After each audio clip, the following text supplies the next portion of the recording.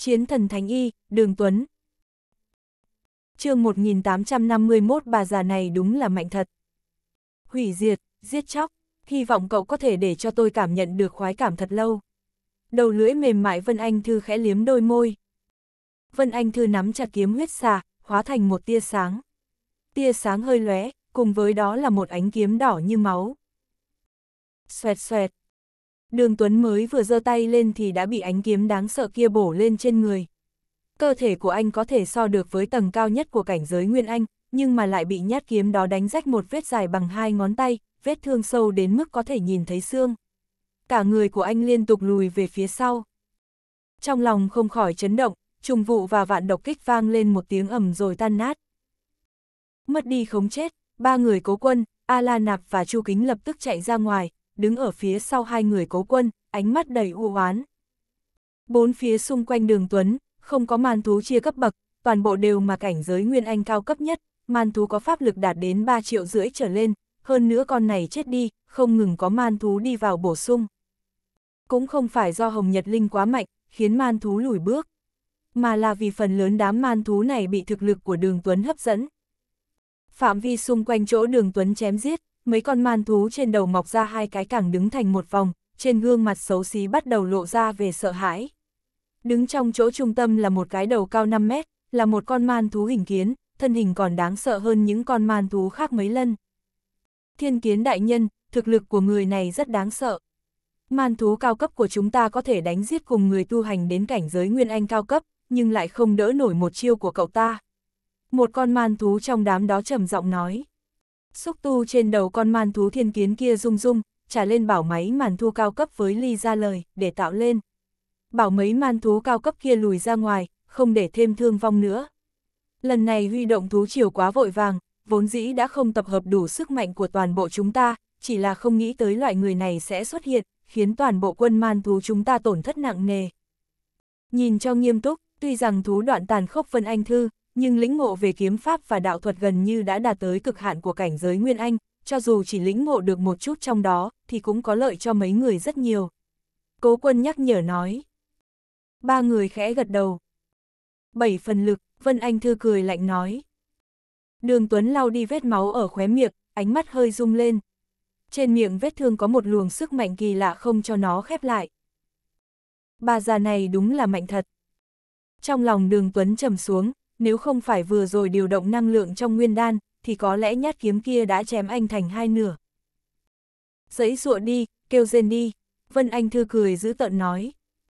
Kiếm huyết xà trong tay bà ta bỗng nhiên xoay tròn, ngưng tụ nguyên khí trong đất trời, hóa thành một luồng ánh sáng màu đỏ quấn quanh thân kiếm kiếm huyết xà. Ảo ảnh của một con rắn cả người toàn màu hồng xuất hiện bên trong luồng sáng. Xà Linh, Thiết Chí Cương nói thất thanh. Xà Linh, đó là trạng thái khí linh vừa ra đời được một nửa trong kiếm huyết xà. Một khi xà linh hiện hình, kiếm huyết xà sẽ có thể hoàn toàn đột phá linh khí. Mà linh khí, vậy chính là pháp bảo thần binh xứng đôi với cảnh giới hóa thần. Xem ra Vân Anh Thư thật sự có hứng thú giết người, đến xà linh đã thả ra. Chẳng lẽ bà ta không sợ xà linh tổn thương, kiếm huyết xà không còn hy vọng thăng cấp thành linh khí sao? Thiết Chí Cương nói. Cố quân cười, nói tuy thằng Watt kia có chút thú đoạn, nhưng muốn làm xà linh bị hao tổn, hẳn là không thể đạt được đâu.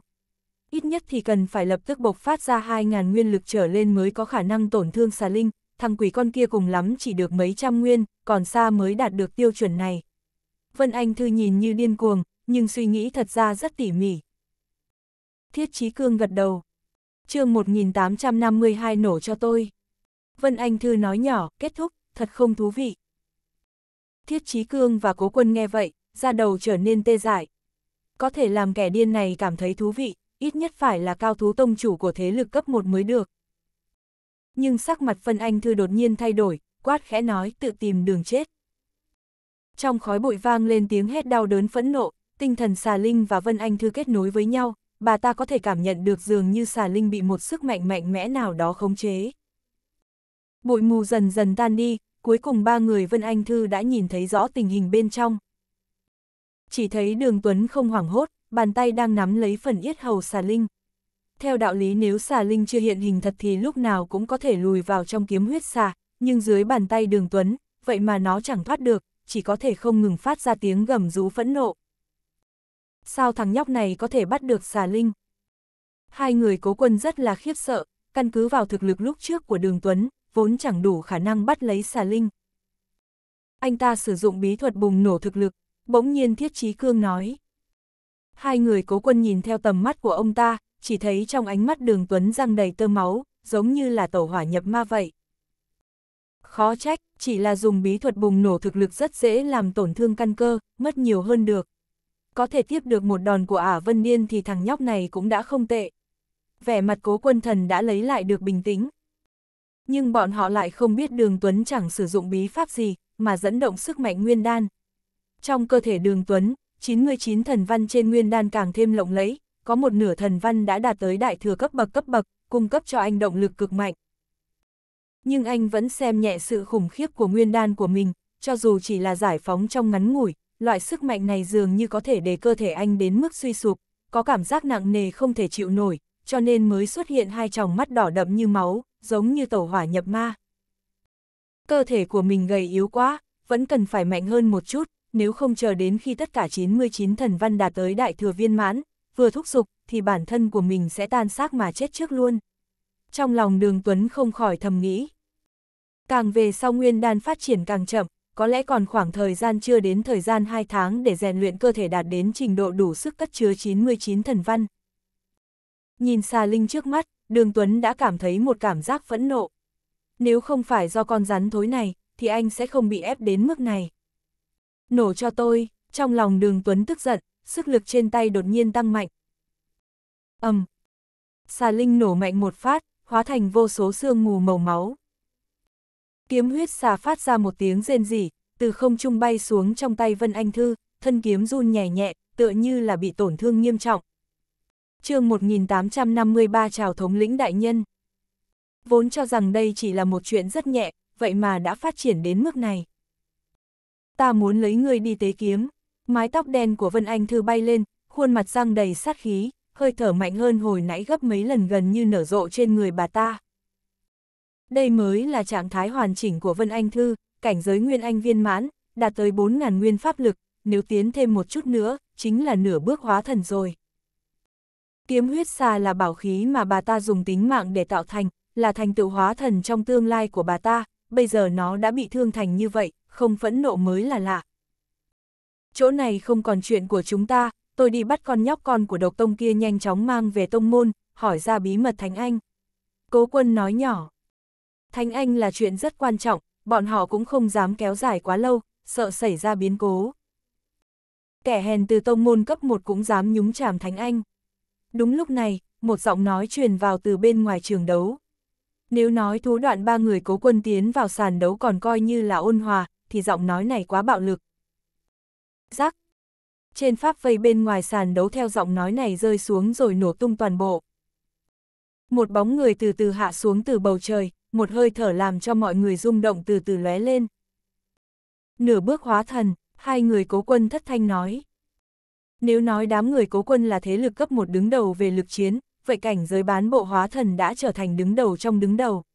Cho dù là thế lực cực kỳ siêu cấp, địa vị của một vị bán bộ hóa thần đã không khác gì với tông chủ cho lắm. Mà người đàn ông trung niên có vẻ mặt uy nghiêm trước mặt này thuộc về trình độ này. Thực lực của ba người họ đã đạt tới cảnh giới nguyên anh viên mãn, pháp lực ít nhất từ 3.000 nguyên trở lên, nhưng vẫn có tranh lệch rất lớn với bán bộ hóa thần. Nghĩ đến điều này, ba người nhanh chóng hành lễ. Đến cả Vân Anh Thư có tiếng là điên cuồng cũng khom lưng, vẻ mặt đầy cung kính. Thiên hào ngô nãi thống lĩnh thần đình phương Đông, người đàn ông bình tĩnh nói. Nghe thấy tên thần đình, cơ thể ba người càng run nhẹ lên, nói chào thống lĩnh đại nhân. Thần đình, tuy rằng là do Thượng Tam Tông hợp lực xây dựng, nhưng phát triển đến bây giờ đã mơ hồ vượt qua Thượng Tam Tông, trở thành một thế lực thần bí càng mạnh hơn Thượng Tam Tông rất nhiều chương 1854 tất cả đều do đại nhân quyết định. Ánh mắt thiên hào bình tĩnh nhìn qua y người, một lát sau mới mở miệng nói, mấy người biết mình đang nhìn gì không? Trái tim ba người cố quân run rẩy biết chuyện bản thân mình ra tay tranh đoạt Thánh Anh không thể gạt được, thì nhanh chóng giải thích đại nhân, tôi biết sai rồi. Thánh Anh giao cho ngài mang đi. Vân Anh thư cắn răng, ánh mắt ai oán nhìn đường Tuấn, nói Thánh Anh có thể để đại nhân mang về, nhưng người này làm xà linh bị thương, tôi muốn làm thịt cậu ta. Thiên Hào lắc đầu, nói, không được. Vân Anh Thư ngẩn ra, không cam lòng hỏi lại, vì cái gì? Chẳng lẽ cậu ta cũng ngưng kết Thánh Anh? Thiên Hào lắc đầu cười nói, Thánh Anh cũng chẳng phải món đồ chơi trên đường, có thể dễ dàng nhìn thấy. Mấy vạn năm có thể ra một cái đã là ông trời chiếu cố. Người này còn chẳng đánh lại cô thì sao có thể ngưng kết Thánh Anh? Ông ta nhìn đường Tuấn, nói, người này là người được chọn tham gia thí luyện thần đình, trước khi thí luyện kết thúc, tôi sẽ sẽ không trơ mắt nhìn mấy người giết cậu ta. Vừa dứt lời, ba người cố quân đồng thời ngẩn ra, tuy rằng trong lòng Vân Anh Thư vẫn không cam lòng, nhưng cũng không dám nói thêm gì nữa.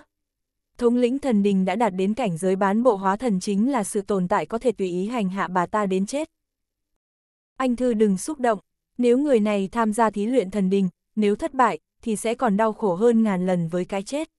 Cố quân sợ Vân Anh Thư làm ra việc ngu ngốc, nhanh truyền âm nhắc nhở bà ta. Vân Anh Thư nhẹ nhàng gật đầu, trước nay thí luyện thần đình đều là chuyện vô cùng nguy hiểm, trăm người có thể sống được một người đã là không tệ. Tất cả đều do đại nhân quyết định, ba người nói. Tốt lắm, thiên hào gật đầu. Vẻ mặt ông ta đột nhiên thay đổi, nhìn về phía sàn đấu, híp mắt lại quát, nếu đã tới, sao không hiện thân. Bên ngoài sàn đấu có một bóng người tựa như xuất hiện từ trong không khí, dần dần hiện hình. Bóng người kia có dáng người thướt tha, khuôn mặt lại có một vòng sáng nhàn nhạt, nhạt, không nhìn thấy rõ. Là cô ta, trong lòng đường Tuấn khẽ nhúc nhích, thế mà người này lại chính là vị cô chủ mà anh ta nhìn thấy ở trong phủ họ tạ. Diệt thần, mấy người cũng muốn có vị thánh anh này sao? Giọng nói của thiên hào rất lạnh lẽo, mang theo sát ý. Vốn chẳng cần giới thiệu, là thế lực đối địch, thiên hào có thể lập tức nhận ra được hơi thở buồn nôn trên người đối phương. Đúng vậy, cô chủ nói. Giọng nói của cô ta không giống như trước đây, khàn khàn khó nghe tựa như là luồng khí lướt qua mặt giấy thô giáp, khiến người khác nghe mà nổi đầy da gà. Vậy thử xem sao, khóe môi thiên hào cong lên một nụ cười lạnh, ông ta hung hăng nện bước trên sân tỉ thí, rồi phóng lên cao, sau đó đánh nhau với cô chủ. chương 1855 cần phải nhanh chóng tăng cường thực lực. Thiên hào, chỉ bằng chút lực ấy của ông thôi sao? Giọng nói của cô chủ không ngừng tuyền ra từ trong luồng ánh sáng rực rỡ. Vậy cô thử tiếp chiêu này xem. Vậy ngươi tiếp ta chiêu này thử xem xem. Thần thông thiên diệt luân. Sau đó giọng nói của thiên hào đã truyền ra. Hai người mới vừa giao đấu, đã là ứng phó toàn lực, dùng hết các thuật pháp thần thông. Mới vừa một giao thú, đó là toàn lực ứng phó, các loại dùng ra, thật lớn đấu thật chàng ở hai người giao thú dư ba trung phát ra từng trận run minh thanh âm, tựa hồ chịu đựng không được cái loại này đáng sợ đánh sâu vào. Đây là sức mạnh của cảnh giới bán bộ hóa thần sao? Vân Anh Thư siết chặt nắm tay, lẩm bẩm nói. Trên khuôn mặt yêu kiều mang theo một nỗi khát vọng và tham lam tận cùng. Pháp lực của bà ta đã sớm đạt tới trình độ 4.000 nguyên, cách tiêu chuẩn 5.000 nguyên bán bộ hóa thần cũng không nhiều lắm. Nhưng bản thân Vân Anh Thư hiểu rõ nhất, tranh lệch có vẻ như không nhiều lắm, tranh có thể là ngưỡng mà cả đời này bà ta không thể vượt qua. Đây cũng là nguyên nhân vì sao cảnh giới bán bộ hóa thần mạnh mẽ và thưa thất như thế, cho dù là cường giả ở trong thần đình thì những tu sĩ bán bộ hóa thần đều có rất cao địa vị. Bà ta nhìn về phía đường Tuấn, sát ý trong mắt lại trào ra lần nữa. Vân Anh Thư, bà điên rồi sao? Vị đại nhân kia đã lên tiếng, nếu bà thật sự dám ra tay giết cậu ta, có lẽ đại nhân không thèm để ý sống chết của loại nhân vật nhỏ như này, nhưng hành động của bà tương đương với khiêu khích vị đại nhân kia, đừng nói là bà phải chết, mà tu la môn sau lưng bà cũng có thể gặp phải đại nạn theo. Cố quân nhíu mày, không nhìn được quát lên.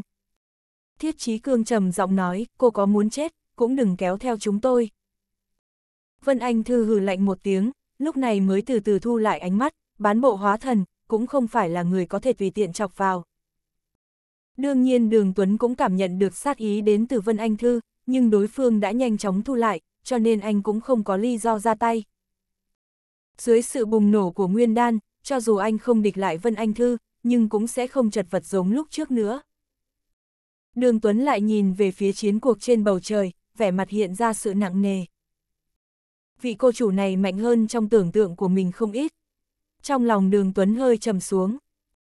Dù sao anh cũng chỉ là cảnh giới nguyên đan viên mãn, hơn nữa thần văn cũng không ngưng tụ thành công toàn bộ, đối diện với lực chiến đấu đứng đầu trong cảnh giới Nguyên Anh, nhất định sẽ không có bất kỳ cơ hội nào.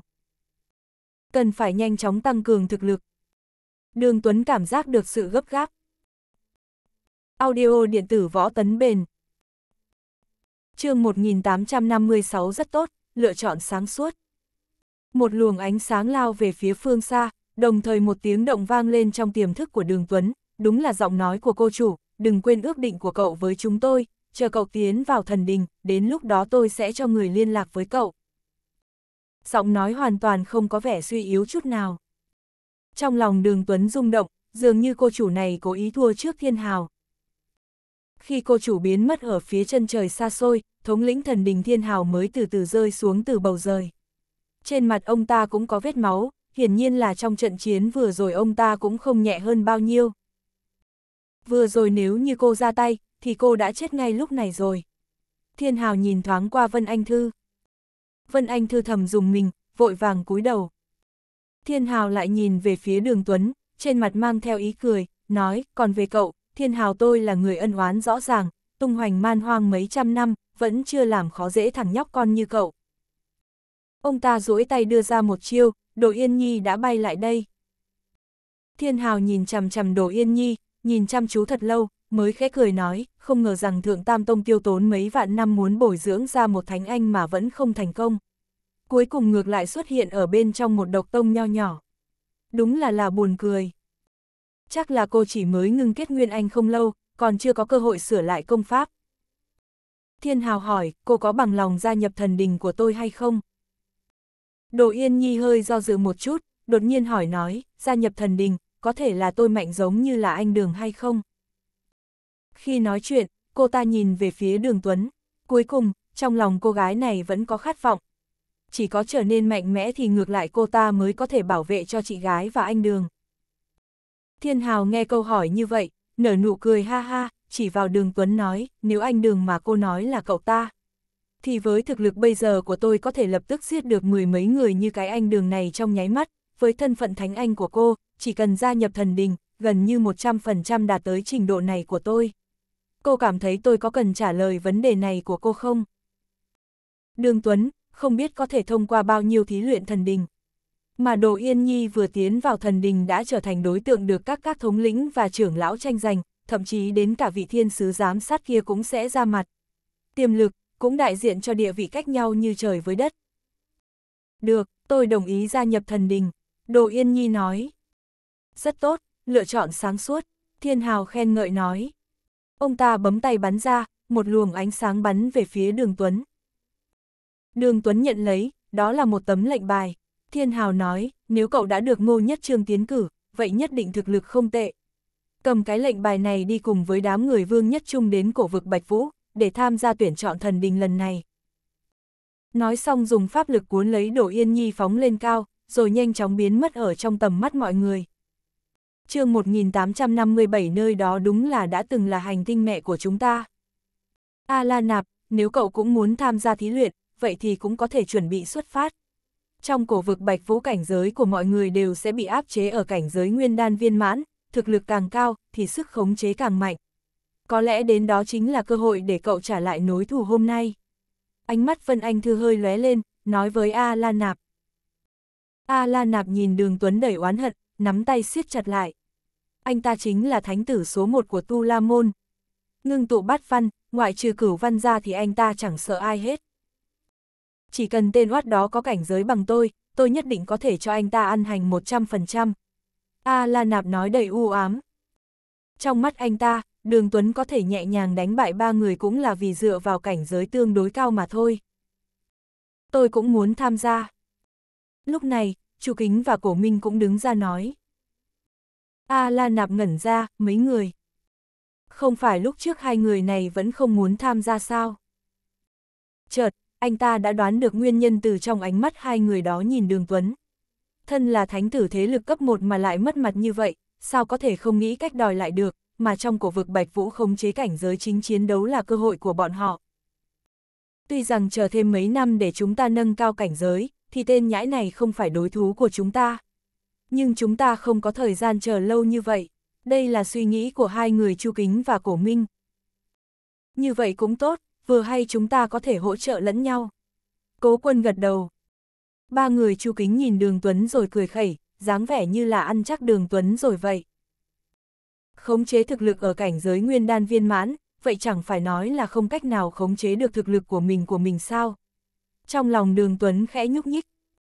Đại hội thăng cấp tiếp theo gần như không còn gì để xem, ngẫu nhiên có một hai tông môn thắng liên tiếp mấy trận, xếp hạng tăng lên rất nhiều.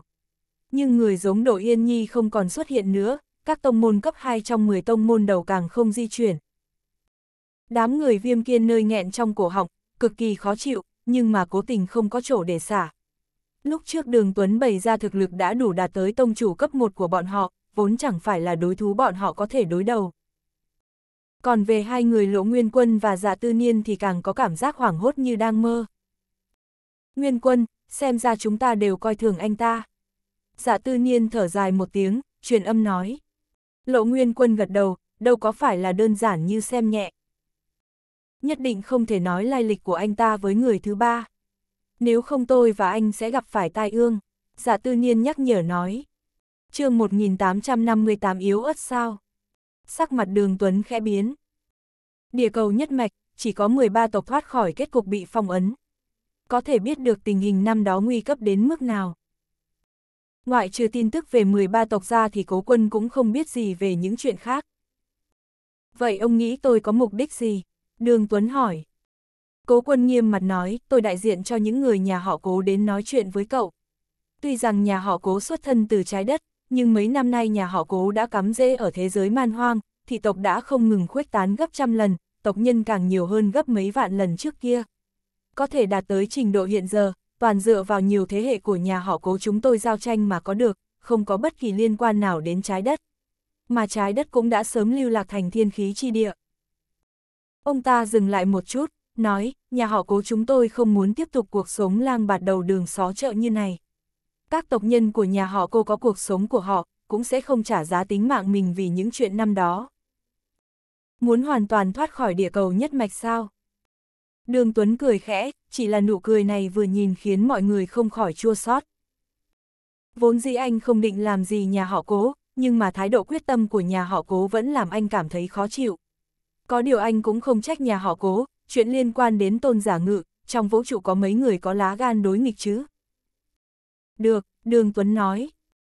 Vẻ mặt của cố quân lập tức nhẹ nhàng hơn nhiều, nói cậu yên tâm tôi cũng sẽ giữ kín như bưng về chuyện cậu đến từ trái đất. Chờ sau này cậu có được thế lực đối phó với tôn giả ngự thì nhà họ cố chúng tôi có thể lựa chọn đứng ở phe của cậu. Trong mắt cố vân minh đã lộ ra tia phẫn nộ, tôn giả ngự, chính là người mạnh nhất trong vũ trụ. Gần 100.000 năm qua, có được mấy người như tôn giả ngự.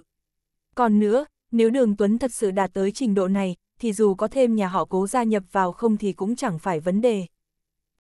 Lựa chọn rất sáng suốt, tuy rằng đường Tuấn rất phẫn nộ, nhưng mà không còn cách nào. Anh cũng đâu thể nào ép nhà họ cố đâm đầu vào chỗ chết được. Đường Tuấn không dừng lại, đứng dậy rời khỏi phòng bao. Chú ba, đây thật sự là ý của dòng họ sao? Lúc này cố Vân Minh đã hồi phục lại từ nổi khiếp sợ. Cố quân nói, đúng vậy, nếu sức mạnh của cậu ta có thể so sánh với đại năng hóa thần, thì nhà họ cố chúng ta có lẽ sẽ suy xét một chút. Nhưng anh ta quá yếu ớt, thực lực còn kém hơn cả chú, không có năng lực lãnh đội ngũ đạo khổng lồ như vậy. Đi theo cậu ta chỉ có thể chịu chết. Yếu ớt sao? Cố Vân Minh nói nhỏ. Một người cảnh giới nguyên đan viên mãn có thể địch được tu sĩ cảnh giới nguyên anh đỉnh cao, vậy mà lại bị người khác tặng cho danh hiệu yếu ớt.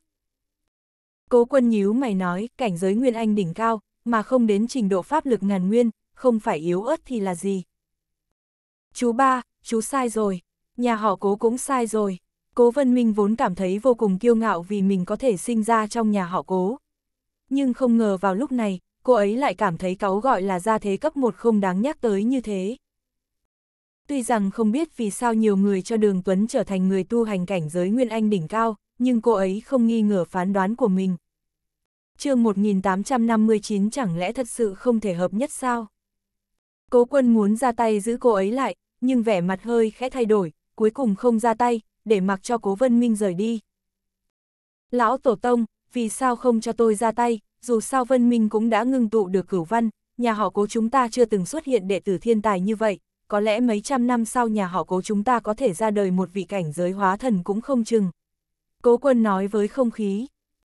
Cảnh giới hóa thần nào có đơn giản như vậy, cô ta muốn đi cứ để cô ta đi đi, chờ cô ta hiểu rõ sức mạnh bản thân mình nhỏ bé thế nào, có lẽ sẽ biết phải lựa chọn thế nào.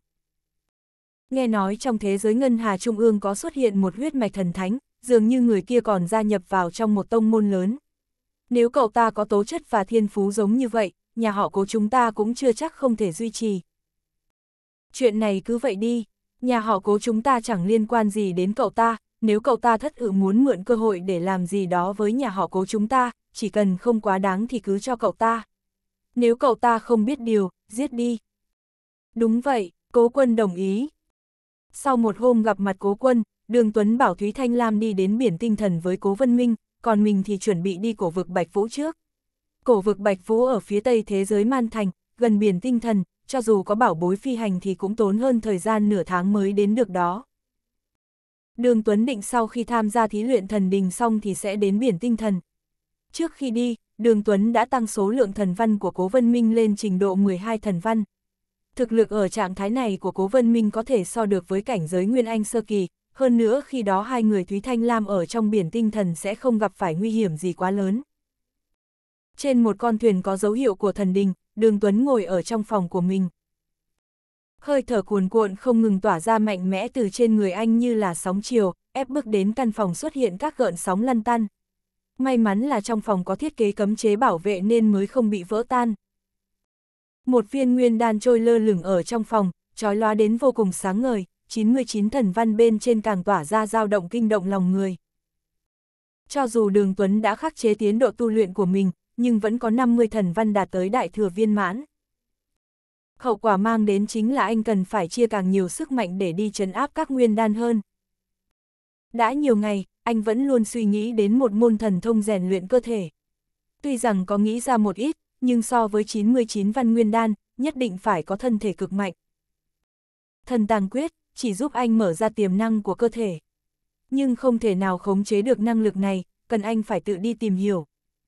Tu luyện một hồi, đè nguyên đan đang khác thường xuống, lúc này đường Tuấn mới ngừng tu luyện. Chẳng lẽ thật sự không thể hợp nhất sao? Đường Tuấn nhíu mày lại. chương 1860 thằng nhóc tu la môn kia lại tự tìm đường chết. Nhưng đường Tuấn vẫn nghe được một vài cuộc nói chuyện. Đây chính là thằng nhóc con may mắn kia, được đại sư ngô của trận Pháp Tông tự mình tiến cử, được vào danh sách tham gia thí luyện. Nghe nói thực lực của anh ta không tệ, có thể đánh tay đôi với Vân Anh Thư của Tu La Môn.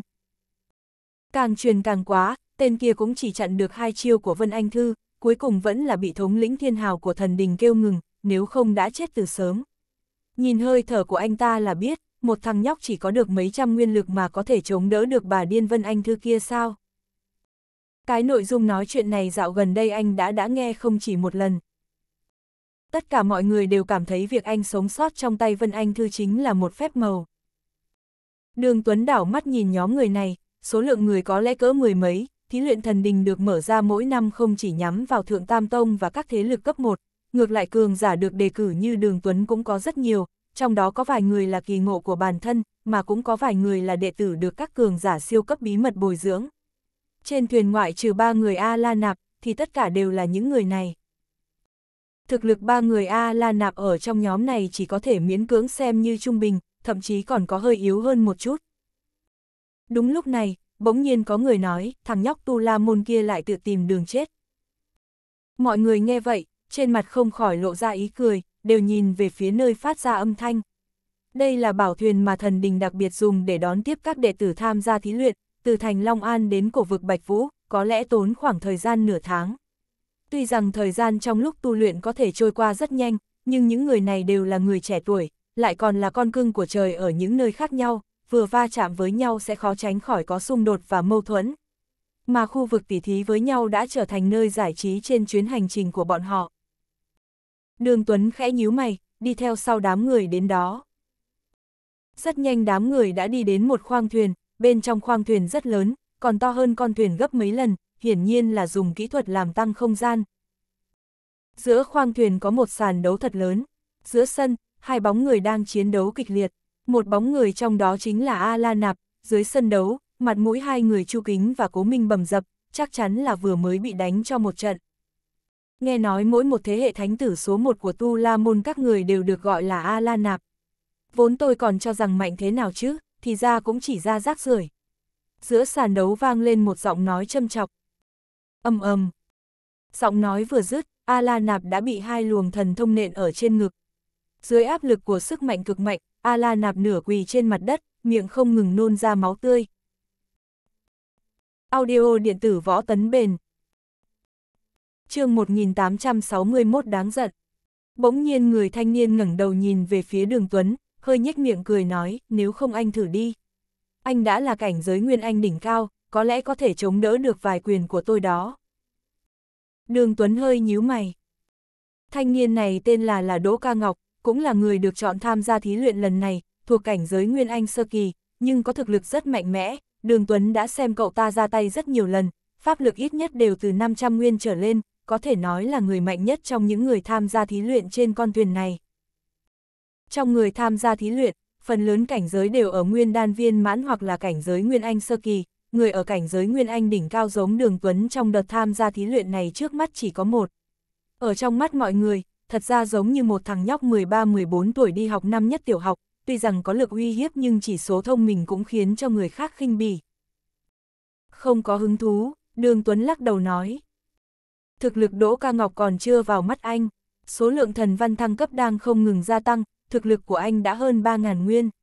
Chỉ là bây giờ anh đang trong thời kỳ tu luyện quan trọng, hơn nữa trên thuyền còn có một vị trưởng lão của thần đình trông coi. Thực lực của vị trưởng lão kia ở cảnh giới Nguyên Anh đỉnh cao, có cấp bậc như cố quân, làm anh có hơi kiêng kỵ. Không có hứng thú hay là không dám vậy, một cảnh giới Nguyên Anh đỉnh cao mà còn chẳng dám nhận lời khiêu chiến của một người cảnh giới Nguyên Anh sơ kỳ. Đỗ ca Ngọc châm biếm nói. Tôi sợ mình đánh chết anh, Đường Tuấn nghiêm túc nói. Chỉ với một cú của pháp lực 3.000 nguyên thì Đỗ ca Ngọc sẽ chết mà không biết mình chết thế nào. Đỗ ca Ngọc ngẩn ra một chút, nói, đánh chết tôi cũng được coi là bản lĩnh của anh. Cứ như vậy đi, đường Tuấn quyết định vẫn nên khiêm tốn thì hơn. Hừ, không thú vị. Đỗ ca ngọc bĩu môi, đôi mắt híp lại, nói cho dù bây giờ anh có thể tránh được, chờ tới cổ vực Bạch Vũ rồi, tôi không tin anh còn trốn được. Ở bên trong sẽ không thoát khỏi bị giết đâu. Những người khác thấy thế, trong ánh mắt nhìn về phía đường Tuấn tức khắc hiện lên vẻ thương hại và trào phúng. Nghe nói lần này thần đình sắp xếp những người tham gia thí luyện thành một danh sách, Đỗ Ca Ngọc xếp hạng thứ 18 chỉ cần có thể tiến vào 50 người đầu tiên, gần như có thể thông qua thí luyện 100%. Có người nói nhỏ. Đỗ Ca Ngọc xếp hạng thứ 18 mà đã khủng khiếp như thế, vậy 10 hạng đầu không phải mạnh đến trái ý trời sao? Có người kinh ngạc nói. Mọi người tản đi rất nhanh, lúc Đỗ Ca Ngọc đi qua người đường Tuấn, đã hung dữ liếc anh một cái. Cái ánh mắt này giống như con sói đói nhìn chằm chằm đàn đàn dê vậy. Chờ đến cổ vực Bạch Vũ sẽ cho anh đẹp mặt. Đỗ Ca Ngọc nói nhỏ. Đường Tuấn lại không để bụng. Rất nhanh trong khoang thuyền cũng chỉ còn lại ba người Đường Tuấn và A La Nạp. Vốn ba người ngập tràn trí khí trong lòng nhưng chỉ qua hai ngày ngắn ngủn đã bị đả kích đến chết lặng. Nhìn ba người liếc mắt một cái, Đường Tuấn đã xoay người bỏ đi. Đáng giận, A La Nạp nện một quyền xuống mặt đất. Cho dù là Đỗ Ca Ngọc thì thằng nhóc này dựa vào đâu mà nhìn anh ta với ánh mắt như vậy chứ? Chương 1862 đồ nhà quê. Nửa tháng sau, ảo ảnh thuyền thần đình đã tiến vào chỗ giao nhau giữa biển tinh thần và cổ vực Bạch Vũ với thành man thú. Nơi này là địa điểm bắt đầu thí luyện thần đình lần này. Đường Tuấn lẻ loi đi xuống thuyền, nhìn thành man thú to lớn đổ sộ. Tường thành cao mấy trăm trượng chìm trong biển mây, mà bờ tường có một màu đen nhánh, còn tỏa ra mùi máu tươi thật nhạt. Đó là dấu vết sau khi máu tươi khô để lại. Ngoại trừ những cái này, còn có một trận pháp bảo vệ rất mạnh, lực phòng ngự cực kỳ mạnh mẽ. Tinh thần của thị vệ canh thành ai nấy đều tràn đầy năng lượng, ánh sáng trong mắt rực rỡ, gần như đều thuộc cảnh giới nguyên đan viên mãn, hơn nữa ít nhất còn có người tu hành ngũ văn. Trên người bọn họ tràn ngập sát khí, hoàn toàn khác biệt với những đệ tử khổ tu trong các tông môn lớn như mấy người giả tư niên. Nếu hai bên đánh nhau, chỉ sợ giả tư niên sẽ bị giết chết hết sạch. Ngoại trừ thị vệ cảnh giới nguyên đan viên mãn, không ngờ có không ít người tu hành thuộc cảnh giới Nguyên Anh. Không hổ là thành thứ ba của thế giới man hoang mà. Đường Tuấn hơi cảm thán. Anh đến thế giới man hoang đã đi qua Mãn Uyên Thành, Thành Long An, còn có thành man thú trước mắt. Trong ba thành, trình độ vũ lực của thành man thú rõ ràng đã áp đảo hai thành còn lại. Đồ nhà quê Đỗ Ca Ngọc đi lên từ phía sau đường Tuấn, thờ ơ liếc anh một cái, trên mặt là vẻ coi thường nhàn nhạt. Thành man thú chính là pháo đài giao với biển tinh thần và cổ vực Bạch Vũ, thần đình phải sắp xếp một vị thống lĩnh cao cấp đóng quân ở chỗ này quanh năm để phòng ngừa man thú biến dị, thực lực quân đội mạnh mẽ là điều hiển nhiên. Đỗ Ca Ngọc hừ một tiếng, rồi vênh váo tự đắc đi lên phía trước, dường như chỉ cần nói thêm một câu với đường Tuấn sẽ làm cậu ta cảm thấy mất mặt. Những người khác cũng lục tục đi qua người đường Tuấn, ánh mắt đầy châm chọc, mang theo sự trào phúng rõ ràng. Nửa tháng qua gần như cứ vài ngày Đỗ Ca Ngọc sẽ dùng ngôn ngữ để kích động đường Tuấn một lần, cậu ta muốn dùng cách này kích thích anh ra tay, đáng tiếc đường Tuấn cứ giống như là người gỗ không hề có hành động nào. Kiểu thái độ này làm cho bọn họ vô cùng khinh bỉ. Cho dù biết bản thân không phải đối thú, nhưng đến lá gan chiến đấu cũng không có, làm sao có thể xứng trở thành một người tu hành được. Ngược lại bọn họ có thấy hơi kính sợ với người càng thua càng đánh như A Lan Nạp. Ha ha, đường Tuấn chỉ cười nhạt. Nửa tháng qua, thần văn của anh lại thăng cấp thêm 10 cái, pháp lực đã sắp đạt 4.000 nguyên, nhưng đồng thời sức mạnh trấn áp nguyên đan cũng càng ngày càng nhiều. Vào lúc này nếu thật sự động tay động chân, thì anh sẽ không thể khống chế tốt được sức mạnh.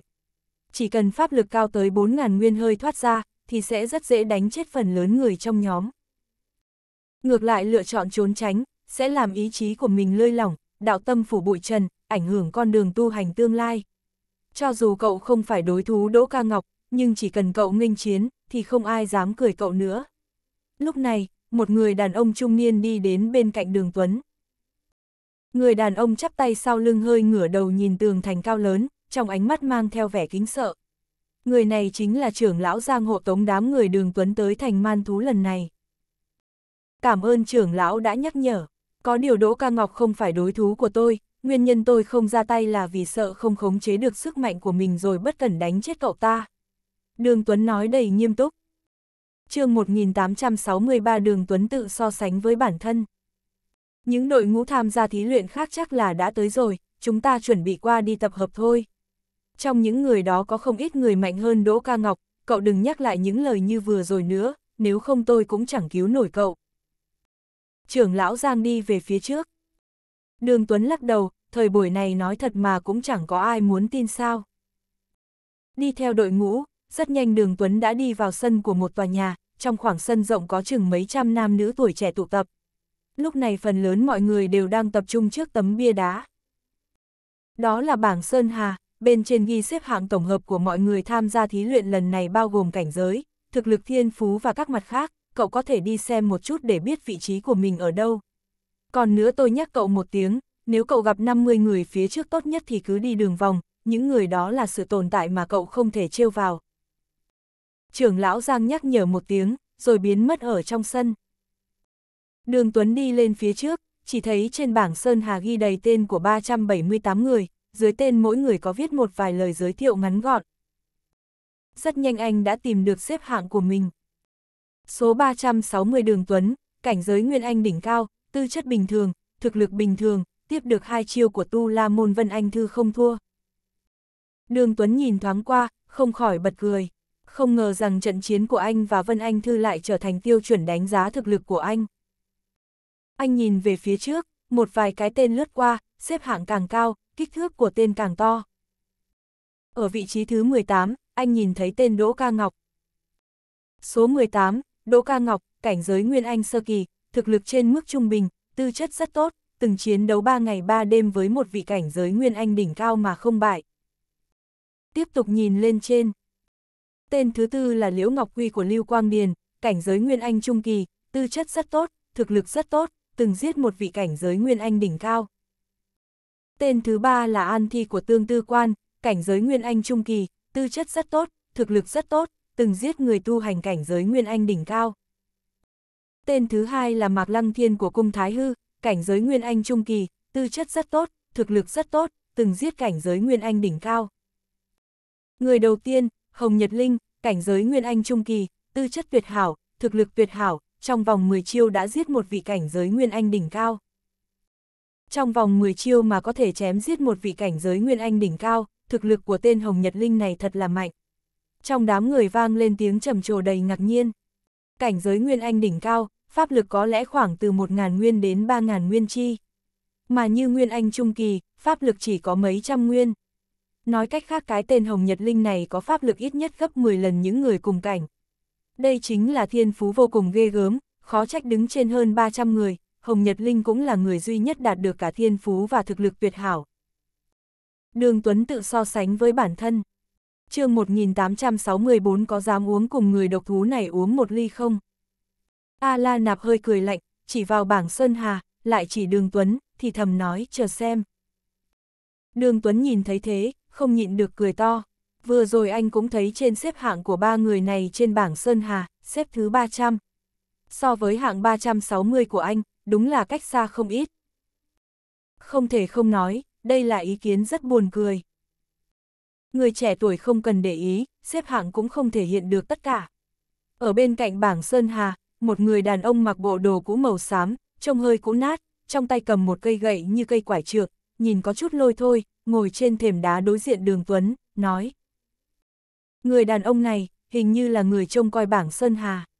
Loại khí tức yếu ớt thế này, chỉ có cảnh giới Nguyên Anh sơ kỳ, vốn dĩ không đáng để những thiên tài này đặt trong mắt. Nếu không phải vẫn kiêng kỵ thần đình, với bộ dạng không ngay ngắn này của anh ta, chỉ sợ sớm đã bị người khác đuổi ra ngoài. Đúng vậy, tôi cực kỳ đồng tình với câu nói này. Đường Tuấn khẽ gật đầu. Lúc ở trái đất, rất nhiều người đều ở phía trước anh, nhưng những người kia bây giờ cũng chỉ có thể ngước nhìn, đây chính là tự tin của đường Tuấn. Người đàn ông lôi thôi khẽ giật mình, rõ ràng không ngờ tới đường Tuấn có thể nói như vậy. Trong mắt người đàn ông lộ ra tia hồi ức trong quá khứ, cười cười, thấp giọng nói, trước kia tôi cũng nghĩ như vậy. Không biết ông ta moi bình rượu ra từ chỗ nào, tự mình uống một ngụm, sau đó hỏi tiếp, có dám uống cùng người độc thú này uống một ly không? Đương nhiên, đường Tuấn nhận chai rượu, trạng thái buông thả rót đầy miệng. Rượu không phải loại thuốc tiên gì, thậm chí còn không được coi là rượu ngon, uống vào cay xè, giống hệt như lửa đốt. Loại rượu này chỉ có người bình thường uống, không có tu sĩ nào muốn uống loại này. Những người xung quanh không có ai được coi là bạn bè, đường Tuấn cũng lười đi tán chuyện phiếm, dứt khoát ngồi xuống bên cạnh người đàn ông, hai người anh một ngụm tôi một ngụm, cười cười nói nói, không thèm để ý thái độ của những người khác. Tự hủy hoại bản thân, chỉ có thể làm bạn cùng lão già vô danh này. A La Nạp, các người vậy mà bị loại người này đánh bại, đúng là mất mặt. Đỗ Ca Ngọc cười một tiếng diễu cợt, giọng nói tràn đầy khinh thường. A La Nạp lạnh lùng trả lời, bên trong cổ vực Bạch Vũ, tôi sẽ khiến cho anh ta phải hối hận. Nói chuyện cùng người đàn ông một lúc, đường Tuấn mới nhớ ra còn chưa hỏi tên đối phương.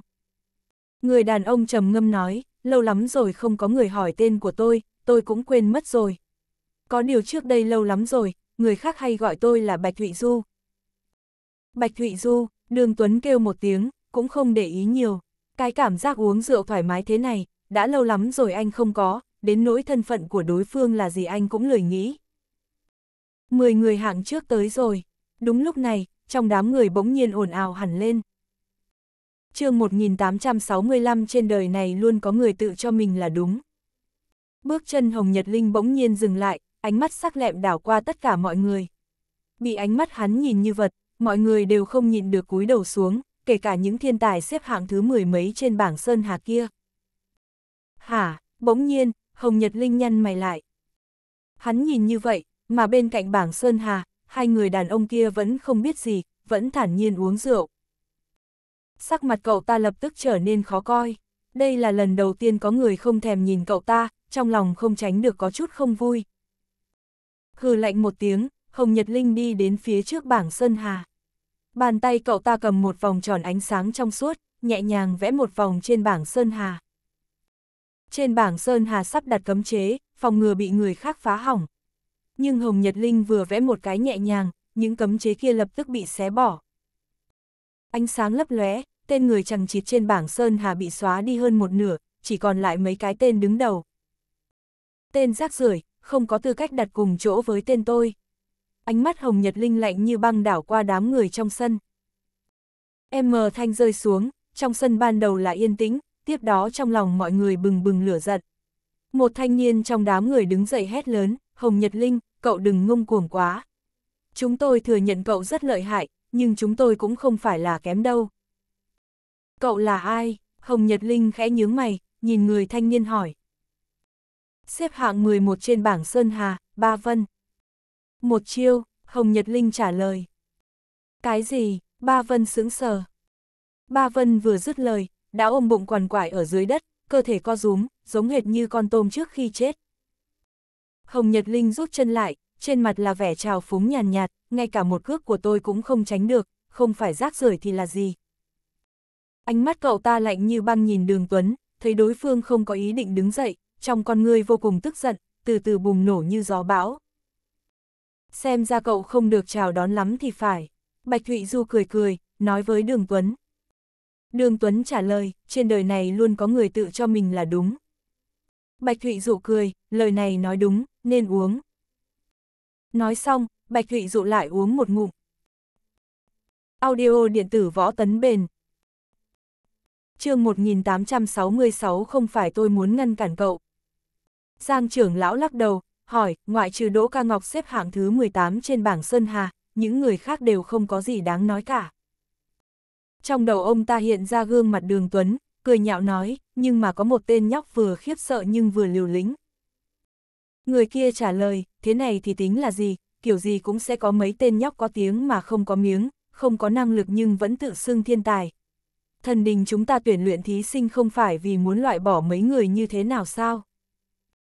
Giang trưởng lão gật gật đầu, đột nhiên hỏi, à đúng rồi, vị thống lĩnh đại nhân kia tìm chúng ta có chuyện gì không?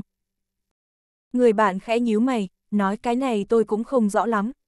Vị thống lĩnh đại nhân đó làm việc thần bí vô cùng, chấn giữ thành man thú đã mấy trăm năm, tôi cũng chưa được thấy mặt thật của anh ta.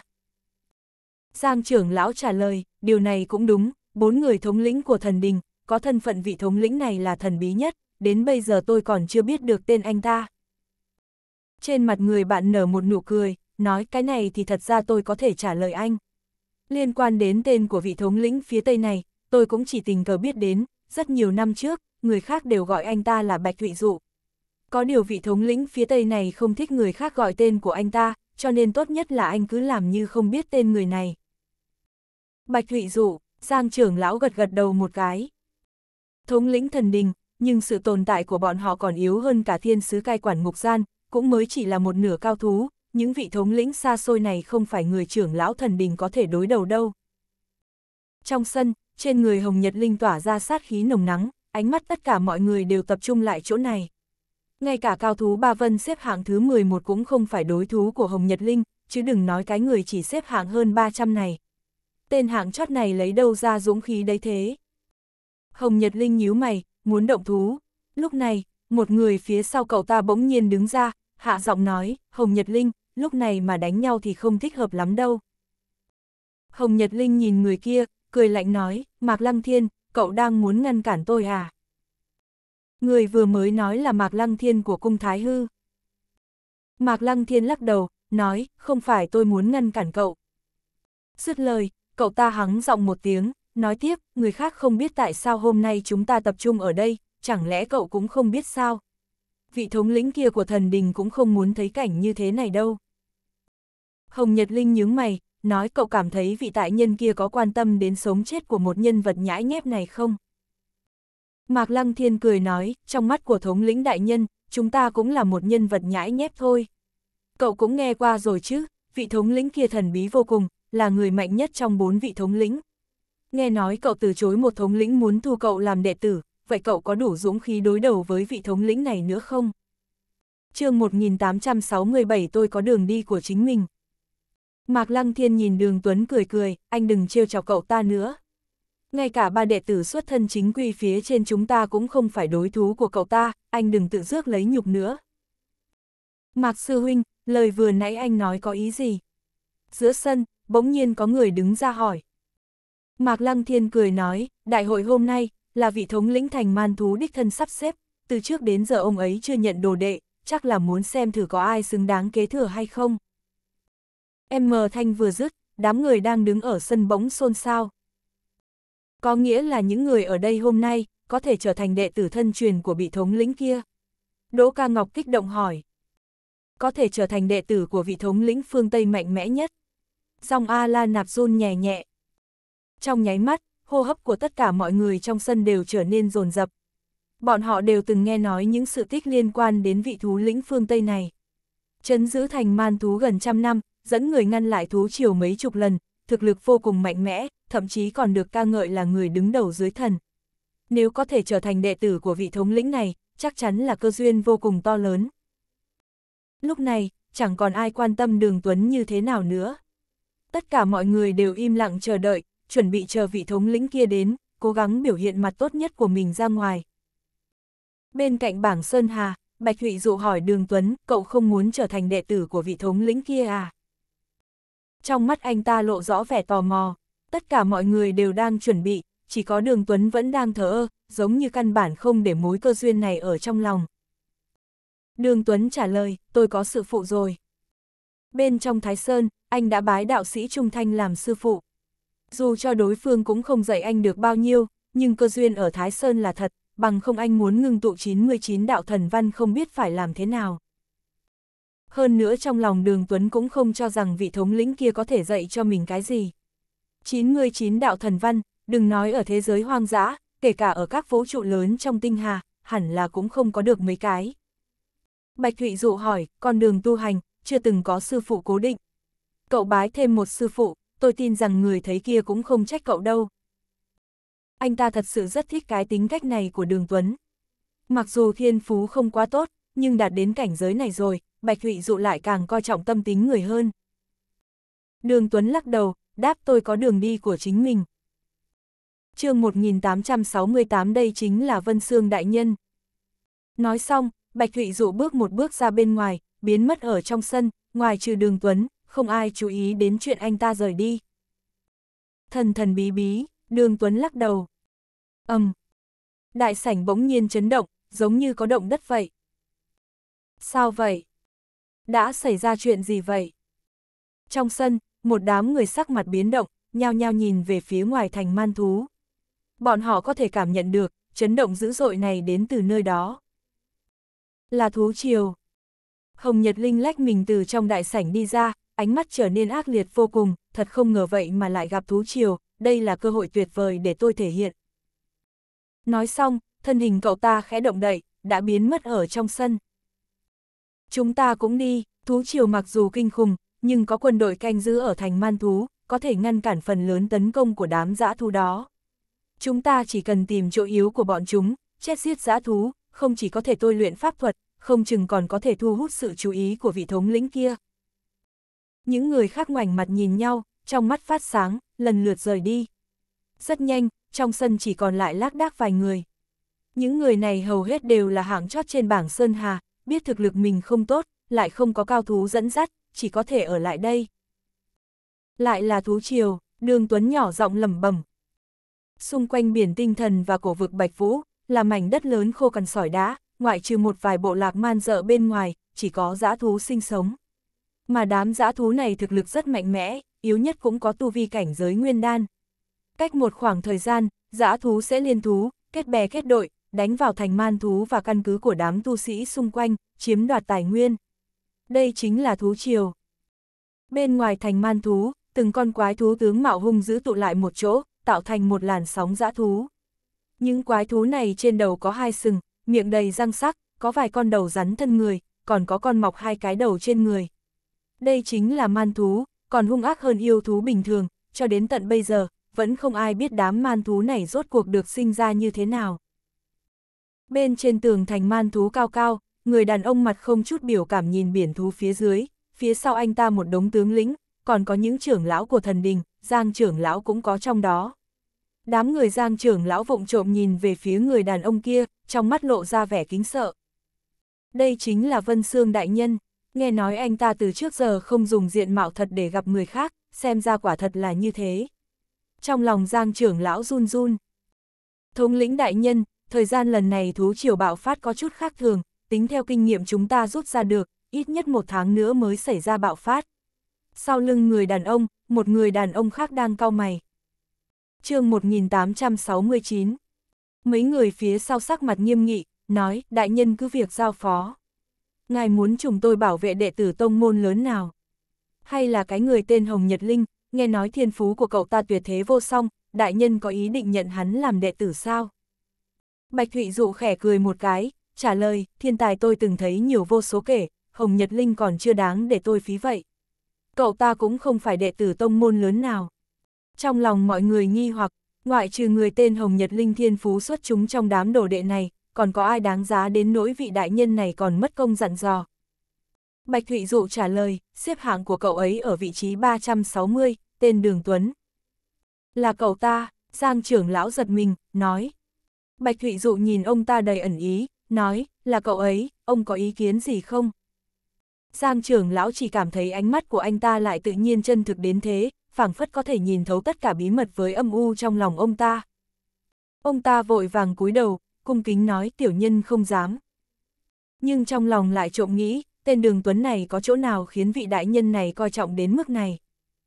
Các tướng lĩnh và trưởng lão khác mặc dù nghi ngờ trong lòng, nhưng Bạch Thụy Dụ đã tự mình lên tiếng, ai dám nói một chữ không. Sau khi giao phó xong, Bạch Thụy Du nhìn phía cuối của thú triều, nói tôi đi kiểm tra một chút, mọi người trông giữ ở đây. Nói xong, ầm một tiếng, Bạch Thụy Dụ biến mất tại chỗ. Bên ngoài thành man thú, đường Tuấn nhìn biển đã thú trước mặt, lông mày nhíu chặt lại. Đám man thú trước mặt dữ tợn đáng sợ, bốn chân giống hệt như kiếm sắc, trong bóng tối lập lòe sáng lộng lẫy, độ cứng cáp của da có thể so với vũ khí đúc từ đồng. Bọn chúng không có pháp thuật, nhưng có thể phát huy thực lực từ chính cơ thể này. Còn chưa nói đến bên trong đám man thú còn có loại đột biến, há mồm một tiếng có thể phun ra gió lóc bao phủ, hoặc ngưng tụ băng lạnh, hoặc lửa tím ngập trời, uy lực không hề thua kém pháp thuật thần thông. Nhưng dã thú đột biển này, ít nhất phải cảnh giới Nguyên Anh sơ kỳ mới có thể đánh một trận. Cách đó không xa, đám đệ tử thực tập bị ép hợp lại thành một tiểu đội, khó khăn ứng phó với làn sóng tấn công của man thú xung quanh, đồng thời không ngừng sử dụng pháp thuật, muốn tính toán chém giết man thú. Man thú xung quanh bọn họ không đột biến lắm, chỉ có cảnh giới Nguyên Anh sơ kỳ, cho nên mấy người bọn họ hợp sức lại, mặc dù khó khăn nhưng không đến nỗi nguy hiểm tính mạng. Chỉ là man thú mà thôi. Đúng lúc này, từ chỗ xa xa truyền ra một tiếng quát lớn. Đường Tuấn quay đầu, mơ hồ có thể nhìn thấy bên trong biển man thú, Hồng Nhật Linh thần thông quảng đại, không hề hoảng sợ đám man thú đang phun băng lạnh hay lửa tím, cậu ta tùy tiện tung một chiêu đã có thể khiến man thú bị thương. Mà xung quanh cậu ta không ra đám đệ tử xếp trong hạng 10, bao gồm cả Mạc Lăng Thiên, Liêu Ngọc Duy với An Thi, ba người bọn họ mặc dù cũng là cao thú, nhưng với Hồng Nhật Linh vẫn có tranh lệch không nhỏ. Tên này quả nhiên mạnh mẽ, trên mặt đường Tuấn lộ rõ vẻ thay đổi, nghiêm mặt nói, cũng sắp bằng một phần năm thực lực của mình, xem ra mình vẫn phải tiếp tục cố gắng. Nhân loại mạnh miệng, một mình ngươi cũng dám bước vào biển man thú. Ha ha, nhìn tao ăn mày này. Đúng lúc này, một cái mồm dài hiện ra một cái vòi hút cực lớn, hai cái móng như cái kìm, man thú gào thét một tiếng, cắn về phía đường Tuấn. Đôi mắt man thú màu xanh lục, tràn đầy tham lam. Tự tìm cái chết, đường Tuấn híp mắt lại, ngón tay cong cong búng một cái, man thú lập tức nổ tung, máu dịch màu xanh lá đậm đặc phun đầy bầu trời. Con man thú này tính ra cũng phải bằng 7, 8 cao thủ nguyên đan, vậy mà không đỡ nổi một chiêu của đường Tuấn. Đường Tuấn dựng lên một kết giới che chắn, chặn những dòng máu xanh là kia. Bỗng nhiên anh thấy trong dòng máu đầy trời xen lẫn một tia sáng màu xám. Đó là cái gì? Trong lòng đường Tuấn khẽ động đậy, pháp lực hóa thành một tia mảnh kéo tia sáng này lại. Tia sáng này vừa chạm vào tay đường Tuấn, vậy mà thoáng cái đã nhập vào trong lòng bàn tay anh. Cái gì? Sắc mặt đường Tuấn biến động, vừa rồi trên lòng bàn tay anh vẫn còn một tầng pháp lực, đừng nói tia sáng của man thú này thực lực mới chỉ ở cảnh giới nguyên đan, kể cả có cảnh giới nguyên anh cũng không phá được. Vậy mà tia sáng này lại có thể dưới sự phòng bị của anh tiến vào bên trong, khiến cho đường Tuấn thật sự ngạc nhiên. Đứng cạnh chỗ đường Tuấn không xa, hai tướng quân đang đội lốt man thú trên người, chứng kiến một cảnh như lập tức trở nên sợ hãi. Hai người này là tướng lĩnh trong đội bách phu trưởng của thành man thú, đang nhận lệnh âm thầm bảo vệ đường Tuấn. Người này to gan thể, dám hấp thụ linh quang man thú. chương 1870 Linh quang này là chỗ sâu nhất bên trong man thú, chứa đựng tinh hoa với ác tính của man thú, kể cả thống lĩnh đại nhân cũng không dám đặt linh quang man thú vào trong cơ thể. Chỉ cần sơ ý một chút, hoặc là bị năng lượng to lớn không chịu nổi bạo phát mà chết, hoặc là bị tấn công bởi ác tính, thần trí mê man, biến thành quái vật nửa người nửa man thú. Tên này chắc chắn bị điên rồi, cần ra tay cứu cậu ta không? Cứu, cứu như thế nào? Linh quang xâm chiếm trong nháy mắt, chỉ một lúc sau, hung tính man thú sẽ khống chế tinh thần của cậu ta, anh với tôi hợp lực lại cũng không có ý nghĩa gì cả. Muốn trách chỉ có thể trách cậu ta không biết trời cao đất dày thôi. Hai vị tướng lĩnh cũng là người tu hành đến cảnh giới Nguyên Anh Trung Kỳ, trải qua vô số chém giết, thực lực mạnh mẽ vô cùng, nhưng đối mặt với thứ đáng sợ kỳ quái linh quang man thú này, vẫn không có cách nào đối phó. Chuẩn bị nhặt xác cho cậu ta thôi, suy nghĩ xem tí nữa nhận tội với đại nhân như thế nào. Thực sự là xui xẻo, hai người tướng lĩnh phàn nàn nói. Anh xem, lúc này một trong hai người như gặp được chuyện quỷ dị nào đó, âm thanh run rẩy nói với người còn lại. Trong tầm mắt hai người, cơ thể đường tuấn cứng lại một chút, đầu lung lay, sau đó bắt đầu chém giết liên tiếp. Không phải cậu ta bị ác tính bên trong linh quang thôn tính, mất đi bản thân sao? Hai vị tướng lĩnh vô cùng nghi hoặc, trong quá khứ, bọn họ gặp không ít người hấp thụ linh quang, không có một ai có thể bình an vô sự. Có lẽ trên người cậu ta có bảo vật đại nhân ban thưởng. Hai người tướng lĩnh liếc nhìn nhau, cũng không suy nghĩ sâu vấn đề này, tiếp tục âm thầm bảo vệ đường Tuấn, tinh thần càng thêm tập trung, chỉ sợ phát sinh cái gì ngoài ý muốn nữa. Mà lúc này, trong lòng đường Tuấn đang vô cùng chấn động. Vừa rồi quả thực linh quang muốn cắn nuốt tinh thần của anh, anh không hề nghĩ tới tia sang kia lại chứa đựng tinh hoa thuần khiết nhất của man thú với bản tính, người bình thường đương nhiên không thể chịu nổi. Nhưng trong nháy mắt lúc linh quang bùng nổ, trong cơ thể đường Tuấn, nguyên đan thần văn với 99 đạo thần văn đồng thời tỏa ra tia sáng man mát, rửa sạch toàn bộ ác tính bên trong linh quang, chỉ còn lại năng lượng thuần khiết nhất. Phần lượng đó rất thần kỳ, mặc dù không nhiều nhưng có thể khiến thực lực của cơ thể đường Tuấn tăng thêm một chút. Phải biết rằng cơ thể đường Tuấn bây giờ không yếu ớt giống những người ở cảnh giới Nguyên Anh, muốn mạnh thêm một chút, không biết cần tiêu phí bao nhiêu bảo vật với khổ luyện. Rốt cuộc thử này là cái gì? Trong lòng đường Tuấn kinh ngạc. Nếu như một tia linh quang có thể khiến cơ thể mình mạnh thêm một chút, như vậy. Đường Tuấn liếc mắt nhìn biển man thú vô tận, ít nhất phải có mấy trăm nghìn con man thú. Anh vẫn luôn khổ sở vì không có cách nào tăng cường sức mạnh bản thân, bây giờ có lẽ đã tìm được biện pháp. Có điều muốn đánh ở phía trước phải vứt bỏ hai người kia ở phía sau. Vốn dĩ chỗ này hỗn loạn như vậy, anh cũng không thể phát hiện hai người tướng lĩnh của Bách Phu Trưởng, nhưng vừa rồi hai người kia để lộ ra khí tức chập chờn, anh mới phát hiện được. Là thần đình phái tới giám sát mình sao?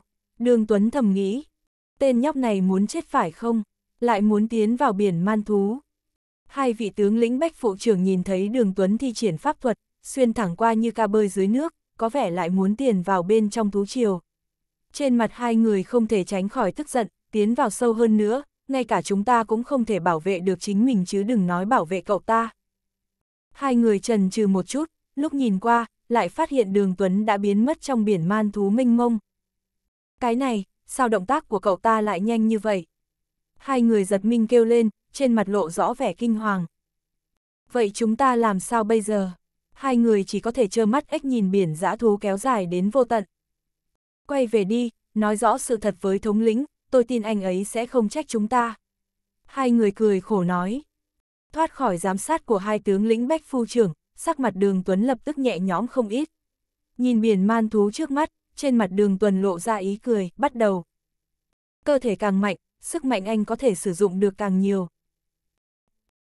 Audio điện tử võ tấn bền chương 1871 Thực lực man thú xung quanh đường Tuấn đã đạt đến trình độ cảnh giới Nguyên Anh Trung Kỳ, nhưng đối với anh cũng không phải vấn đề gì lớn. Trong tay đường Tuấn nắm một tấm bia đá, trên tấm bia đá khác một phù văn vô tận thần bí, nhẹ nhàng vỗ một cái, một con man thú liền nổ tung.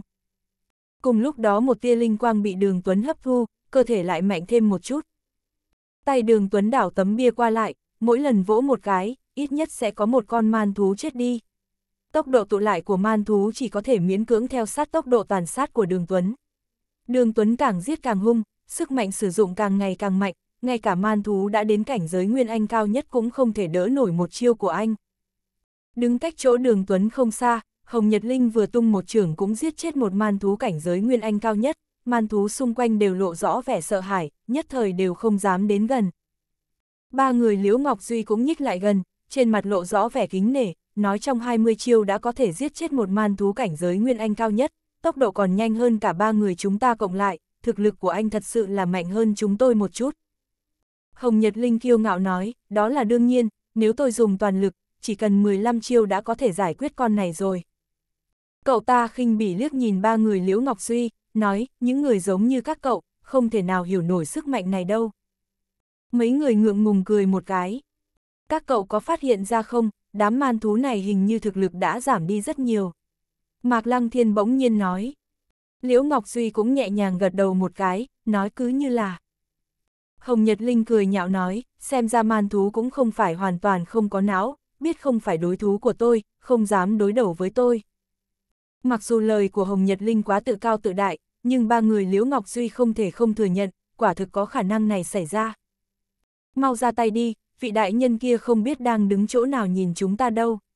Hồng Nhật Linh trầm giọng quát, trong lúc mơ hồ đã trở thành thú lĩnh của mấy người. Những người khác cũng không dám trần trừ nữa, chém giết man thú cũng có thể trở thành công trạng sau khi bọn hắn tiến vào bên trong thần đình. Khóe mắt Hồng Nhật Linh liếc về phía bắc thành man thú, nơi đó là cổ vực Bạch Vũ. Hy vọng nơi đó không xảy ra vấn đề gì. Cậu ta không kịp nghĩ nhiều, đã chạy vào trong đám man thú, tiếp tục chém giết. Với thực lực của cậu ta, chỉ có những man thú cao cấp kia, tương đương với man thú có thực lực từ bậc thứ hai của thiên nguyên mới có thể gây nguy hiểm đến tính mạng cho cậu ta. Thế nhưng loại man thú đó, đương nhiên có tướng lĩnh thành man thú đi xử lý, không tới lượt cậu ta phải lo lắng. Đường Tuấn không ngừng chém giết, cầm trong tay hai tấm bia, toàn thân khí nóng sôi trào, trông giống như một vị chiến thần trong truyền thuyết. Một chiêu đập chết một con, sau đó lợi dụng linh quang man thú nâng cao sức mạnh, cứ qua lại như thế, thực lực đường Tuấn bắt đầu phóng ra. Anh rơi vào trạng thái gần như điên cuồng, không hề để ý tới man thú xung quanh mình càng ngày càng mạnh mẽ. Nếu như đám người Hồng Nhật Linh nhìn thấy tình huống lúc này bên chỗ đường Tuấn, nhất định sẽ giật nảy cả mình. Bốn phía xung quanh đường Tuấn, không có man thú chia cấp bậc, toàn bộ đều mà cảnh giới Nguyên Anh cao cấp nhất, man thú có pháp lực đạt đến 3 triệu rưỡi trở lên, hơn nữa con này chết đi, không ngừng có man thú đi vào bổ sung. Cũng không phải do Hồng Nhật Linh quá mạnh, khiến man thú lùi bước, mà là vì phần lớn đám man thú này bị thực lực của đường Tuấn hấp dẫn. Phạm vi xung quanh chỗ đường Tuấn chém giết, mấy con man thú trên đầu mọc ra hai cái cẳng đứng thành một vòng, trên gương mặt xấu xí bắt đầu lộ ra vẻ sợ hãi. Đứng trong chỗ trung tâm là một cái đầu cao 5 mét, là một con man thú hình kiến, thân hình còn đáng sợ hơn những con man thú khác mấy lần. Thiên kiến đại nhân, thực lực của người này rất đáng sợ. Man thú cao cấp của chúng ta có thể đánh giết cùng người tu hành đến cảnh giới Nguyên Anh cao cấp, nhưng lại không đỡ nổi một chiêu của cậu ta. Một con man thú trong đám đó trầm giọng nói. Xúc tu trên đầu con man thú thiên kiến kia rung rung, trả lời, để tao lên. Bảo mấy man thú cao cấp kia lùi ra ngoài, không để thêm thương vong nữa. Lần này huy động thú chiều quá vội vàng, vốn dĩ đã không tập hợp đủ sức mạnh của toàn bộ chúng ta, chỉ là không nghĩ tới loại người này sẽ xuất hiện, khiến toàn bộ quân man thú chúng ta tổn thất nặng nề. chương 1872 Những man thú khác lập tức vui mừng, nói có đại nhân ra tay, nhất định sẽ giết chết tên nhãi này. Vị thiên kiến đại nhân này là man thú cao cấp chân chính, thực lực có thể so với người tu hành 7 triệu trở lên, là man thú mạnh nhất trong đám man thú này. Thân thể thiên kiến đại nhân cao lớn đạp trên mặt đất, phát ra tiếng rung ầm ầm. Chúng mày tránh ra. Thiên kiến đại nhân đẩy đám man thú trước người ra, xài bước về phía trước. Thiên kiến đại nhân nói, loài người nhãi nhép, có thể để tao phải tự mình ra tay, đó là vinh hạnh của mày. Đừng nói nhám, đỡ của tao một chiêu. Đường Tuấn vung hai khối bia trong tay tới, hai khối bia này anh càng dùng càng thuận tay, đơn giản vì làm theo kích thước cơ thể anh mà. Giống như sóng lớn úp xuống, nguyên khí trời đất đều bị chiêu này của đường Tuấn làm cho rung chuyển. Một chiêu này của đường Tuấn dùng đến 7 triệu pháp lực. Đánh hay lắm thiên kiến đại nhân nuốt một ngụm, ngang nhiên đỡ lấy, vậy mà nó có thể dùng cơ thể để tiếp nhận chiêu này. Trên người nó được phủ bởi một lớp vỏ cứng như giáp trụ, trong nháy mắt tiếp xúc với hai tấm bia, tia sáng xoay chuyển, đánh tan sức mạnh. Thiên kiến đại nhân quả nhiên mạnh mẽ có một không hai, nhất định có thể chém chết tên nhãi này, báo thù cho những huynh đệ man thú đã bỏ mạng của chúng ta. Những man thú khác nhìn thấy một cảnh này, trên mặt tràn đầy vẻ vui mừng. Thiên kiến đại nhân thần lực không ngờ, đám man thú khác bên cạnh bắt đầu gieo hò. Không tồi, hai mắt đường tuấn sáng lên. Con man thú này có thể nhận một trưởng chứa 7 triệu pháp lực của anh, nhất định là man thu cao cấp, linh quang chắc chắn khác hắn đám man thú khác, mạnh mẽ hơn nhiều. Vậy thì thứ 8 triệu 700 pháp lực của tao đi. Đường Tuấn Khế quát một tiếng. Tấm bia lại một lần nữa đánh tới. Thiên kiến đại nhân một lần nữa đỡ lấy chiêu này, sắc mặt thay đổi, thầm nghĩ, so về sức mạnh thì tên này mạnh hơn mình một chút, nhưng vẫn ở trong phạm vi mình có thể tiếp nhận, dựa vào việc thân thể mình mạnh nhất tộc man thú, người chết cuối cùng nhất định là hắn. Vậy mà vẫn có thể đỡ được, vậy thì xem toàn bộ thực lực của tao đi, 14 triệu pháp lực. Đường Tuấn khẻ quát, chiêu này vô dụng đối với tao, thiên kiến đại nhân hơi híp mắt, một lần nữa ngang nhiên tiếp chiêu. Bùm! Thiên vừa tiếp chiêu, thân thể khổng lồ của thiên kiến đại nhân bị đánh thành một đống bùn nhão. Trên mặt đảm man thú xung quanh vẫn còn đang nở nụ cười, tự tin nhìn thiên kiến đại nhân mạnh mẽ như thế nào. Nhưng mà trong nháy mắt nụ cười trở nên cứng đờ, trong mắt bắt đầu lộ ra vẻ khủng hoảng sợ hãi. a à, tao sẽ không chết. Bên trong đống thịt nát kia, truyền ra âm thanh của thiên kiến đại nhân vừa tức giận vừa không cam lòng. Đống thịt bầy nhầy không ngừng vặn vẹo, như muốn tái tạo lại cơ thể. Nó cho rằng cơ thể man thú cao cấp, sinh mệnh vô cùng mạnh mẽ, kể cả bị đập thành thịt nát vẫn có thể hồi sinh như chưa từng chết đi. Phí công dẫy ruộng mà thôi, đường Tuấn ở bên cạnh trêu tức. Hai tấm bia trong tay đường Tuấn một lần nữa vung lên, cơ thể đã hồi sinh được một phần ba của thiên kiến lại vỡ nát. Dường như đường Tuấn vẫn chưa hẳn yên tâm, liên tục đập thêm mấy lần nữa. Mãi đến khi âm thanh của thiên kiến hoàn toàn biến mất, một linh quang to bằng nắm đấm tay trẻ con bay ra từ bên trong đống bầy nhảy dưới đất, bị đường Tuấn thu vào trong lòng bàn tay của mình. Hắn ta giết chết thiên kiến đại nhân rồi, mau chạy thôi.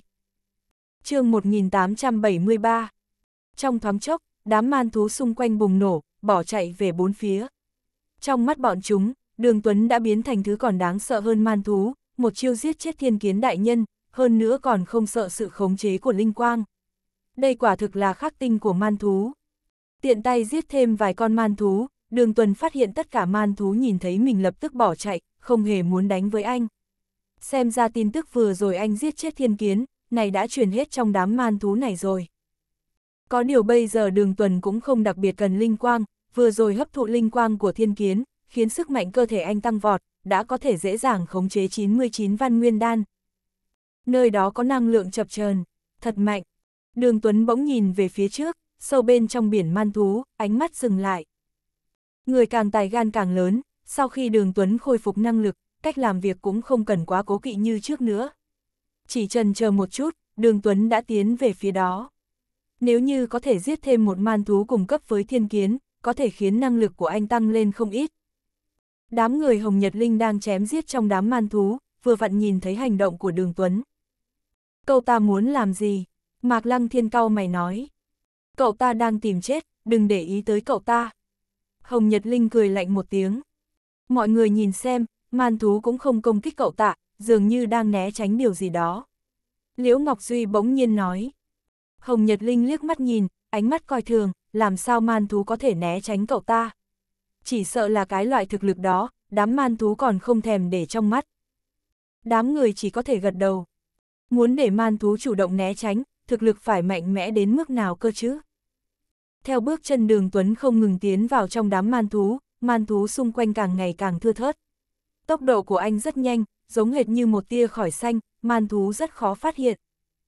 Rất nhanh đường Tuấn đã phát hiện điểm khác thường. Bên trong chỗ sâu nhất của biển man thú, không nhìn thấy man thú, chỉ có một không gian hoang vu, nhưng tinh thần của đường Tuấn lại căng thẳng đến đỉnh điểm. Đây là huyết khí với oán khí, sắc mặt đường Tuấn khế biến đổi. Trong không gian phía trước mắt đường Tuần, từng tia từng tia huyết khí với oán khí bay từ trong biển man thú tới, có man thú, cũng có người tu hành. Những huyết khí với oán khí này tụ lại với nhau trong mảnh đất hoang vu này, rồi biến mất không thấy gì nữa. Có người lợi dụng chiến tranh sinh ra huyết khí với oán khí để tế luyện bảo vật. Trong lòng đường Tuấn hơi động đậy, đã phần nào đoán được khả năng xảy ra. Sở công minh, ông kích động thú triều, lợi dụng huyết khí với oán khí để bày trận, cuối cùng là muốn làm gì? Lúc đường Tuấn còn đang nghi ngờ, một âm thanh giận dữ truyền đến từ trên bầu trời hoang vu.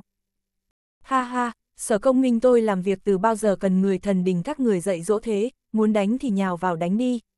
Một giọng nói khác lập tức vang lên. Trên bầu trời hiện lên hai bóng người, pháp lực không thể đếm nổi tuôn trào như núi lửa, không gian cũng như bị xé rách.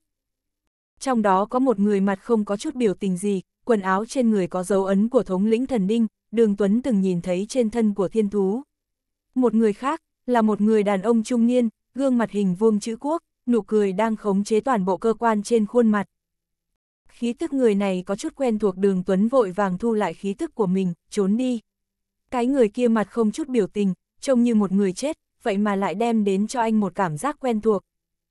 Thần quang trong lòng bàn tay người đàn ông trung niên tên sở công minh kia dâng trào, hào quang màu vàng óng ánh vung khắp trời đất. Bên trong khoảng không hoang vu, huyết khí và oán khí bắt đầu ngưng tụ thành những sợi dây, rơi vào trong lòng bàn tay của ông tay. Sở công minh, hóa ra đây chính là mục đích của ông, lợi dụng huyết khí với oán khí của đại chiến để tu luyện bảo vật người đàn ông mặt không thay đổi trầm giọng nói, bên trong mang theo sự tức giận và sát khí. Cứ cho là ông biết, thì có thể làm gì? Thú triều đã kích động, kể cả ông là thống lĩnh mạnh nhất thần đình thì cũng không thể ngăn cản được. Sở công minh cười một tiếng diễu cót. Vì thú triều lần này, ông ta phí hết không ít tâm tư, ngay cả man thú cao cấp cũng có mấy con. Bỗng nhiên, sắc mặt của ông ta thay đổi, nhìn về phía thú triều. Chuyện gì xảy ra, sao thú triều lại rút lui? Sở thiên khoát nhíu mày. Vô số man thú trong đám man thú đồng thời lùi lại về sau. chương 1874 Ngay cả người đàn ông mặt liệt nhìn về phía đó, trong mặt cũng lộ rõ vẻ chấn động. Thú triều lần này tuy không bằng quá khứ, nhưng cũng vô cùng đáng sợ, anh ta chưa từng nghĩ thú triều lại rút lui nhanh như vậy, trừ khi có người nửa bước hóa than ra tay. Nhưng trong thành man thú, chỉ có anh ta là nửa bước hóa than. Với vàng thành âm cho đại sở công minh vội vàng truyền âm cho đám nam thú, ai bảo các người lui. Giết hết cho tôi, lấy máu nhuộm đỏ thành man thú cho tôi. Để có thể luyện bảo, nhất định phải có càng nhiều huyết khí với oán khí mới được. Trong thành man thú truyền đến một âm thanh hoảng sợ trong thành man thú, có một cao thú nửa bước hóa thần. Không có khả năng, sở công minh lập tức gạt bỏ. Trong thành man thú có bao nhiêu binh lực, lúc trước ông ta đã điều tra hết cả rồi, tại sao tự nhiên nửa bước hóa thần? Lại lòi ra một người. Thật đó, người kia cầm trong tay một tấm bia kỳ quái, một chiêu đã đánh chết thiên kiến đại nhân, ngay cả linh quang cũng không thể chạy trốn. Em mờ thanh run rẩy trong đám man thú trả lời. Bia đá kỳ quái, một chiêu giết chết thiên kiến. Sắc mặt sở công minh biến đổi, thực lực của thiên kiến. Ông ta là người rõ nhất, nếu như thật sự có thể một chiêu. Đánh chết thiên kiến, quả thực chỉ có tu sĩ nửa bước hóa. Thần mới có thể làm được điều đó. Nếu ở đây thật sự có tu sĩ nửa bước hóa thần, vậy cái trận mà ông ta vất vả mới có thể bày ra được này, sẽ thất bại trong gang tấc. Nhìn đội ngũ man thú đang ầm ầm rút lui, trong lòng sở công minh hít một hơi, bàn tay hướng về vùng hoang vu phía dưới, dùng hết sức đánh một trường, một tia sáng của máu và oán khi rơi vào lòng bàn tay của ông ta. Đã có người nửa bước hóa thần nhúng tay, vậy chỉ có thể đi trước. Có điều huyết khí và oán khí mà tôi muốn cũng không bị thay đổi gì nhiều. Sở công minh lạnh lùng hừ một tiếng, nhìn người đàn ông không có biểu tình gì ở phía trước nói, sớm muộn gì cũng có em en địa giới gạch người một ngày, tôi sẽ dẫn man thú giết sạch người trong thành man thú. Nói xong, Minh biến thành một tia sáng sở công Minh biến thành một tia sáng biến mất trong đám man thú. Người đàn ông trung niên mặt không chút biểu tình, cũng không ngăn cản, anh ta thở dài, bỗng nhiên nhìn về chỗ phía dưới, nhìn lâu như vậy, cũng nên đi ra rồi hả? Thế mà lại bị phát hiện, ánh mắt thống lĩnh thần đình nhìn về chính là phía đường Tuấn đang núp, đường Tuấn cười khổ một tiếng, đi ra. Anh cứ nghĩ rằng khi thức mình che giấu rất hoàn hảo, không nghĩ tới vẫn không giấu được vị thống lĩnh thần đình này. Là anh, nhìn thấy người đi là là đường Tuấn, Bạch Thụy Dụ khẽ ngạc nhiên. Thống lĩnh quen tôi, đường Tuấn nghi ngờ hỏi. Vốn gì anh đối với thần đình cũng không có mấy hảo cảm, cảm thấy người thần đình này chỉ có duy nhất trạng thái quá là kiêu ngạo. Nhưng trước mắt vị thống lĩnh phương Tây thần bí dốc hết sức chấn giữ thành man thú mấy trăm năm, bảo vệ vô số tu sĩ trong thành man thú an toàn, hoàn toàn xứng đáng được người khác khinh trọng. Hơn nữa trên người vị thống lĩnh này, đường Tuấn cảm nhận được khí tức quen thuộc. Bạch Thụy Dụ trả lời, xếp hạng 360 trên bảng Sơn Hà, tôi có nghe Giang trưởng lão nhắc về anh. Đường Tuấn nghe vậy, cũng không nghi ngờ gì. Với năng lực của vị thống lĩnh thần đình này, muốn biết chuyện của anh thì dễ như trở bàn tay. Mặc dù không viết với chút tu vi của anh làm sao đến được nơi này, nhưng đã gặp nhau cũng là một loại duyên phận, thuận tiện nói cho anh nghe chút tin tức xấu này. Bên trong âm thanh của Bạch Thụy Dụ mang theo ý cười, mặc dù trên mặt vẫn không có thay đổi gì, lần này bên trong cổ vực Bạch Vũ sẽ xảy ra một chút biến cố, anh phải chú ý chỗ nhóm quả tụ tập. Nếu anh thật sự có cơ duyên, vậy là tốt nhất, nếu không có thì cũng đừng miễn cưỡng. Nói xong, thân thể anh ta khẽ động đậy, đã biến mất. Ngày thứ hai, thống lĩnh thần đình truyền lên tới, lần này đệ tử thần đình tuyển chọn sớm, ba ngày sau bắt đầu, để mọi người chuẩn bị sẵn sàng. Đại nhân, tuyển chọn thực tập sớm như vậy, rất nhiều đệ tử đều không chuẩn bị kỹ càng được, sợ rằng sẽ càng nhiều thương vong. Trong phủ thành chủ của thành man thú, mấy vị trưởng lão thần đình đang khuyên nhủ Bạch Thụy Dụ. Bạch Thụy Dụ trả lời, chuẩn bị, đã dám tham gia tuyển chọn, thì lúc nào cũng phải chuẩn bị sẵn sàng cẩn thận, nếu không thì chết cũng đáng đời. Âm thanh lạnh lùng tàn nhẫn, nhưng đó lại là sự thật.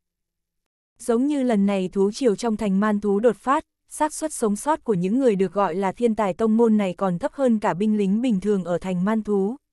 Ngay cả Hồng Nhật Linh đứng hạng đầu cũng bị thương nhẹ, nghe nói vì khiêu chiến một man thú cao cấp.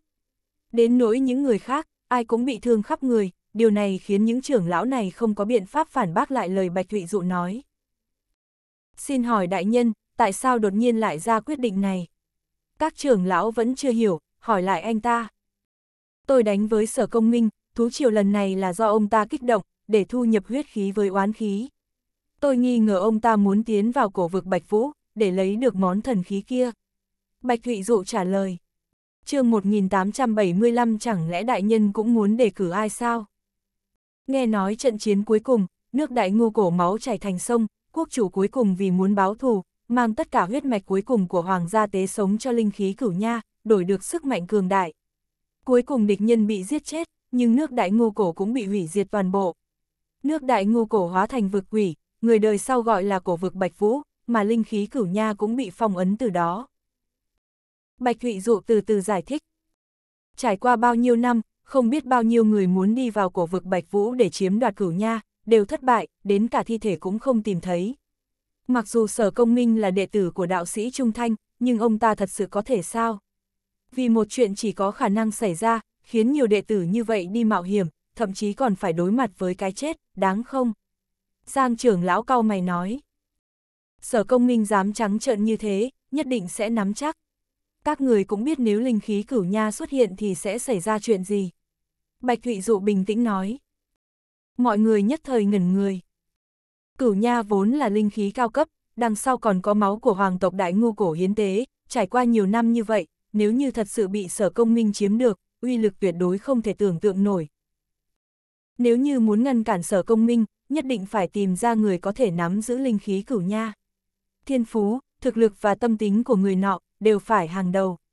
trầm mặc một lúc, các trưởng lão bỗng nhiên đề nghị. Vậy mọi người cảm thấy ai là phù hợp? Bạch Thụy Dụ hỏi lại. Tôi đề cử Hồng Nhật Linh, cậu ta đứng đầu bảng Sơn Hà, đương nhiên có tư cách nắm giữ những chuyện như vậy. Tôi cũng đề cử Hồng Nhật Linh, nghe nói ra thế sau lưng cậu ta có chút quan hệ với nước đại ngu cổ. Nếu như nói đến việc nắm giữ cửu nha, ngoại trừ hắn ra tuyệt đối không có ai khác. Tôi cũng đề cử Hồng Nhật Linh.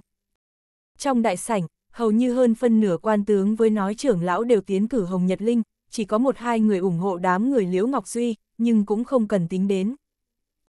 Thực lực Hồng Nhật Linh với thiên phú đúng là không tệ, nhưng tâm tính hắn không được. Bạch Thụy Dụ trả lời. Lời này của đại nhân nói sớm quá, dù sao Hồng Nhật Linh cũng vẫn còn trẻ, tinh thần phơi phới, khó tránh tâm tính không biết nặng nhẹ, nhưng tệ đến cỡ nào cũng đến lúc phải trưởng thành. Đám người giang trưởng lão nói. Nhìn bộ dạng do dự của Bạch Thụy Dụ, có người hỏi ngược lại, chẳng lẽ đại nhân cũng muốn đề cử ai sao? Vốn dĩ Bạch Thụy Dụ muốn tiến của đường Tuấn, nhưng nghĩ đến thực lực của đường Tuấn với Hồng Nhật Linh tranh lệch như vậy, không thể làm gì khác hơn là lắc đầu. Có điều anh ta cũng từng nói qua với đường Tuấn rồi. Vậy cứ như vậy đi, ưu tiên tài nguyên cho Hồng Nhật Linh. Bên trong cổ vực Bạch Vũ, tu sĩ cảnh giới hóa thần trở xuống, cũng sẽ bị xếp chung một cảnh giới, kể cả có tôi đi vào, bọn họ cũng không thể phát huy tốt được, hơn nữa tôi còn phải chấn giữ thành man thú. Bạch Thuy Dụ gật đầu, đã quyết định. Audio điện tử võ tấn bền. chương 1876 bọn tôi đồng ý. Trong 3 ngày kế tiếp, đệ tử tham gia thực tập bên trong thành man thú cũng điều chỉnh trạng thái. Người ở trong phủ thành chủ tới nhiều lần, nhưng đều là tìm Hồng Nhật Linh. Nghe nói bị thống lĩnh đại nhân thần bí kia hết lòng coi trọng Hồng Nhật Linh, biết Hồng Nhật Linh đánh nhau với man thú bị thương, còn cố ý đưa cho cậu ta dược liệu quý hiếm với linh đan. Không chỉ có như vậy, vị đại nhân kia còn đích thân chỉ điểm Hồng Nhật Linh tới để truyền thụ bí thuật. Xem ra chỉ cần cậu ta đạt được hạng nhất lần thực tập này, vị đại nhân đó sẽ nhận cậu ta làm đệ tử. Trong một tòa lầu, từng top 3 top 5 các đệ tử tham gia thực tập tụ tập trung một chỗ, mặt tràn đầy hâm mộ, nhiệt tình thảo luận. Hôm nay chính là bắt đầu cuộc sống thực tập, dựa theo mệnh lệnh, tất cả các đệ tử tham gia thực tập đều tập trung ở đây. Nghe nói Hồng Nhật Linh đã để người hầu riêng thả tiếng ra ngoài, muốn qua được kỳ thực tập, nhất định phải tuân theo mệnh lệnh của cậu ta. Hôm nay có không ít người đã đến làm thuộc hạ của cậu ta rồi. Hồng Nhật Linh tới. Đúng lúc này, vẻ mặt đang thảo luận của đám đệ tử bỗng nhiên nghiêm chỉnh trở lại, ngừng trò chuyện, mắt nhìn về hướng cầu thang của tòa lầu. Hồng Nhật Linh chắc hai tay sau lưng, đi lên từ cầu thang phía dưới. Sau lưng cậu ta mấy bước chân, một đám người đi thành đoàn nhỏ, có đệ tử như A Lan Nạp, cũng có đệ tử dạng thiên tài như Đỗ Ca Ngọc. Cầm Hồng Nhật Linh khẽ nâng lên, sắc mặt bình bĩnh, không hề cố gắng phô trương hình dáng kiêu ngạo của mình. Nhưng loại an tĩnh này cũng đại diện cho một hình thức của kiêu ngạo, coi trời bằng vung, bất kỳ ai cũng không có tư cách giống như hắn.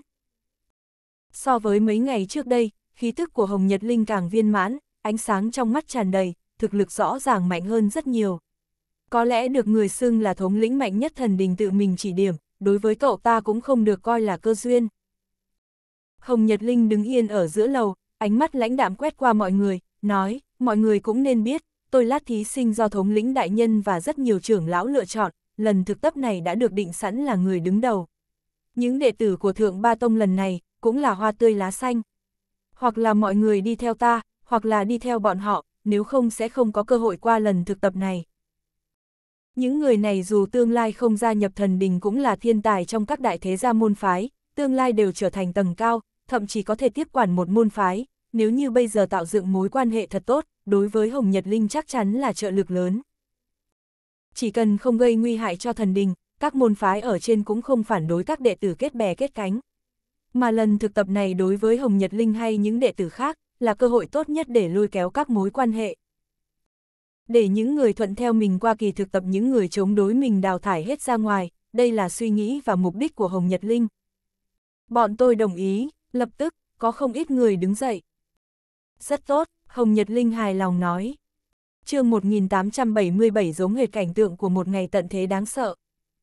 Thời gian trôi qua cũng không lâu lắm, Mạc Lăng Thiên với An Thi dẫn đầu các đệ tử thượng Ba Tông cũng đến, phía sau bọn họ cũng đi theo một số người như vậy. Nếu xét cá nhân, thực lực bọn họ sẽ không bằng Hồng Nhật Linh, nhưng đứng chung vào một chỗ, không thua kém bao nhiêu.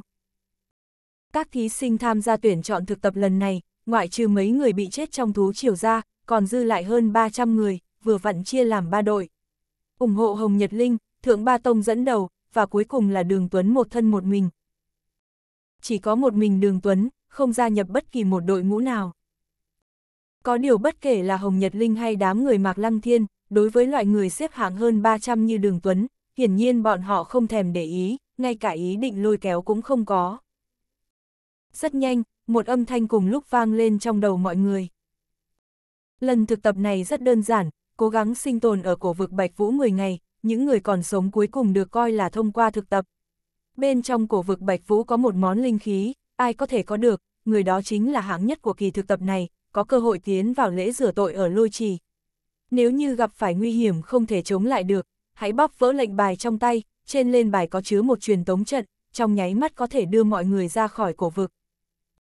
Được rồi, bây giờ tôi phải đưa mọi người truyền tống vào bên trong cổ vực Bạch Vũ. Tất cả chuẩn bị sẵn sàng. Ánh sáng nhàn nhạt trong lầu các tản ra, xếp thành một biển sáng mênh mông. Lầu các mà bọn họ đang đứng, vậy mà lại là một truyền tống trận. Nhớ lời tôi nói, một giọng nói vang lên trong não đường Tuấn. Ánh sáng kéo dài vô tận bỗng nhiên nổ tung, sau khi tản đi, đã không còn nhìn thấy các thí sinh trong sân nữa rồi. Trên tường thành cao lớn của thành man thú, một nhóm các tướng lĩnh và trưởng lão của thần đình nhìn về phía cổ vực Bạch Vũ. Không biết lần này còn bao nhiêu người có thể sống sót. Chuyện này phải xem số mệnh của bọn họ rồi. Chỉ cần Hồng Nhật Linh có thể thuận lợi lấy được linh khí cửu nha, kể cả những người khác có thất bại cũng không sao. Đúng vậy, nếu Hồng Nhật Linh lấy được cửu nha, tương lai chắc chắn trăm phần trăm có thể hóa thành thần. Hơn nữa thời gian trước ngày đi săn, đại nhân còn mang về một vị thánh anh, vậy thần đình chúng ta sẽ có thêm hai vị hóa thần rồi. Những người khác nghe thấy vậy, trên mặt nhiều thêm mấy nụ cười. Đường Tuấn nhìn cảnh tượng trước mắt, vẻ mặt dần dần nghiêm trọng. Giữa trời đất là một khoảng u tối, bầu trời tựa như bị một tầng mây đen thật dày che giấu, chặn lại sắc trời. Sấm sét trong mây đen không ngừng lóe lên, như từng con rắn điện, có tia sét thậm chí còn dài hơn nửa vòng trời. Sấm sét nổ ầm ầm, u ám giữa trời đất bị đánh tan mấy phần, nhưng lại càng khiến cho lòng người sợ hãi. Kiến trúc sụp đổ vô cùng thê lương, trên các tòa nhà có vô số dấu vết từng bị đốt qua. Trừ những điều này, trong tầm mắt mọi người không có một chút dấu vết nào của sinh vật sống, ngay cả một nhúm cỏ màu xanh cũng không có. Trừ bỏ kiến trúc mục nát sụp đổ bên ngoài, chỉ còn đường đống hải cốt trắng xóa. Đó là những tu sĩ đến thăm dò cổ vực Bạch Vũ. Bên người bọn họ có thần binh, có những thần binh phía trên còn lưu lại phù văn, cho thấy ít nhất cũng là thần binh cấp bậc bảo khí. Đáng tiếc là những thứ thần binh này cũng không ngăn cản được năng lượng quỷ dị kia, bảo khí đã sớm tan thế, trở thành một thanh binh khí bình thường loang lổ dì xét. chương 1878 vậy mà lại có con người tiến vào đây.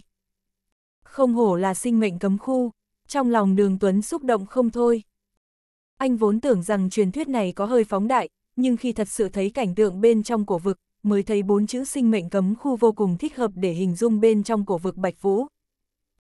Năng lượng vừa rồi chắc là dùng để phong ấn quái vật Nguyên Anh đi. Mặc dù đường Tuấn không ngưng kết Nguyên Anh, nhưng có thể cảm nhận được năng lượng đó áp chế Nguyên Anh tự nhiên. Loại năng lượng này hình như rất giống làn khói áp chế Thánh Anh, nhưng mạnh mẽ hơn rất nhiều lần. Trong lòng đường Tuấn thầm nghĩ. Có thể là do bên trong cơ thể đường Tuấn không có tồn tại Nguyên Anh, nên năng lượng kia rất nhanh đã biến mất. Nhưng đường Tuấn vẫn có thể cảm nhận được năng lượng đó chỗ nào cũng có mặt, một khi tu sĩ cảnh giới Nguyên Anh rơi vào chỗ này, sẽ giống hệt như rơi vào vũng bùn, chỉ có thể phát huy thực lực mạnh hơn cảnh giới Nguyên Đan một chút thôi. Không chỉ như vậy, đường Tuấn còn cảm nhận được một năng lượng còn bá đạo hơn vẫn đang ẩn giấu. Năng lượng này đang dần chiếm đoạt sức sống của anh, cũng là tuổi thọ của anh. Đây là loại năng lượng gì? Sắc mặt đường Tuấn biến đổi. Anh dịch chuyển nguyên đan, nhưng vẫn không thể nào tránh nổi loại năng lượng này chiếm đoạt. Đường Tuấn tính toán một chút, với tốc độ này, nếu như ở trong cổ vực 10 ngày, anh sẽ tốn mất 5 năm tuổi thọ. Hóa ra đây mới là lý do nơi này gọi là sinh mệnh cấm khu. Trong lòng đường Tuấn kiêng kỵ, loại năng lượng này vượt qua phạm vi hiểu biết của anh. Quả, quả. Bỗng nhiên, đường Tuấn nghe được một âm thanh vô cùng chói tai. Đi theo âm thanh đó, đường Tuấn thấy trên bầu trời un ám, một đàn qua đen nhanh đang bay về nơi nào đó. Thật sự có bảy quả. Nhất thời đường Tuấn hơi mờ mịt, loại năng lượng quỷ dị chiếm đoạt sinh mệnh ngay cả anh cũng không thể ngăn cản, đám quả đen này nhiều nhất chỉ có thể đạt cảnh giới nguyên đan, tại sao có thể sống sót bên trong cổ vực. Có điều, cứ đi theo những đàn quả này, nhìn xem những người khác đang ở đâu. Trong lòng đường Tuấn đưa ra quyết định. Nếu như nhìn từ trên bầu trời, sẽ có thể thấy bảy quả đang bay thẳng về phía trung tâm cổ vực. Ở nơi đó như một vòng xoáy màu đen, cắn nuốt hết tất cả mọi thứ xung quanh. Đường Tuấn đi theo đàn quả một lúc, thực lực của bầy quả trên trời cũng càng lúc càng mạnh, trong đó có mấy con quả đen cảnh giới Nguyên Anh đã phát hiện ra anh. Tu sĩ cảnh giới Nguyên Anh chỉ có thể phát huy thực lực như cảnh giới Nguyên Đan, nhưng những con quả đen cảnh giới Nguyên Anh này lại không bị hạn chế. Vậy mà lại có con người tiến vào đây. Trên bầu trời, mấy con quả đen dẫn đầu tiếng kêu cạp cạp kỳ quái, ánh mắt nhìn đường Tuấn như nhìn một món ăn khoái khẩu vậy. Mấy đứa, giết nó cho tao. Vừa dứt lời, mấy trăm con quả đen cảnh giới Nguyên Anh cùng đánh về phía của đường Tuấn, một mảng đông nghịt, nói có thể che cả bầu trời cũng không nói quá. Thật là sinh mệnh kỳ lạ, đường Tuấn nhìn đàn quả bay xuống như mây đen, vẻ mặt lạnh lùng, thở dài nói chương 1879 loài quả đen này rốt cuộc là sinh vật gì? Đáng tiếc lúc này đường Tuấn cũng không có tâm tư suy nghĩ, ý niệm vừa động, kiếm khí trên bầu trời đã răng khắp nơi, bầy quả đen đã lập tức bị đánh tan, máu tươi văng đầy trời.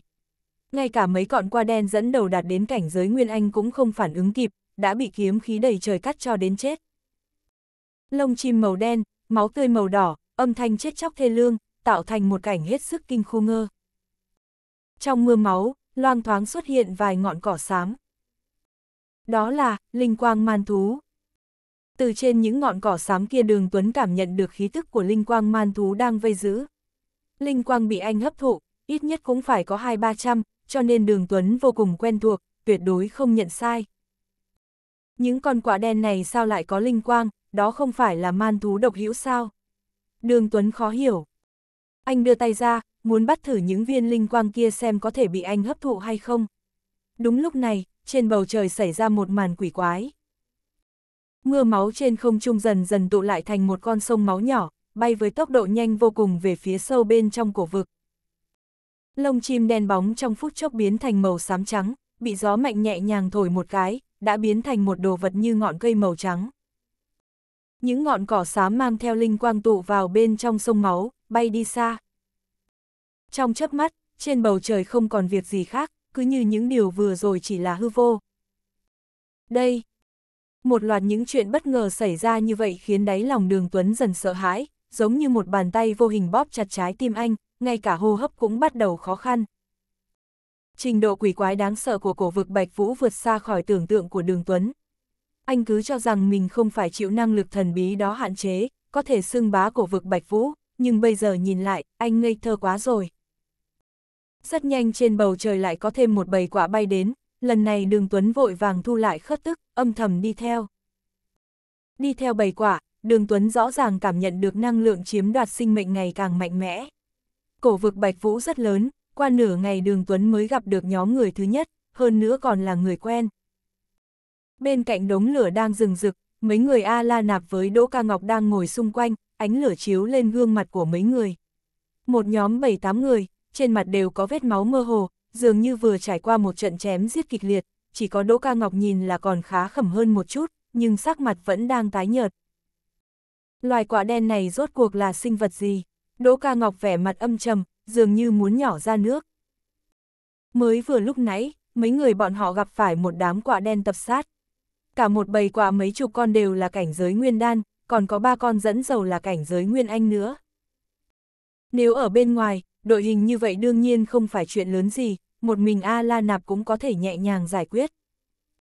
Nhưng ở bên trong cổ vực Bạch Vũ, tu vi của mấy người bị áp chế ở cảnh giới nguyên đan cảnh. Mặc dù cuối cùng vẫn giết hết đám quạ đen kia, nhưng mấy người đều bị thương không nhẹ, lá bài tẩy dùng làm bảo vật cũng tiêu hao mất mấy món. chương 1880 muốn đánh không? Môn phái của chúng tôi trước đây cũng có người tài tiến vào cổ vực Bạch Vũ, muốn lợi dụng khí tức hoang vu trong này để luyện mắt La Nạp. A La Nạp nhớ lại nói. Người anh nói là đời thứ 8 của A La Nạp phải không? Chú kính hỏi. ALA Nạp gật đầu một cái, nói tiếp, đời thứ 8 của A La Nạp là một vị thánh tử mạnh nhất từ trước đến nay, mạnh nhất trong tất cả nhưng thánh tử, là hy vọng thăng cấp của môn phái chúng tôi. Nói đến đây, trên mắt A La Nạp lội R vẻ sợ hãi, nói tiếp cũng không ai biết ông ấy ở trong cổ vừa Bạch Vũ trả qua điều gì, cuối cùng khi ông ấy trở lại môn phái, hai mắt đã mù, mặc dù tu vi vẫn còn, nhưng tinh thần lúc tỉnh lúc mê, không lâu sau thì qua đời. Lúc còn sống ông ấy không hề nhắc đến những chuyện trải qua ở cổ vực Bạch Vũ một câu, tới tận khi chết mới nhắc đến hai chữ M nha này. Trừ những điều này ra, vị thánh tử đời thứ 8 của A La Nạp còn nhắc tới những từ ngữ như phần mộ, ánh mắt. Nhưng những lời này, A La Nạp không có nói ra. Cũng chỉ là mấy lời nói bậy vô dụng, nói lâu như vậy vẫn không tìm được cách giải quyết M nha, khác gì chưa nói không. Đỗ ca ngọc phiền não. Nhớ tới lúc sau khi giết đàn quả kia, sông máu kỳ quái, da đầu của cậu ta cũng tê dại theo. Bỗng nhiên, một trận đập cánh phành phạch với tiếng kêu cạp cạp lại một lần nữa vang lên. Mọi người lập tức đứng lên, bộ dạng như gặp quỷ. Lại là em mờ nha, thật sự đủ rồi. Đỗ ca ngọc tức giận nói. Nhìn thấy đàn quả khổng lồ xuất hiện trong tầm mắt, vốn dĩ bọn họ còn có lòng tin muốn đánh một trận, lúc này đột nhiên chết sững. Em nha chẳng chịt đen nghịt, ít có mấy trăm con, ùn ùn kéo đến, như một tòa lâu đài quả đen di động trong đó có đến mười mấy con cảnh giới Nguyên Anh sơ kỳ, năm sáu con cảnh giới Nguyên Anh trung kỳ, khiến cho bọn họ hoàn toàn mất niềm tin, là con quạ dẫn đầu đàn quạ đen, dáng người dài hơn 10 thước, khí tức có thể bằng cảnh giới Nguyên Anh cao cấp nhất. Đối với đàn M nha này, kể cả bọn họ có phát huy toàn bộ thực lực cũng không phải đối thú của bọn chúng, huống chi bây giờ đang bị hạn chế. Đáng chết, làm sao mà ông đây biết được sẽ xui xẻo như thế chứ? Đỗ ca ngọc chửi thầm một câu. Lệnh bài thần đình phát rơi vào trong lòng bàn tay cậu ta. Đối mặt với đàn M nha lớn như vậy, bọn họ căn bản không có hy vọng chiến thắng, so với việc dẫy dụa vô vị để nhận lấy thương vong, không bằng sớm rút lui an toàn. Những người khác cũng nắm chặt lệnh bài trong tay, chuẩn bị bóp vỡ. Muốn đánh không? A La Nạp nắm chặt thanh đao trong tay, trầm giọng hỏi. Đánh cái đầu cậu, Đỗ Ca Ngọc chỉ tức mình không thể mốt tát đánh chết A La Nạp. Audio điện tử võ tấn bền. chương 1881 đây là kết thúc rồi. Mọi người chố mắt nhìn nhau, trên mặt là ngạc nhiên với mừng rỡ đan xen với nhau. Vòi rồng màu đen khiến xung quanh bụi mù, người ngoài nhìn vào không rõ tình hình bên trong, nhưng mơ hồ có thể nhìn thấy một bóng dáng loài người. Nhìn thấy cảnh như này, mấy người Đỗ Ca Ngọc với A La Nạp vốn dĩ tuyệt vọng nhẹ nhàng thở ra một hơi, thu lại lệnh bài trong tay. Khí tức truyền ra từ bên trong vòi rồng vô cùng mạnh mẽ, lập tức thu hút sự chú ý của đàn quả trên bầu trời. Con quả dẫn đầu thét lên một tiếng, mấy trăm con quả gần như đồng thời nhào xuống, giống hệt một dòng lũ đen ngòm, mang theo uy thế không thể địch nổi.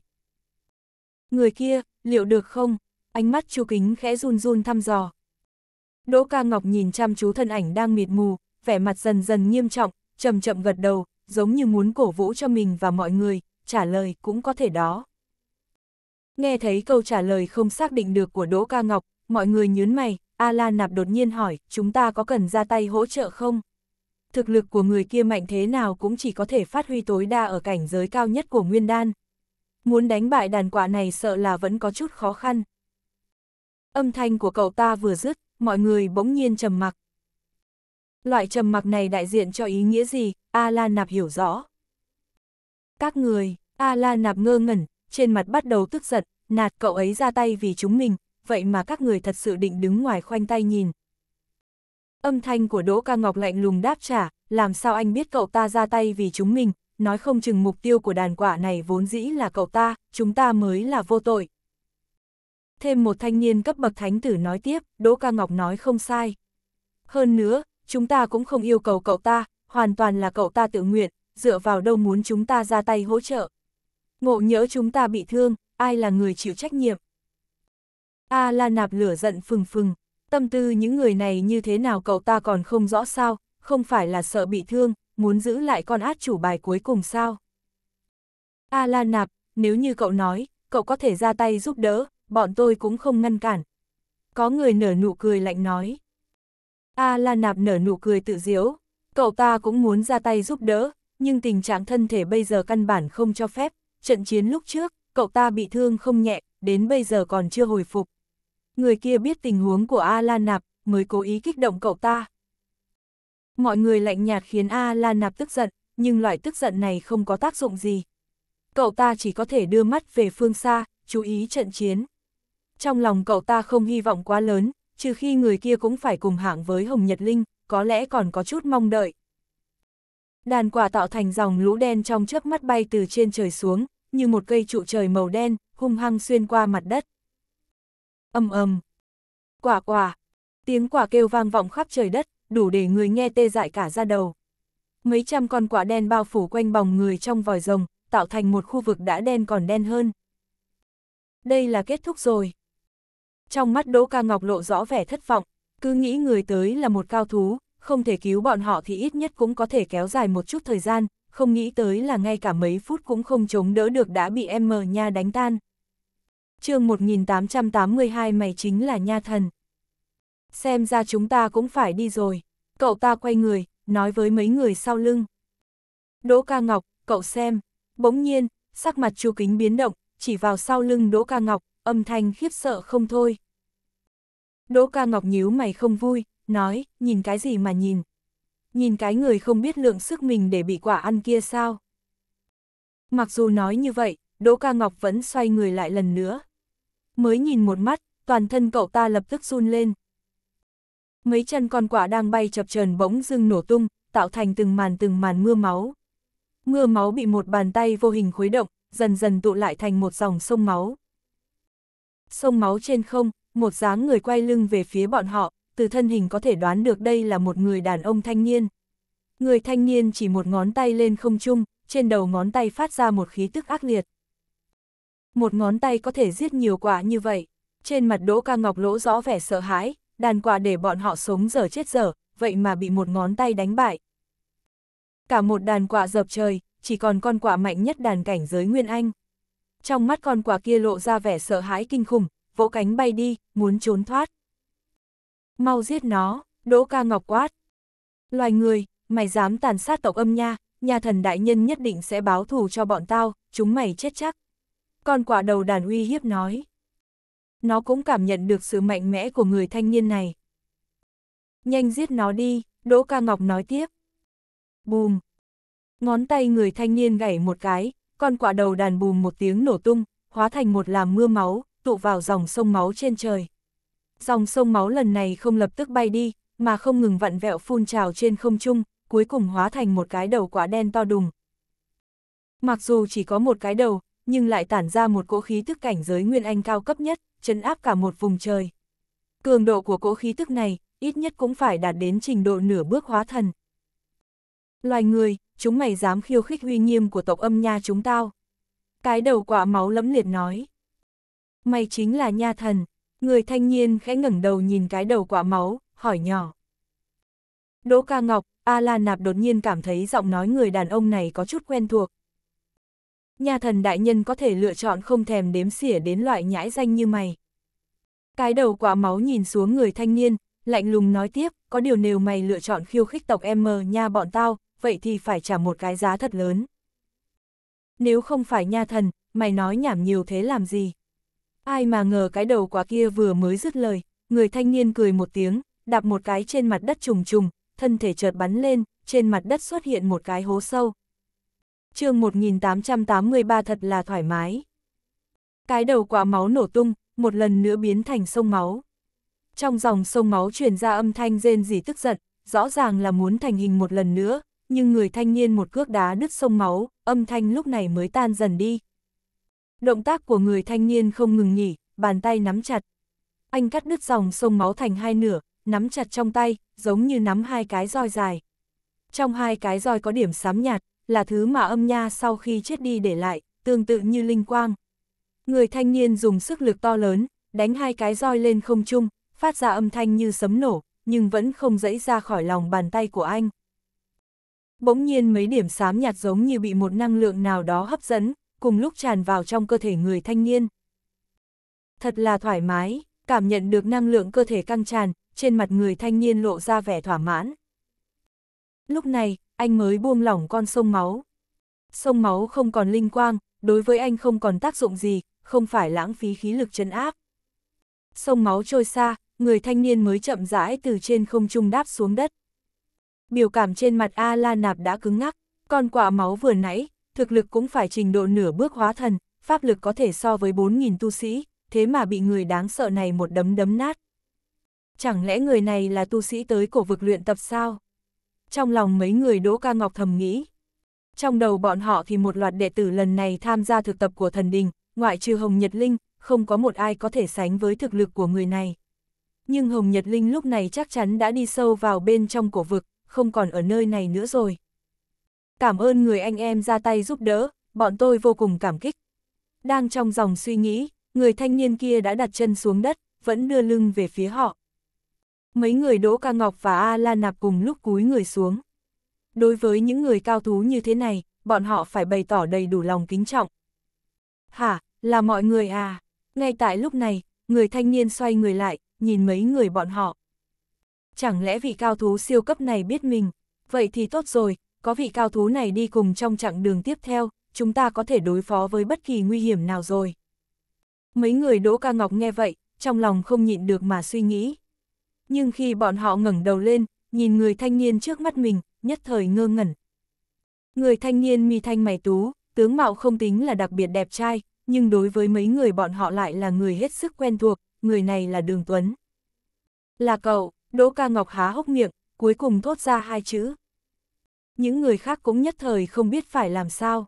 Cao thú trong lòng bọn họ lại là người mà trước đây bọn họ vẫn không thèm để vào mắt, là người ở hạng chót bảng Sơn Hà.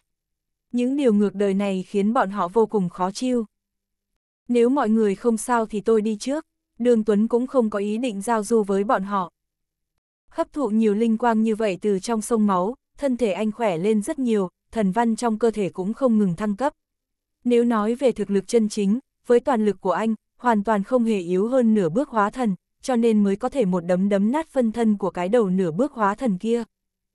Mà vì vậy, càng khiến ý nghĩ muốn thăm dò cổ vực huyền vũ của anh thêm kiên định hơn. Chờ một chút, nhìn đường Tuấn xoay người muốn đi, Chu Kính vội vàng hô lên. Chuyện gì? Đường Tuấn hỏi. Cậu, cậu có thể ở lại bảo vệ chúng tôi không? Chu Kính ngượng ngùng nói. Ở trong thành man thú, một đảm người không coi đường Tuấn ra gì, nhưng bây giờ lại cầu xin anh bảo vệ. Loại chuyện này nói ra khỏi miêng quả thực có chút ngượng ngùng khó nói. Đường Tuấn lắc đầu một cái, nói, xin lỗi, tôi còn có chuyện khác nữa.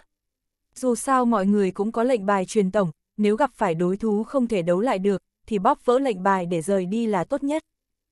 Cứu được mấy người này, chỉ đơn giản là tình cờ, anh không muốn lại nhiều thêm vài người giám sát mình đâu. Nói xong, đường Tuấn gật đầu với mọi người một cái, cất bước chuẩn bị rời đi. Cậu không thể đi, thân hình Đỗ Ca Ngọc lắc một cái, chặn trước mặt đường Tuấn.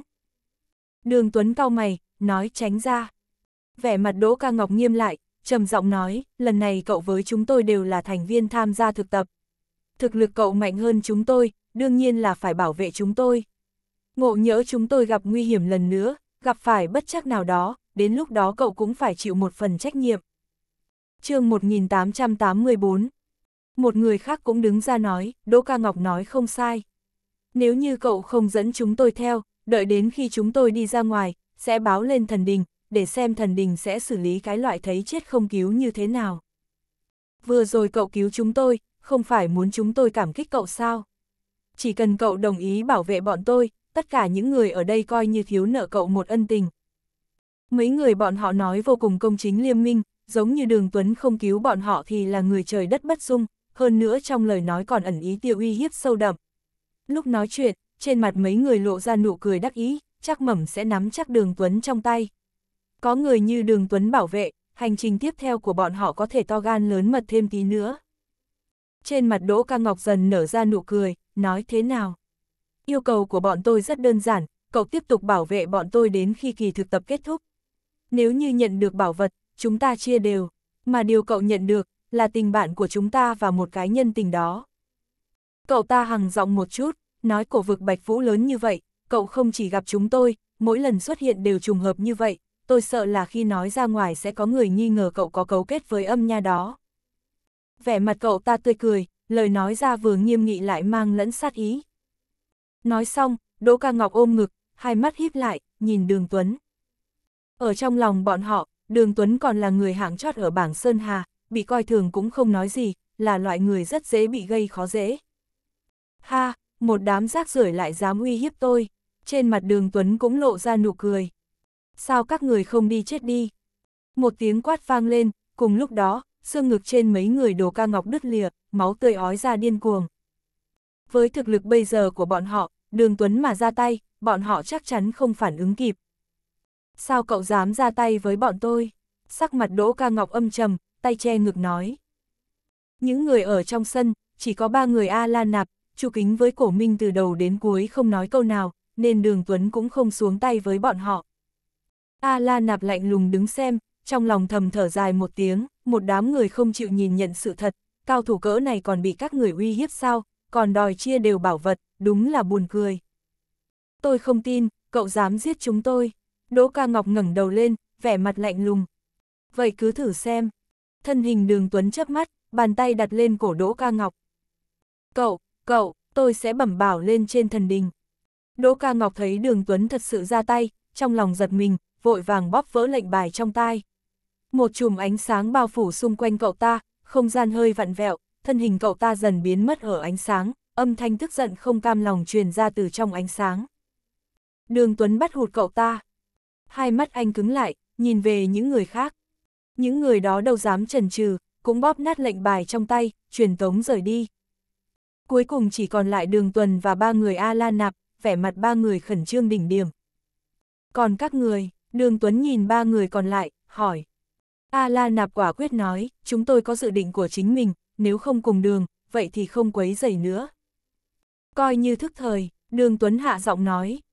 Cùng lúc đó, bên trong thành man thú, nơi này là nơi tập hợp các đệ tử tham gia thực tập thất bại, chỉ cần bóp vỡ lệnh bài, thì truyền tống trận sẽ đưa họ đến nơi này.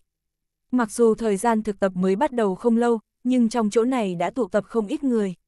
Hoàn cảnh bên trong cổ vực Bạch Vũ kiềm chế năng lực, còn có âm nha kinh khủng, không phải ai cũng có thể vượt qua được. Đúng lúc này, ánh sáng trong sân chợt lóe lên. Ánh sáng tản đi, mọi người nhìn rõ hình dạng của người kia. Là Đỗ Ca Ngọc, người xếp hạng thứ 18 trên bảng Sơn Hà, cứ nghĩ trăm phần trăm vượt qua kỳ thực tập, không ngờ lại bị đào thải. Trong đám người có người giật mình. Cả đám người đều vô cùng khó hiểu, vị trí của Đỗ Ca Ngọc trên bảng Sơn Hà cao như thế, mà lại bị đào thải sớm vậy. Chẳng lẽ bên trong cổ vực Bạch Vũ xảy ra chuyện gì sao? Bọn họ còn chưa kịp suy nghĩ gì nhiều, lại thêm một đợt ánh sáng nữa ập đến, tiếp tục là một đoàn đệ tử bị đào thải. Nhìn thấy mấy người này xuất hiện, trên mặt mọi người đều là vẻ khiếp sợ và càng khó hiểu. Bởi vì trong những người bị đào thải này, người có thực lực kém nhất cũng xếp thứ 108 trên bảng Sơn Hà, thực lực này trong bảng Sơn Hà cũng là người trung bình, thậm chí còn có cơ hội chống chọi đến cuối cùng. Rốt cuộc là xảy ra chuyện gì? Tại sao nhiều người thực lực không hề tệ lại bị đào thải hết ra ngoài? Có người không nhịn được hỏi. Lúc này, bọn họ cũng phát hiện là không hợp lý. Mấy người Đỗ Ca Ngọc nhìn nhau, trên mặt tràn đầy căm hận, thống lĩnh đại nhân đang ở đâu? Chúng tôi muốn tố cáo, có người cấu kết cổ vực, phối hợp với tộc âm nha đối phó với chúng tôi. Cấu kết cổ vực, phối hợp với âm nha. Mọi người vừa nghe thấy thế, liền biến sắc, hỏi lại ai? Là ai mà dám to gan như vậy? chương 1885 Cổ vực Bạch Vũ luôn bị coi là địa phương của người tu hành, cũng chính là ngoại tộc. Cấu kết với ngoại tộc chính là tội không thể tha. Đường Tuấn, Đỗ Ca Ngọc tức giận nói ra một cái tên. Tất cả mọi người xôn xao, trong lòng ngập tràn mù mịt. Một người áp chót ở bảng Sơn Hà, thực lực thấp kém không bằng ai, kể cả cấu kết với âm nha thì có thể làm được cái gì cơ chứ. Tin tức truyền ra rất nhanh, các trưởng lão của thần đình, các tướng lĩnh cao cấp của thành man thú với thống lĩnh đại nhân đều đến. Tất cả mọi người ngồi trong một ngôi nhà rộng lớn nghe Đỗ Ca Ngọc kể lại chuyện gặp được bên trong cổ vực Bạch Vũ. Cậu nói là đường Tuấn cấu kết với tộc âm nha, hơn nữa còn lấy được năng lượng thần bí mạnh mẽ ở chỗ bọn chúng, sau đó hợp lực với âm nha đánh lên các cậu. Chờ Đỗ Ca Ngọc nói xong, Giang trưởng lão cao mày hỏi. Đường Tuấn là do ông ta dẫn tới, từ một góc độ nào đó, ông ta là người dẫn đường của đường Tuấn. Với lịch sử vẻ vang gia nhập thần đình của ông ta tuyệt đối không cho phép dẫn dắt người làm gì tổn hại đến thần đình. Đỗ Ca Ngọc gật đầu, nét tức giận trên mặt thật đến nỗi không thể thật hơn. Đối với chuyện đường Tuấn cứu bọn họ, cậu ta không hề nhắc đến một lời. Hoặc là cậu ta thấy, đó cũng là do đường Tuấn cấu kết với âm nha mà thôi. Đỗ Ca Ngọc, cậu có chứng cứ gì không? Thống lĩnh ngồi ở vị trí chính giữa của thần đình hỏi lại.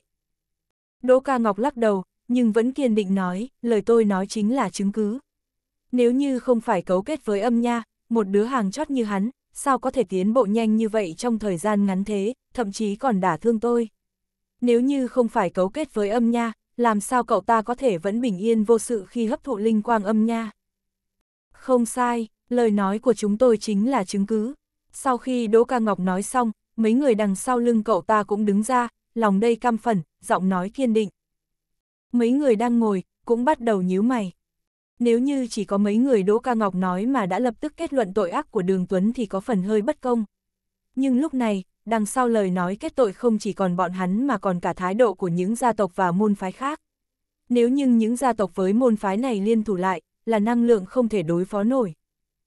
Thấy thống lĩnh đại nhân vẫn trầm mặc như cũ không có ý định nói gì, trong mắt Đỗ Ca Ngọc âm trầm, nói, nếu như thống lĩnh không tin, đợi câu ta đi ra ngoài có thể kiểm tra thực lực của cậu ta. Mặc dù cổ vực bạch vũ thần kỳ, cơ duyên không thiếu, thực lực có thể tăng lên thì rất bình thường.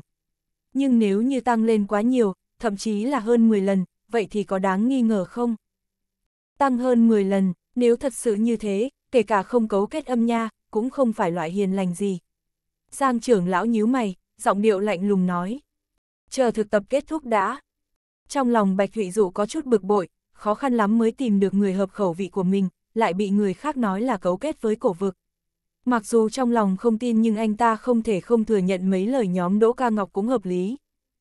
Bạch Thụ Dụ đã nói như thế, những người khác cũng không dám nhiều lời, chỉ có thể ngồi trầm mặc chờ đợi.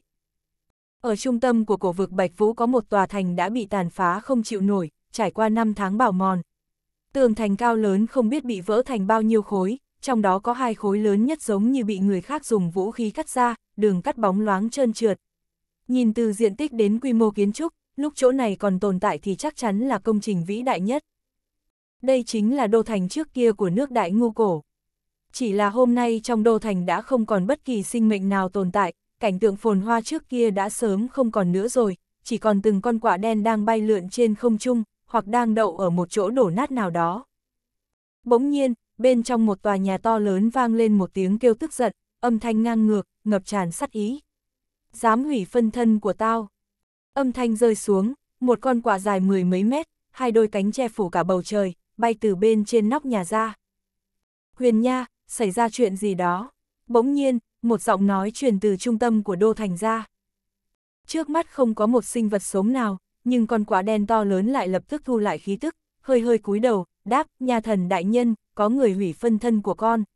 Hơn nữa người này có chút kỳ lạ, có thể hấp thụ linh quang của tộc âm nha chúng ta mà không chết. Hấp thụ linh quang mà không chết. Nhà thần nghe đến đó, rõ ràng giật mình khiếp sợ, nhịn không được mà vô thức lặp lại câu đó. Thời điểm tao có thể rời khỏi cái chỗ quỷ quái này cũng đến rồi. Tiên đoán quả nhiên không hề nói sai. Ngay sau đó, âm thanh của nha thần vừa vui mừng vừa kinh ngạc. Nha thần đại nhân, ngài nói cậu ta có thể đưa ngài ra khỏi đây. Huyền Nha hỏi ngược lại. Nó càng thêm không hiểu, nói, nhưng không phải thiên nha nói, bên chỗ nó xuất hiện một hậu duệ của nước đại ngu cổ sao, là một tu sĩ của loài người tên Hồng Nhật Linh, đúng ra cậu ta mới là người đưa tộc âm nha chúng ta rời khỏi đây, không đúng sao? Audio điện tử võ tấn bền chương 1886 nhà thần trả lời, nếu như ở trong quá khứ, đúng là thằng nhãi Hồng Nhật Linh hoàn toàn toàn chính xác có tư cách thừa kế đại thống, chiếm lĩnh cổ vực Bạch Vũ. Nhưng huyết mạch của cậu ta mỏng manh đến nỗi chỉ bằng một phần mười, không đủ tư cách. Hơn nữa bây giờ xuất hiện người thích hợp hơn, thì cậu ta chỉ có thể xếp ở vị trí thứ hai. Thì ra là như thế huyền nha gật đầu một cái, chữ hiểu chữ không. Thiên nha đâu, nha thần đột nhiên hỏi. Nó đang chuẩn bị kiểm tra người tên Hồng Nhật Linh kia. Huyền nha trả lời. Để nó chờ một chút, mày dẫn người vừa mới nói kia qua chỗ nó, để nó kiểm tra cả hai đứa. Nha thần nói. Huyền nha gật đầu. Đường Tuấn đi theo con quả đen trên bầu trời, trên đường đi anh cũng gặp không ít thi sinh tham gia thực tập lần này của thần đình, nhưng không đụng mặt nhau. Đường Tuấn có thể cảm nhận được, âm nha đang muốn dẫn anh đi đâu đó. Ở một nơi khác trong đô thành, một cái đầu quả lớn gấp mấy lần huyền nha đang đậu trên một nóc nhà. Nó ngẩng cao đầu, dùng móng vuốt cắt tỉa bộ lông đen nhánh của chính mình. Thiên nha, tạo là hậu duệ của huyết mạch nước đại ngu cổ, nghe lời người xưa đến đây, có đủ tư cách tham gia kiểm tra, sao mày cứ dây dưa mãi vậy? Ở phía dưới, Hồng Nhật Linh nhìn con quả đen tuyển âm trầm nói, mặt đầy phẫn nộ. Sau lưng Hồng Nhật Linh, còn có nhóm người Mạc Lăng Thiên, Liễu Ngọc Duy đi theo. Trên người bọn họ đều có vết thương, bị ép đến mức tí nữa là bóp nát lệnh bài để trở về, đi được đến đây, rõ ràng là đã chém giết không hề ít. Đặc biệt là trên người mấy đệ tử của Thượng Ba Tông, trông càng chật vật. Vừa nãy bọn họ bị một đàn quả vây giết, suýt chút nữa chỉ có thể bóp vỡ lệnh bài rời đi, may mắn sau đó Hồng Nhật Linh xuất hiện, sử dụng năng lượng huyết mạch mới kéo bọn họ đi được đến đây. Mà cũng vì vậy, bọn họ nợ Hồng Nhật Linh một cái ân tình. Vốn đi Hồng Nhật Linh dựa vào huyết mạch cơ thể, đang chuẩn bị tham gia kiểm tra của Thiên Nha. Lại không biết tại sao, Thiên Nha lại đột nhiên tạm dừng kiểm tra, nói còn một người nữa cũng cần kiểm tra. Thiên Nha lạnh lùng liếc mắt nhìn Hồng Nhật Linh có chút không vui trả lời, đây là ý kiến của Nha thần đại nhân. Cậu có vội cũng không có tác dụng gì, nếu không muốn chờ thì cút ra khỏi cổ vực. Cái loại dựa vào huyết mạch thiên phú như cậu, mặc dù có thể nhưng chưa đủ tư cách để ra lệnh cho tôi đâu. Hồng Nhật Linh tức giận, nhưng cũng không cam lòng từ bỏ. Còn quả trước mắt này tu vi nửa bước hóa thần, thực lực có khi còn mạnh hơn nha thần.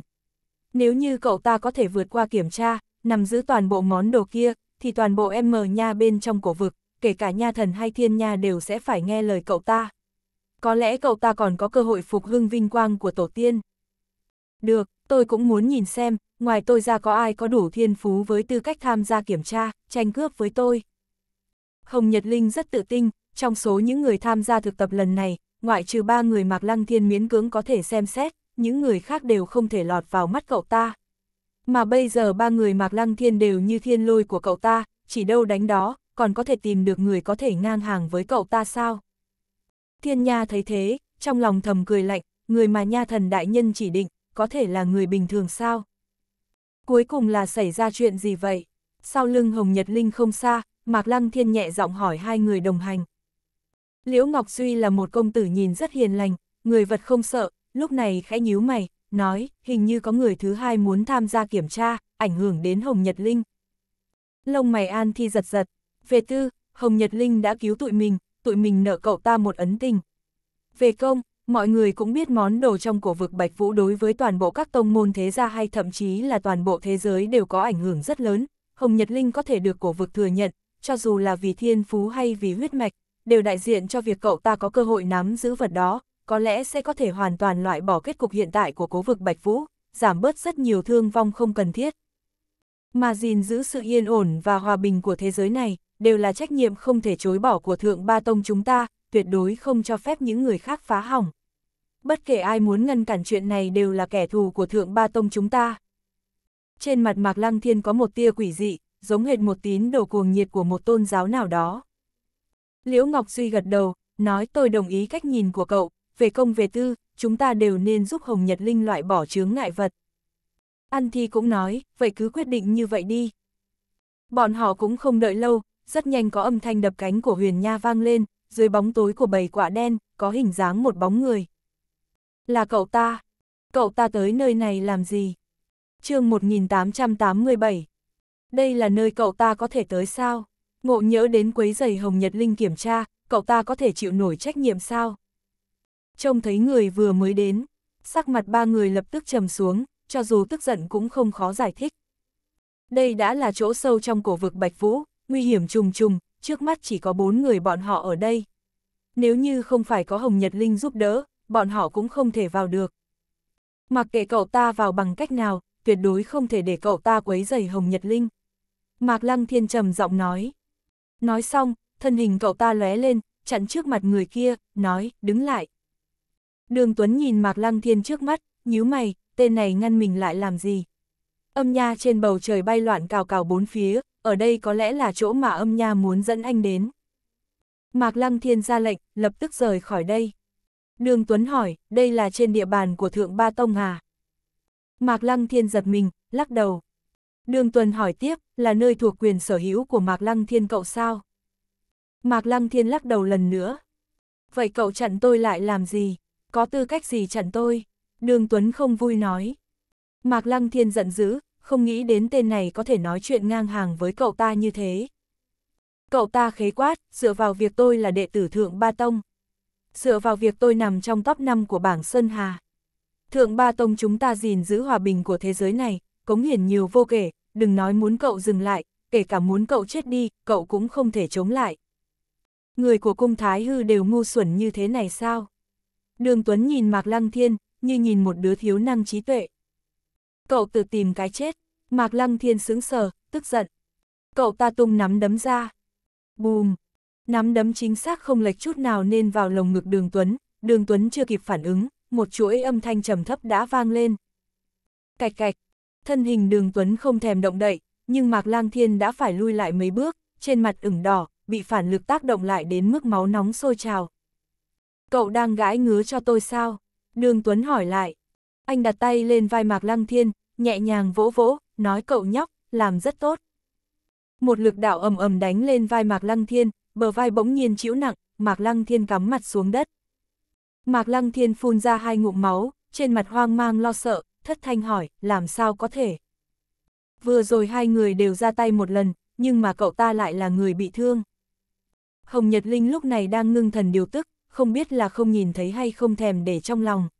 Nhưng Liễu Ngọc Duy với An Thi thì không nhịn được, hơi nghiêng người bảo vệ Mạc Lăng Thiên sau lưng, ánh mắt như dao nhìn chằm chằm đường Tuấn, nói cậu dám ra tay. Đường Tuấn nhún nhún vai, nói cậu ta ra tay trước. Sắc mặt Liễu Ngọc Duy với An Ti vô cùng khó coi, liếc nhìn Mạc Lăng Thiên đang cắm như cắm hành trên đất, trong lòng không khỏi sợ hãi. Bọn họ nhớ kỹ cái tên của người này xếp trên bảng Sơn Hà đếm ngược từ đằng sau đi tới, tại có có thể có thực lực đang sợ như vậy. Người đến để kiểm tra, cậu đến rồi, tôi chờ cậu lâu lắm rồi. Đúng lúc này, âm thanh của thiên nha vang lên. Đường Tuấn nhìn con qua cực lớn trên bầu trời, vẻ mặt đột nhiên trở nên trầm trọng. Con quạ này, tuyệt đối là cao thú nửa bước hóa thần trở lên. Thiên nha vừa dứt lời, Hồng Nhật Linh đang nhắm mắt đột nhiên mở ra, trong mắt phảng phất như có hai tia sét. Là cậu, Hồng Nhật Linh vui vẻ như xuân về hoa nở vậy. Cậu ta đột nhiên đứng lên, trong mắt mang theo sát ý dọa người, nói, sớm biết là cậu tôi đã giết cậu ở ngoài kia trước rồi. Cậu ta nở nụ cười nửa miệng, nhếch mép, có điều bây giờ giết cũng không muộn. Cậu muốn làm hắc mã, phải bước qua xác tôi trước. Hồng Nhật Linh, chúng tôi lên trước, coi như trả lại cậu ăn tình trước đây. Liễu Ngọc Duy chân thành nói. Được, Hồng Nhật Linh gật gật đầu. Liêu Ngọc Duy vừa dứt lời đã lập tức ra tay, và, vũ khí của cậu ta là một thanh kiếm nhỏ trong tay áo, vừa rút ra đã giải ra. Một kiếm đâm đến, ánh sáng như mảnh trời chiều, ẩn chứa vô vàn nguy hiểm. Liều Ngọc Duy kiếm sau kiếm trước vô cùng tinh diệu, chỉ cần sơ ý một cái, sẽ rơi vào nguy cơ không thể khống chế được. chương 1888 Kiếm của Liễu Ngọc Duy nhìn rất bình thường, nhưng chỉ cần bị đâm một cái, loại bình thường này sẽ trở nên vô cùng bất thường, ẩn giấu vô số chiêu trước chiêu sau, đủ để đối phó với tất cả biến hóa. Thánh tử giỏi nhất ở Thượng Ba Tông, đương nhiên có kiêu ngạo đang có. Liêu Ngọc Duy ra tay, An Thi đứng một bên nhìn, không có ra tay, đây cũng là kiêu ngạo của cậu ta. Nhìn Liễu Ngọc Duy bắt đầu ra tay, An Thi khẽ gật đầu, thầm nghĩ kiếm pháp của Liễu Ngọc Duy càng ngày càng tinh xảo, kết hợp với lưu quang điện đặc hữu của pháp quyết thân pháp, có thể được coi như thích khách hàng đầu rồi. Màn sáng vừa mở, phát ra ánh sáng chói lọi, khoảnh khắc cực ngắn đã đến trước mặt đường Tuấn. Tốc độ nhanh như vậy, đường Tuấn chỉ có thể lùi lại. Một kiếm này của Liêu Ngọc Duy tuy uy hiếp với anh không lớn, nhưng lại có chút phiền phức, đường Tuấn không muốn cùng cậu ta tốn quá nhiều thời gian. Bởi vì bên trong cổ vực Bạch Vũ, thời gian của anh chính là sinh mạng. Mỗi lần tiêu phí thêm một chút thời gian, lực lượng vô hình trong này sẽ hấp thụ của anh thêm một ít sinh mệnh. Đường Tuấn vừa lùi lại, khỏe miệng Liễu Ngọc Duy đã nhếch lên một nụ cười, giống như đạt được âm mưu nào đó. Suy nghĩ của cậu ta vừa động, kiếm cũng động theo, ánh sáng như màu chiều tà theo sát đường tuần, dáng vẻ như tuyệt đối sẽ không bỏ qua. Chỉ cần một kiếm, có thể thấy Liễu Ngọc Duy mạnh đến mức nào. Lần này thực tập của thần đình, ở Thượng Ba Tông không có đệ tử vinh dự đứng đầu bảng, không phải vì bọn họ không đủ mạnh, mà là vì tự dưng xuất hiện một thiên tài yêu nghiệt như Hồng Nhật Linh, mạnh đến mức khiến cho người ta tuyệt vọng. Nếu lúc đó thật sự đánh, thực lực ba người Liễu Ngọc Duy có khi còn mạnh hơn một chút. Chỉ tại Hồng Nhật Linh đứng dưới ánh sáng, bọn họ không có cách nào phơi bày toàn bộ thực lực. Mà kiếm này của Liễu Ngọc Duy, là chứng cứ cho thấy toàn bộ thực lực của cậu ta mạnh mẽ như thế nào. Hồng Nhật Linh đến bên cạnh An Thi, đặt tay lên vai Mạc Lăng Thiên, vỗ vỗ một cái, rút cậu ta ra khỏi đất. Thủ đoạn thật dã man. Hồng Nhật Linh đưa mắt nhìn về phía đường Tuấn, nghiêm túc bình luận, thực lực người này rất mạnh, so với tôi còn mạnh hơn không ít, nhưng quá ẩu, không thể trèo lên nơi cao, chỉ có thể như một tên mãng phu chỉ biết hành động. Muốn được như thế này, tôi chỉ cần sử dụng một phần ba sức lực so với hắn. Lúc cậu ta đang nói chuyện, bên cạnh đột nhiên có một khối đá hình người muốn tiếp cận cậu ta. Cậu ta vẫn một bên vừa nói chuyện, một bên nhẹ nhàng vỗ một cái, khối đá cứng rắn lập tức cắm trong đất như cắm vào bùn, giống y hệt vừa này đường tuấn cắm mạc lăng thiên vào trong đất. Cậu ta đang chứng minh lời nói của mình, cũng như muốn phô bày ra thực lực của mình. Mạc Lăng Thiên đã được chứng kiến thực lực của cậu ta, nên chắc chắn không phải là cậu ta đang khoe khoang với ba người, mà là đang bày ra cho đường Tuấn với Thiên Nha xem. Cậu có thể làm được, tôi cũng có thể, thậm chí còn có thể là được tốt hơn đẹp hơn nhiều. Ai giỏi ai kém, ai mạnh ai yếu, nhìn cái là ra luôn. Liễu Ngọc Duy không phải đối thú của cậu ta. Khóe mắt Hồng Nhật Linh liếc nhìn Thiên Nha, thấy nó thờ ơ đối với chuyện trong sân, không thể tránh khỏi cảm thấy vô vị.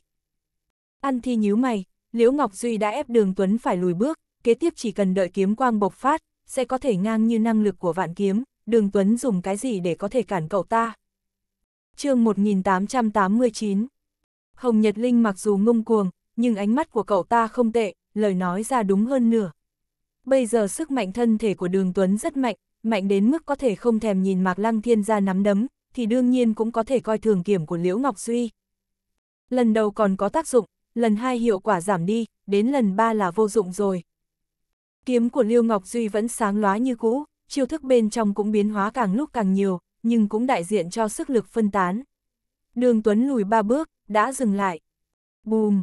Lưới kiếm nho nhỏ trong tay áo đâm vào lồng ngực đường Tuấn, phát ra một ít tia lửa, giống như vũ khí đâm vào hòn đá. Nhưng ngoài mấy tia lửa nhỏ nhỏ này, một kiếm này của cậu ta không gây tổn hại gì tới đường Tuấn, quần áo trước ngực anh biến thành một cái động lớn, mà kiếm này vừa vặn đâm vào bên trong cái động đó.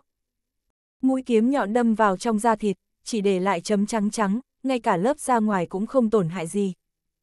Việc này, không có khả năng. Liễu Ngọc Duy ngơ ngác, không dám tin cảnh đang xảy ra trước mắt mình.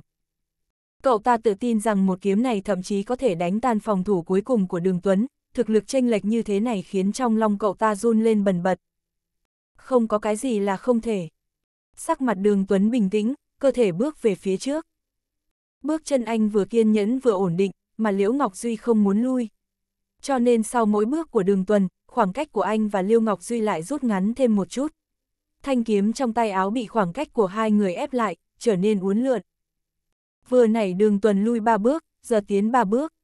Thanh kiếm trong tay áo gờ cong kinh người, cuối cùng không chịu nổi áp lực lớn như vậy, cạch một tiếng, nứt ra từ bên trong. Kiểm của Liễu Ngọc Duy là bảo vật cao cấp nhất, nhưng cũng không thể chịu nổi sức mạnh của đường tuấn. Kiếm đã gãy nứt, Liêu Ngọc Duy chấn động, sắc mặt tái nhợt, khóe miệng tràn ra vết máu. Đường Tuấn nhìn hắn, nói, đừng nản chí, về luyện thêm mười mấy hai mươi năm, nói không chừng có thể đâm thúng ra tôi. Phút, Liễu Ngọc Duy phun ra một ngụm máu. an thi tiến tới phía trước đỡ cậu ta, ánh mắt ngập tràn vẻ đối địch nhìn đường Tuấn. Lời nói của người này đả thương người khác quá mức. Tôi thừa nhận năng lực của cậu, cậu có tư cách kiểm tra cùng tôi. Hồng Nhật Linh ngăn cản An Thi đang muốn ra tay, mỉm cười nói với Đường Tuấn. Thế nhưng mà, cuối cùng cậu sẽ vẫn thất bại, cho nên cậu nhất định phải chuẩn bị sẵn tinh thần trong lòng, đỡ cho bị đánh không gượng dậy nổi. Giống như cậu đánh bại Liễu Ngọc Duy, tôi đánh bại cậu cũng sẽ không mất mấy phần sức lực Hồng Nhật Linh vô cùng tự tin mà nói tiếp. Đường Tuấn không khỏi có chút câm nín, tên này nói chuyện muốn ăn đập quá. Đánh giá vừa nãy của Hồng Nhật Linh đối với anh, đường Tuần hoàn toàn nghe được. Đáng tiếc là cậu ta đối với sức mạnh của anh hoàn toàn không biết gì. Sức lực của đường Tuấn mạnh mẽ, nhưng không hề cầu thả.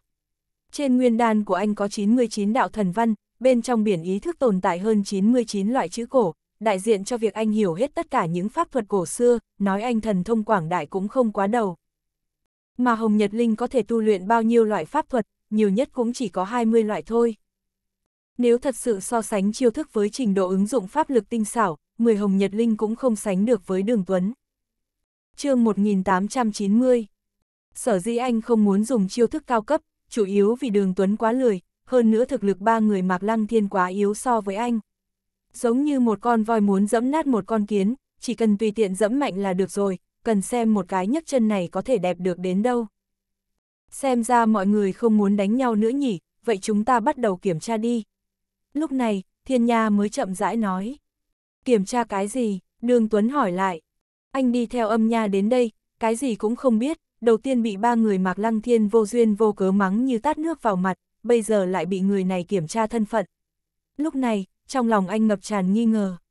Thiên Nha nhìn đường Tuấn một cái, cười cười cậu không cần biết mấy thứ này, chỉ cần biết, nếu như cậu vượt qua được kiểm tra, sẽ có thể nhìn thấy nhà thần đại nhân nơi đó sẽ có câu trả lời cho tất cả những điều cậu thắc mắc. Gặp nha thần, đường Tuấn khẽ gật đầu, coi như đồng ý tham gia việc kiểm tra này. Bí mật của cổ vực Bạch Vũ, có lẽ anh sẽ lấy được chút đáp án từ chỗ nha thần thần bí. Thiên nha vỗ đôi cánh không lồ, tạo thành một trận bão gió. Phía sau nó vốn dĩ là khu kiến trúc đổ nát không trọn vẹn, gió bão vừa nổi lên, cho bụi tích lũy bao nhiêu năm bị cuốn đi, lộ ra một cảnh kỳ lạ phía sau. Xà ngang đứt gãy đã không biết bao nhiêu năm, vách tường, thậm chí còn có cả cái bàn. Tất cả tạo thành một cảnh vô cùng tán loạn, nhưng loại tán loạn này lại khiến cho người người ta có cảm giác trọn vẹn, giống như bản gốc của nó vốn dĩ đã như thế này. Đây là pháp trận nha thần bày ra, nội dung kiểm tra rất đơn giản, hai người đi vào bên trong pháp trận, ai đi ra trước chính là người thắng cuộc, có thể gặp nha thần đại nhân, sẽ có cơ hội được bảo vật gì đó chấp nhận. Thiên nha chậm chậm giải thích, Nói xong, nó để vị trí mở ra. Hồng Nhật Linh nghe những lời này, trên mặt dần dần lộ ra ý cười. Trong lúc vui vẻ thể hiện tự tin và đắc ý vô cùng. Dân gian tương truyền hoàng thất của nước Đại Ngô Cổ có những trận pháp vô cùng xuất sắc, trận pháp tính sao, người tạo ra nó vô cùng tài giỏi. An Thi nhìn nụ cười trên mặt Hồng Nhật Linh, cũng tự tin giải thích. Cậu ta quả thực rất mạnh. Mạc Lăng Thiên với Liễu Ngọc Duy cũng tự tin gật đầu một cái. Hồng Nhật Linh nhẹ nhàng nhìn lướt qua đường Tuấn, nói, vậy thì bắt đầu đi. Nói xong, cậu ta một bước tiến lên phía trước, đã biển mất trong tầm mắt của mọi người, tiến vào trong trận pháp. Đường Tuấn nở nụ cười cũng bước một bước, đợi sau khi cả hai người đều biến mất, Liễu Ngọc Duy hỏi. Thiên nha đại nhân, có thể hỏi ngài một chút về trận pháp này như thế nào không? Thoạt nhìn tâm tình của thiên nha rất tốt, giải thích đây là trận pháp của nước Đại Minh Cổ, lấy hơn 200 cơ quan huyệt vị của con người làm trận, tham khảo pháp lực vận chuyển của người vào trận để bắt trước theo, bên trong chứa mấy chục nghìn phép biến hóa, uy lực quỷ thần khó lường. Người đầu tiên thiết lập trận pháp này, được người đời ca tụng mà y thuật như thần, nhận thức của các cơ quan huyệt vị đạt đến tối cao. Sau khi nước đại ngu cổ lụi tàn, trận pháp này lập tức mai một, sau đó được nha thần đại nhân chữa trị, bây giờ đã khôi phục 7-8 phần 10 uy lực như cũ. Tất cả mọi người trầm mặc xuống. Trận pháp mấy chục nghìn loại biến hóa, chỉ cần đi nhầm một bước, sẽ là một trời một vực. Cái loại này nếu tính toán tất nhiên sẽ tiêu tốn rất nhiều tinh thần. Nói một cách khác, hai người bọn họ chỉ có duy nhất một cơ hội. Nếu như tinh thần hơi xa suốt ngay cả tính toán bước đi tiếp theo cũng không tính được. Không có tinh thần mạnh mẽ, làm sao điều khiển được món linh khí kia. Giọng nói của thiên nha rét lạnh. Đây là trận pháp chuyên môn của nha thần, là kiểm tra tư cách kế thừa món linh khí đó. Bên trong trận pháp, Hồng Nhật Linh nhìn bậc thang trên không trung trước mắt. Những bậc thang này rất tán loạn, cũng không liên tục, giống như quân cờ bị người ta tiện tay ném xuống. Chi chít khắp nơi, còn có khí thức liên thông lẫn nhau, khiến cho người ta có cảm giác bị mê hoặc. Là trận vạn tượng. Sắc mặt Hồng Nhật Linh nghiêm trọng đến đỉnh điểm. May mắn là mình từng gặp ghi chép về trận pháp này trong sách cổ của gia tộc, mặc dù chỉ là ghi lại một phần của trận pháp, nhưng có thể tiết kiệm rất lớn tâm sức đi tính toán. Càng quan trọng hơn, những ghi chép kia cũng là mấy chục bước trước mắt. Audio điện tử võ tấn bền chương 1891 có điều tôi vẫn chịu được, tôi thắng. Hồng Nhật Linh cảm thấy may mắn vô cùng, nếu như ngay cả bước đầu tiên đã đi nhầm, mỗi bước phía sau đều sẽ nhầm, lãng phí thời gian. Nếu thật sự như vậy, mới đúng là khiến cho người ta tức hộc máu. Nghĩ lại những ghi chép liên quan đến trận pháp, Hồng Nhật Linh rất tự tin bước bước đầu tiên, sau đó là bước thử hai. Mỗi bước đi, không gian sẽ biến đổi nghiêm trọng, xuất hiện từng vòng gợn sóng, giống như từng đóa sen nở rộ. Bước từng bước hoa sen đều đều nở. Sợ là cậu ta vẫn đang suy nghĩ xem bước đầu tiên phải đi như thế nào. Kể cả nghĩ ra, vậy thì sao chứ, mỗi một bước đi đều phải tính toán cẩn thận, hao tổn tinh thần rất lớn, mà mình có thể giảm bớt rất nhiều. Hồng Nhật Linh càng chạy càng hăng, nhìn những hoa sen nở trong không gian, chóc lòng cậu ta cũng vui vẻ nở hoa. Cuộc thi này, cậu ta thắng chắc. Mà ở chỗ khác của trận pháp, đường Tuấn vẫn không động đây gì, ngồi xếp bằng ở vị trí bắt đầu, nhìn bậc thang trước mắt, nở một nụ cười vô cùng nhẹ nhõm. Là trận hành châm của châm cứu y học cổ truyền. Hình thức vận chuyển ở giữa của trận pháp này, thực sự là pháp trận vận chuyển ban đầu, nhưng cũng là trận hành châm của châm cứu y học cổ truyền. Hơn nữa trận hành châm này cũng không đến mức quá cao siêu, ít nhất là trong mất đường Tuấn đã nhìn thấy mấy chục lỗi sai. Lúc này, đường Tuấn đang tự hỏi làm sao để có thể sửa chữa những lỗi sai này. Đến mức ở cả chỗ đi ra.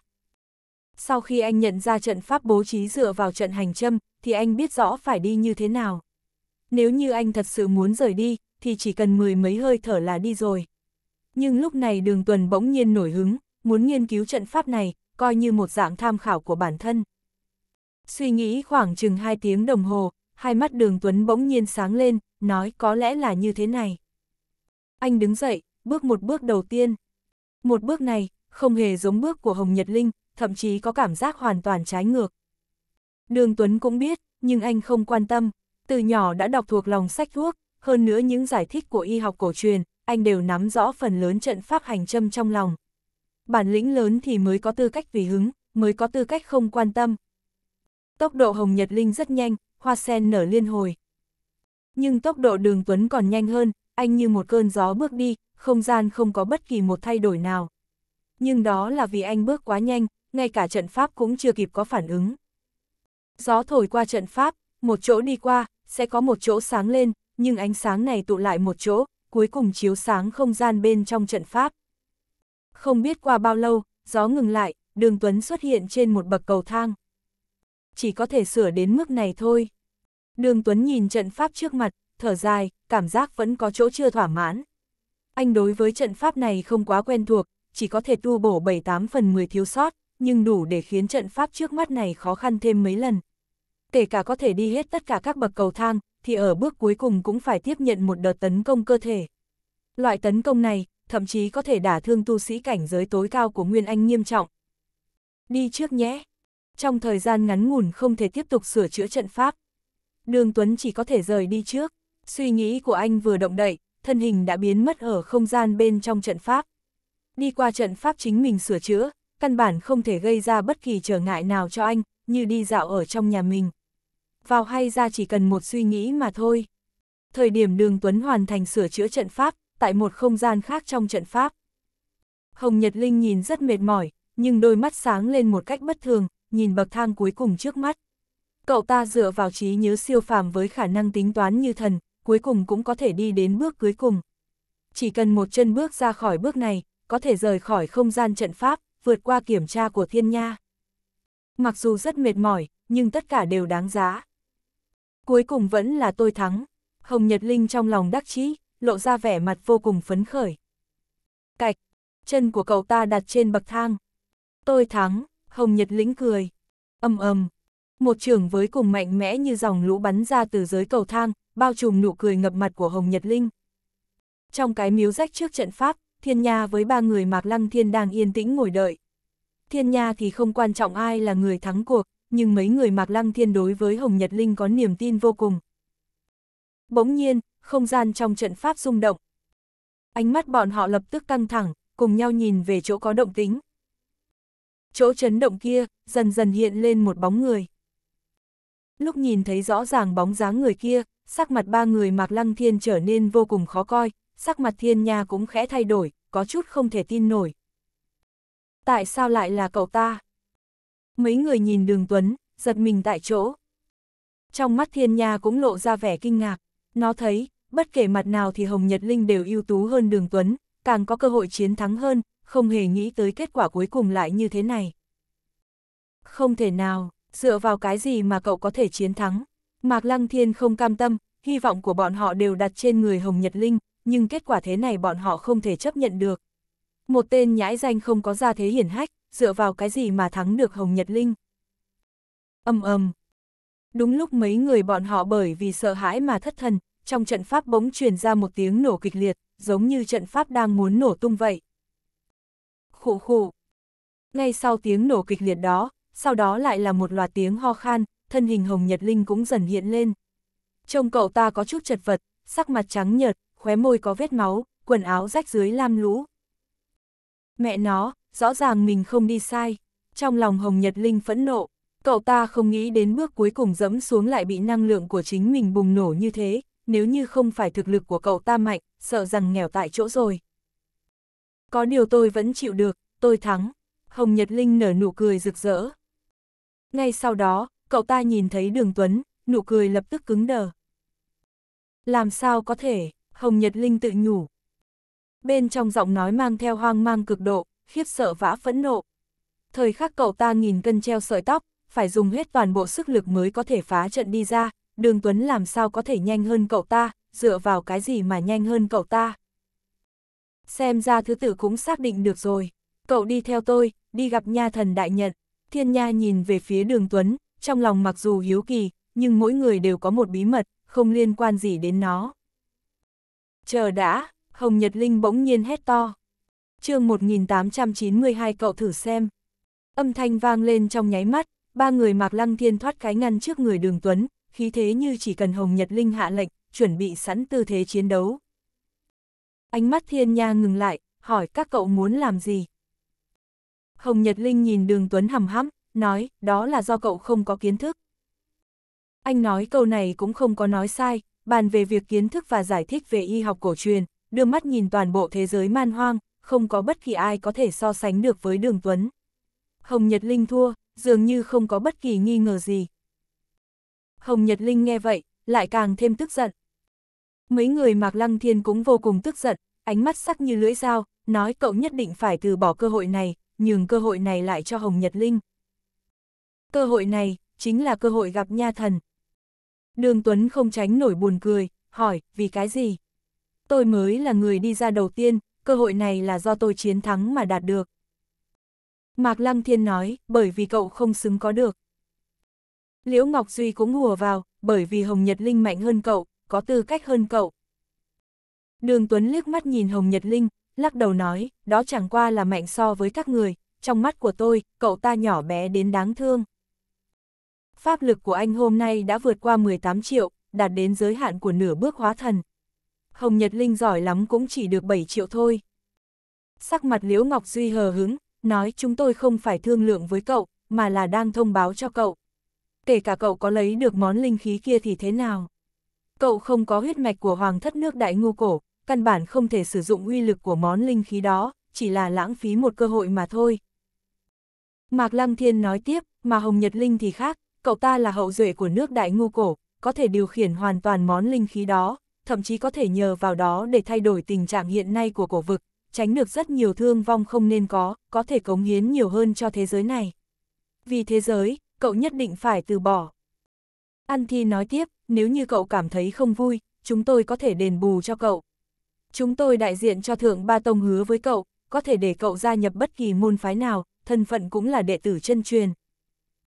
Một món linh khí đổi lấy một thân phận đệ tử chân truyền, cậu nghĩ tôi là đồ ngu à? Đường Tuấn nhìn ba người, ánh mắt như nhìn mấy đứa ngốc. Một món linh khí, tương đương với cao thú cảnh giới hóa thần.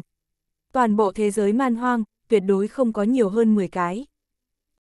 Mà đệ tử dưới chướng thượng ba tông, ít nhất cũng phải có mấy trăm. Cuộc giao dịch này, với đường Tuấn là cực kỳ không công bằng. Mà như ý Mạc Lăng Thiên nói, vì cái gọi là thế giới, đường Tuấn còn nhất định phải cúi đầu tiếp nhận ân đức này. Nếu như đường Tuấn là người của thế giới man hoang, có lẽ thật sự đã bị hù dọa. Nhưng anh không phải người của thế giới này, kể cả thế giới bị hủy diệt, cũng không có tí xíu quan hệ nào với anh. Cậu, ba người Mạc Lăng Thiên ngơ ngẩn. Sắc mặt Hồng Nhật Linh âm trầm, ánh mắt bùng lửa, nhấc chân lên, muốn bước thêm một bước. Cậu thử xem, Đường Tuấn nói. Chân Hồng Nhật Linh lơ lửng giữa không trung, động cũng không dám động. Trong nhận thức, cậu ta cảm nhận được một loại nguy hiểm mãnh liệt. Loại nguy hiểm này, có thể đe dọa tính mạng của cậu ta. Đi thôi, thiên nha diếu cợt, liếc mắt nhìn bốn người Hồng Nhật Linh, vỗ cánh bay đi. chương 1893 vậy không biết ngài Lư có suy nghĩ gì không? Thân hình đường Tuấn khẽ động đậy, theo sát. Bây giờ chúng ta phải làm gì? Mạc Lăng Thiên hơ hoa. Chờ, Hồng Nhật Linh nhả ra một chữ, món linh khí kia có yêu cầu rất cao đối với huyết mạch và công pháp, tôi không tin cậu ta có thể thỏa mãn những điều kiện đó. Liễu Ngọc Duy gật đầu, nói, nếu như cậu ta không thể thỏa mãn điều kiện, vậy chỉ còn Nhật Linh có tư cách khống chế món linh khí đó. Nếu quả thực cậu ta có thể lấy được món linh khí, vậy bốn người chúng ta cướp lại luôn. Không thể để một tên nhãi không biết mọc ra ở nơi nào khống chế linh khí. Đi theo thiên nha, đường Tuấn không ngừng tiến vào phế thích của Đô Thành. Năng lực kỳ quái khống chế sinh mệnh của anh càng ngày càng mãnh liệt. Không gian xung quanh xuất hiện gợn sóng vặn vẹo, dường như có một năng lực vô hình đang xé rách không gian.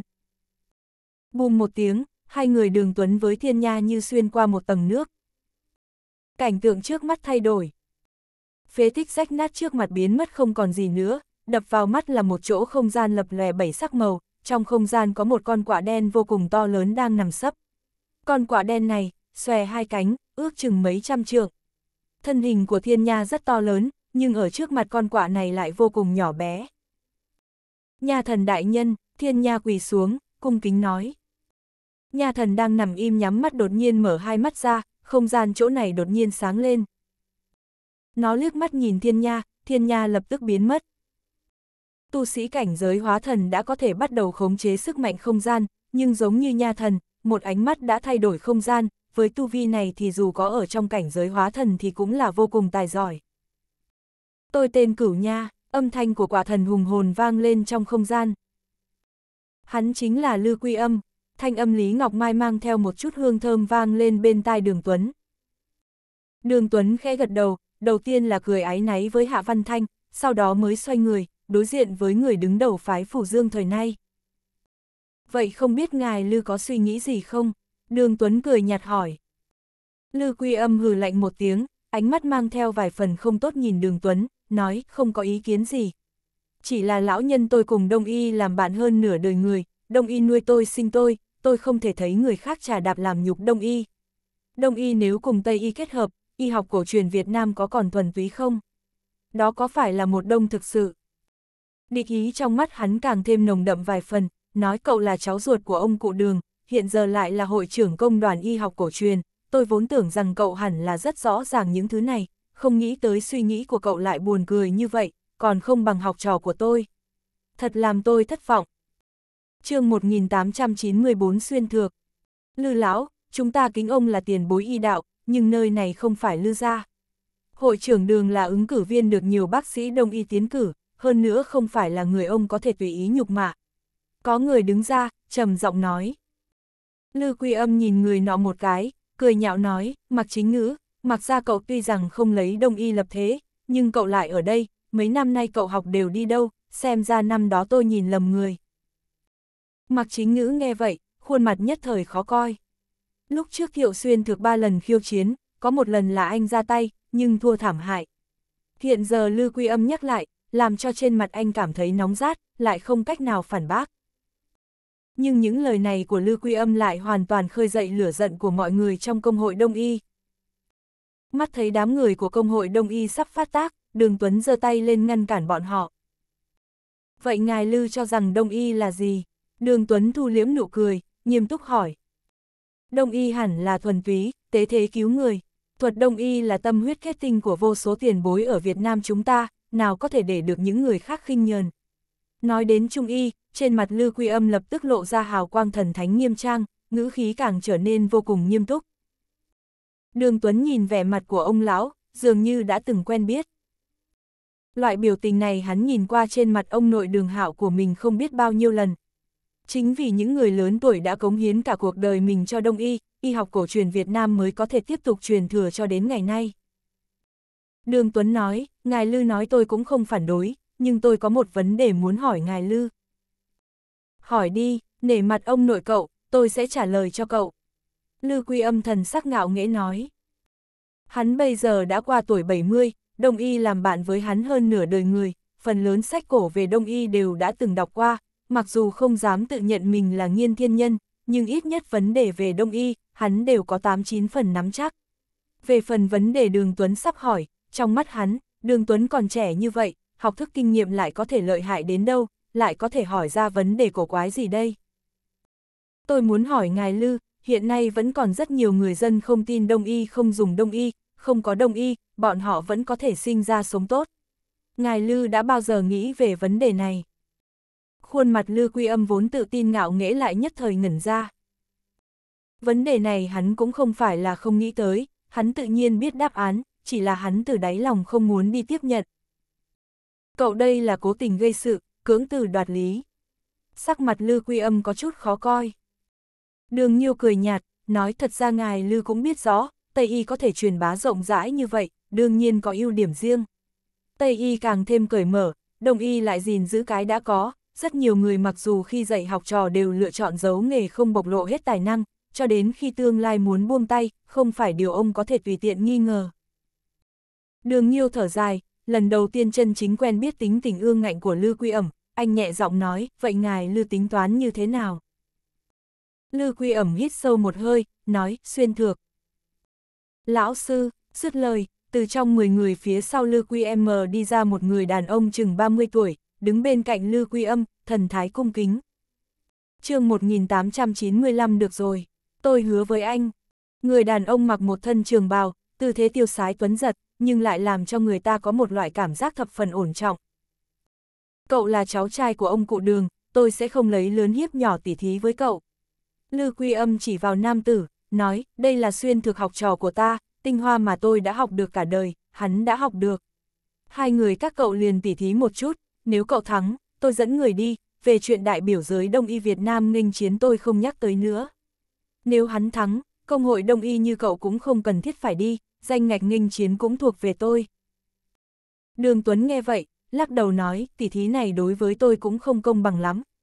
Danh ngạch này vốn là của tôi, không quản thắng thua, đối với ngài Lư ông cũng không có bất kỳ tổn thất nào. Ngài Lư, đây là định tay không lấy lợi. Lô Quy âm mặt già không khỏi đỏ lên, ho khan hai tiếng, nói, vậy cậu muốn thế nào? Đường Tuấn nói, nếu tôi may mắn thắng thiệu huynh, danh ngạch tôi cũng có thể cho anh. Nhưng một yêu cầu của tôi là ngài Lư phải ở lại công đoàn y học cổ truyền. Lô Quy âm biến sắc, trầm giọng nói cậu muốn ta ở lại công đoàn y học cổ truyền thay cậu kiếm tiền, nằm mơ. Với y thuật và danh vọng của hắn hiện nay, nếu để cho người ta biết hắn ở công đoàn y học cổ truyền, không biết bao nhiêu người sẽ tìm tới cửa. Quả thực là một tòa kim sơn bảo khố di động, Đường Tuấn đưa ra yêu cầu này, anh khó tránh khỏi nghĩ đến chuyện này. Đường Tuấn cười nhạt, nói, ngài Lư không khỏi coi tôi quá thấp. Tôi ngài Lư ở lại công đoàn y học cổ truyền, chỉ là muốn cho ngươi. Truyền đạt y thuật, để lại một số hạt giống cho đông y. Về phần truyền thụ như thế nào, hết thảy đều dựa vào ý nguyện của ngài Lư. Lư Quy Âm nhìn đường Tuấn thật sâu, muốn từ trên mặt anh tìm ra một chút biểu tình giả dối. Được rồi, tôi hứa với anh, cuối cùng, Lô Quy Âm đáp ứng. Thấy Lô Quy Âm đáp ứng, trên mặt đường Tuấn lộ ra ý cười. Thi đấu như thế nào, cậu nói đi. Lư Quy Âm thẳng thắn nói, tôi muốn nhìn xem cậu có vài phần y thuật của ông cụ đường. Đường Tuấn cười nói, trước anh thiệu cùng công đoàn y học cổ truyền của tôi thi ba trận, tôi đấu với anh ta ba trận, ba trận định thắng bại, không cần phán quyết, thắng thua công đạo tự tại lòng người. Tất nhiên là, nếu anh muốn đổi người giữa chừng, tôi cũng không có ý kiến gì. Lư Quy Âm nghe vậy ngẩn ra, không khỏi nhìn thoáng qua đường Tuấn, âm thầm nói, khí độ trong lòng ngược lại không tệ. Bất quá điểm này liên quan đến vận mệnh tương lai đông y, tôi không thể nhượng bộ. Đường tiểu tử cậu có thể được đám người vương trọng khang, thẩm dũng đề cử, nghĩ đến một thân y thuật sẽ không kém. Bất quá xuyên thược cũng là kỳ tài y đạo, một thân y thuật toàn bộ được chân truyền của tôi, hai người ngược lại là kỳ phùng địch thủ. Nếu đến lúc đó đánh bằng, ta sẽ đánh cược khuôn mặt già nuôn này, khi dễ tiểu bối một chút thì sao? Trong nháy mắt, trong lòng Lư Quy ẩm liền có suy tính.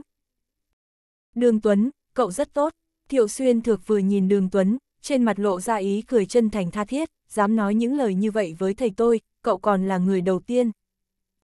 Cậu cũng không sai, Đường Tuấn trả lời, với ánh mắt của hắn, tự nhiên có thể nhìn ra trên người Thiệu Xuyên Thược có chân khí ba động mờ ám, loại ba động này thậm chí còn trầm ổn hơn trên người Vương Tấn Lợi. Bất quá trong chốc lát, lông mày Đường Tuấn thoáng nhíu lại, tựa hồ có chút không hiểu, nhưng chợt lông mày lại giãn ra, biến hóa trong nháy mắt không có ai phát hiện. Trận thi đấu này tôi sẽ không lưu thủ, cũng hy vọng hội trưởng đường toàn lực ứng phó. Đông y là tín ngưỡng của tôi từ nhỏ đến lớn, nếu như hội trưởng đường lưu thủ, đối với cậu và tôi đều là sự vũ nhục lớn lao. Thiệu Xuyên thực nghiêm túc nói. chương 1896 y thuật của tên này sẽ không thật sự lợi hại hơn hội trưởng chứ. T. Đường Nhiêu nhẹ nhàng gật đầu. Sau khi Hiệp hội Y học cổ truyền Việt Nam thành lập, mỗi ngày có rất nhiều bệnh nhân tới cầu y. Khi Đường Tuấn và Lư Quy Âm thương lượng tốt quy tắc, một số thành viên của Hiệp hội Y học cổ truyền và Mạc Chính Ngữ đã đưa 6 bệnh nhân về phòng bệnh. 6 bệnh nhân lộ rõ vẻ mặt khó chịu, nhất là khi nhìn thấy tình huống dương cung bạt kiếm, chỉ kém không rút đao hướng vào nhau, trong lòng càng thêm căng thẳng. Họ chỉ đến gặp xem bệnh, cũng không muốn tham gia vào bất kỳ cuộc tranh đấu nào. Sau khi Hiệp hội Y học cổ truyền đem chuyện của Đường Tuấn và Lư Quy Âm đơn giản nói ra, hơn nữa còn nói rõ thân phận hội trưởng của Đường Tuấn, vẻ mặt lo lắng của họ liền biến mất, thậm chí lộ ra biểu tình hưng phấn. Mặc dù họ chưa từng gặp Đường Tuấn, nhưng đã sớm nghe nói hội trưởng Hiệp hội Y học cổ truyền là một thần y. Tuy rằng hội trưởng còn trẻ hơn so với tưởng tượng của họ, nhưng có thể được nhiều người sùng bái như vậy thì về mặt y thuật tất nhiên là có chỗ độc đáo. Cậu là khách, cậu đến trước đi. Đường Tuấn nghiêng người nhượng bộ, để Thiệu Xuyên thực chọn trước. Thiệu Xuyên thực khẽ gật đầu, từ 6 bệnh nhân ngẫu nhiên chọn một người. Anh chọn một người phụ nữ trung niên ở độ tuổi 30. Phụ nữ trung niên ăn mặc bình thường, trên mặt trang điểm nhẹ nhàng, cũng không tinh xảo, lông mày khi thì nhíu lại, thân thể xuất hiện run rẩy nhẹ, giống như đang chịu đựng thống khổ gì đó vậy.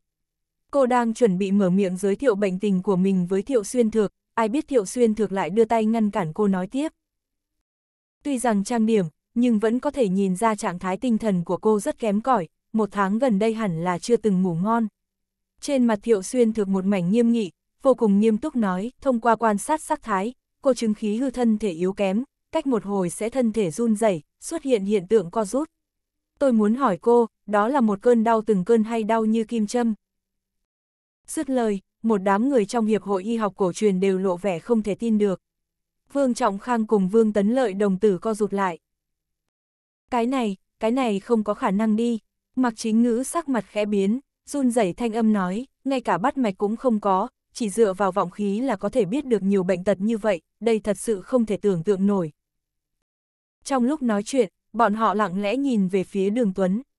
Loại y thuật thần kỳ này, trong thế hệ trẻ bọn họ cũng chỉ gặp qua đường Tuấn. Càng làm cho bọn họ sợ hãi chính là, Thiệu Xuyên thực trước đó tỉ thí với bọn họ căn bản chưa từng triển lộ loại thủ đoạn này. Đó chẳng phải là nói Thiệu Xuyên Thiều trước đó cũng không vận dụng thực lực chân chính. Y thuật của tên này sẽ không thật sự lợi hại hơn hội trưởng chứ. Trong lúc nhất thời, rất nhiều người trong công hội đông y không khỏi nghĩ như vậy. Đường Nhiêu nhẹ nhàng gật đầu, lộ vẻ tán thưởng. Thủ đoạn một tay vọng khí này của Thiệu Xuyên tuyên đích xác cao minh, hiển nhiên ở trong y đạo cảnh thứ hai cảnh giới ngâm tầm nghiên cứu thật lâu. Lư Quy Âm vuốt ve dâu gật đầu, đồ đệ này của hắn ở một số phương diện của Đông Y đã vượt qua hắn. Cô ấy ăn mặc không giàu sang, hiển nhiên điều kiện trong nhà không tốt lắm, không gánh nổi tiền thuốc men cao. Thiệu Xuyên thực cười nói, không, chỉ là bệnh nhỏ máu không thông, một mũi tiêm là được rồi, không cần tiền. chương 1897 Phó Cường không cần tiền là tốt. Đường Nhiêu nhìn một đám người trong Hiệp hội Y học cổ truyền, lại nhìn Thiệu Xuyên Thược, so sánh, trong lòng khó tránh khỏi có chút thất vọng. Y học cổ truyền Trung Quốc tiếp nhận đám bác sĩ đông y về y thuật xác thực không tệ, nhưng vẫn chưa đạt được tiêu chuẩn trong lòng hắn. Y đức cổ truyền tất nhiên là đúng, nhưng nó cần phải được điều chỉnh bởi thời gian. Nếu Thiệu Xuyên Thược đem những lời này nói cho phụ nữ, đối phương coi như tiếp nhận điều trị nhưng trong lòng khó tránh khỏi sẽ sợ hãi cùng áy náy bất an, gây áp lực tâm lý nghiêm trọng. Đó là một lời nói dối, nhưng nó là một lời nói dối thiện trí. Tiếp theo, Thiệu Xuyên thực lấy ra ngân châm. Hắn nói rằng chỉ cần một mũi tiêm thì thực sự chỉ cần một mũi tiêm. Một châm rơi xuống, nữ nhân trung niên chỉ cảm thấy thần thanh khí sảng, toàn thân đau đớn đều biến mất, thân thể càng là thoải mái trước nay chưa từng có. Sau khi xem xong, ngay cả vị thiếu gia xuất thân từ trung y thế gia vương tấn lợi cũng tự nhận mình không bằng. Thiệu Xuyên thực thể hiện kỹ thuật lấy khí ngự châm vượt qua anh ta rất nhiều. Thiệu Xuyên thực châm cứu xong, cũng lặng yên thở phào nhẹ nhõm. Châm vừa rồi tự nhiên không thoải mái như hắn nói, cơ hồ bước ra thủ đoạn cuối cùng của mình. Bất quá kết quả cuối cùng vẫn làm cho người ta hài lòng, về phần cảm giác suy yếu sau khi hắn châm cứu xong, cảm thấy rất tầm thường so với vẻ mặt tươi cười phụ nữ trung niên và tiếng cảm kích. Sau khi nói cách điều dưỡng thân thể cùng cách sắc thuốc cho phụ nữ trung niên, Thiệu Xuyên thực lúc này mới quay người lại. Kế tiếp đến lượt đường Tuấn. Anh không lập tức nhìn thấy đường Tuấn. Chỉ thấy bên ngoài đại sảnh, lúc này đường Tuấn đang ngồi xổm trước người một lão nhân. Ông già ngồi trên bậc thềm, một bên lấy tay nện chân một bên lại nhải nói một số điều. Hầu hết là một số chuyện gia đình, chẳng hạn như cháu trai lớn của mình đọc sách bên ngoài, con trai của ông làm gì bên ngoài, đã bao lâu rồi tôi không về nhà hay gì đó. Tết Nguyên đán vừa qua không lâu, con cháu lại ra khỏi cửa, cảnh tượng đoàn viên náo nhiệt của cả nhà lại không biết bao lâu nữa mới có thể tái hiện. Lời nói của ông toát lên sự cô đơn và buồn bã. Tuổi tác của hắn đã cao, bạn già mấy năm trước cũng đi rồi, hắn lại có thể ở lại nhân thế vài năm đây. Nếu hôm nay cậu không cho tôi một lời giải thích, tôi nhất định sẽ khiến cậu cuốn gói khỏi hải phòng này. Thành Đại Hải lạnh lùng nói. Khi Vương Hồng Huy bị Thành Đại Hải khiển trách tận mặt, sắc mặt anh ta đột nhiên trở nên ảm đạm, lạnh lùng nói, Đại Hải, anh cho rằng bây giờ vẫn còn giống như lúc trước sao? Nói cho anh biết, trong khoảng thời gian anh rời khỏi Hải Phòng tôi đã sớm nắm giữ công ty trong lòng bàn tay rồi, ngay cả biệt thự này cũng không thuộc về anh. Để tôi cút khỏi thành phố Hải Phòng, hừ, tôi nghĩ anh mới là người phải cút khỏi đây mới đúng. Thành Đại Hải liếc nhìn những vệ sĩ vây quanh hắn, trầm giọng nói, Phó Cường. Những binh lính tôm tép này cũng không dám để đường Tuấn ra tay. Phó Cường sớm đã chuẩn bị kỹ càng để động thủ, Thành Đại Hải vừa dứt lời, hắn liếc nhìn đường Tuấn, ánh mắt như muốn nói, để xem cái gì mới gọi là cao thủ. Phó Cường xứng đáng là một cao thủ đạt tới nội lực trung kỳ, chỉ với một động tác khẽ động thân liền trực tiếp đánh bật đám vệ sĩ vây quanh bọn họ. Sau đó, anh ta đột ngột nhảy lên giống như một con đại bàng đang sải rộng đôi cánh lao về phía Vương Hồng Huy đang đứng ở cửa. Nội lực của anh ta dù sao cũng không đủ mạnh cho nên trước tiên chỉ có thể hạ gục Vương Hồng Huy. Đối mặt với sự nắm chặt dữ dội này, vẻ mặt của Vương Hồng Huy vẫn không thay đổi, nhưng khóe miệng lại nở một nụ cười. Một bóng người hiện ra trước mặt Vương Hồng Huy như một bóng ma. Bang! chương 1898 tên này thật biết cách khua môi múa mép. Bóng người kia chợt đấm ra một quyền và giao thủ với Phó Cường.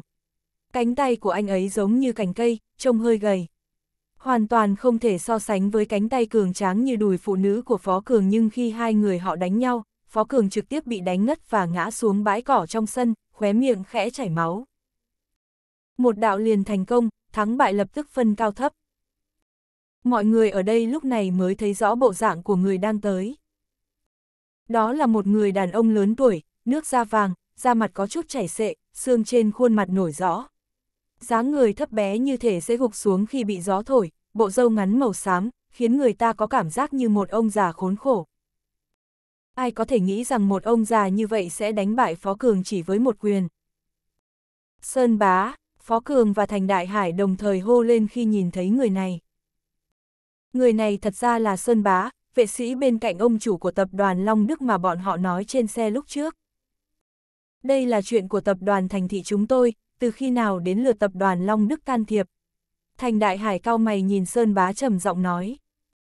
Sơn Bá lắc lắc tay và nói với vẻ chế giễu, có vẻ như ông chủ thành vẫn chưa hiểu chuyện. Hiện tại thành thị và Long Đức chúng tôi đã buộc chung một chỗ. Ông chủ của chúng tôi biết có một cao thủ bên cạnh cậu vì vậy đã đặc biệt yêu cầu tôi tới tiến các cậu một đoạn đường. Đôi mắt híp của ông ta đột nhiên nhìn về phía Thành La Vân và Trình Vân Thiên, thân thể mềm mại uyển chuyển bắn ra những ánh mắt sắc lạnh, mỉm cười liếm môi nói, không nghĩ tới ông chủ thành lần này lại mang thêm một cô nàng trở về xem ra chuyến đi này của lão già ta cũng không quá vô ích. Phú Cường thầm nghĩ trong lòng, Sơn Bá này tuy lớn tuổi nhưng lại rất mê gái đẹp. Lúc trước có thể bị tập đoàn Long Đức thu mua nguyên nhân chính cũng là vì thế. Trong khoảng thời gian ở thành phố Hải Phòng, hầu như thỉnh thoảng có trường hợp các cô gái trẻ xinh đẹp biến mất được đưa tin trên mặt báo nhưng không tìm thấy bằng chứng nào, cuối cùng họ không còn cách nào khác ngoài việc dừng điều tra. Trình Tiểu Thư không biết có phải là đối thủ của Sơn Bá hay không, nếu không sợ là sẽ gặp phải tai họa. Phú Cường thầm nói trong lòng. Thành La Vân cay đắng liếc nhìn Sơn Bá, tiến lại gần đường Tuấn. Mặc dù đang luyện Tây Côn Đô nhưng dù sao cô ấy cũng là con gái, lúc này không khỏi có chút sợ hãi, cô ấy tiếp cận đường Tuấn trong vô thức, như thể cô ấy có thể yên tâm hơn khi ở cạnh anh. Ai biết Sơn Bá nhìn thấy cảnh này ngược lại khẽ cười một tiếng, khinh thường nhìn đường Tuấn rồi nói, dựa vào tiểu tử này cũng vô dụng, nếu không cô có thể hầu hạ lão tử mấy đêm, nói không chừng ta sẽ tha cho một mạng, thấy thế nào?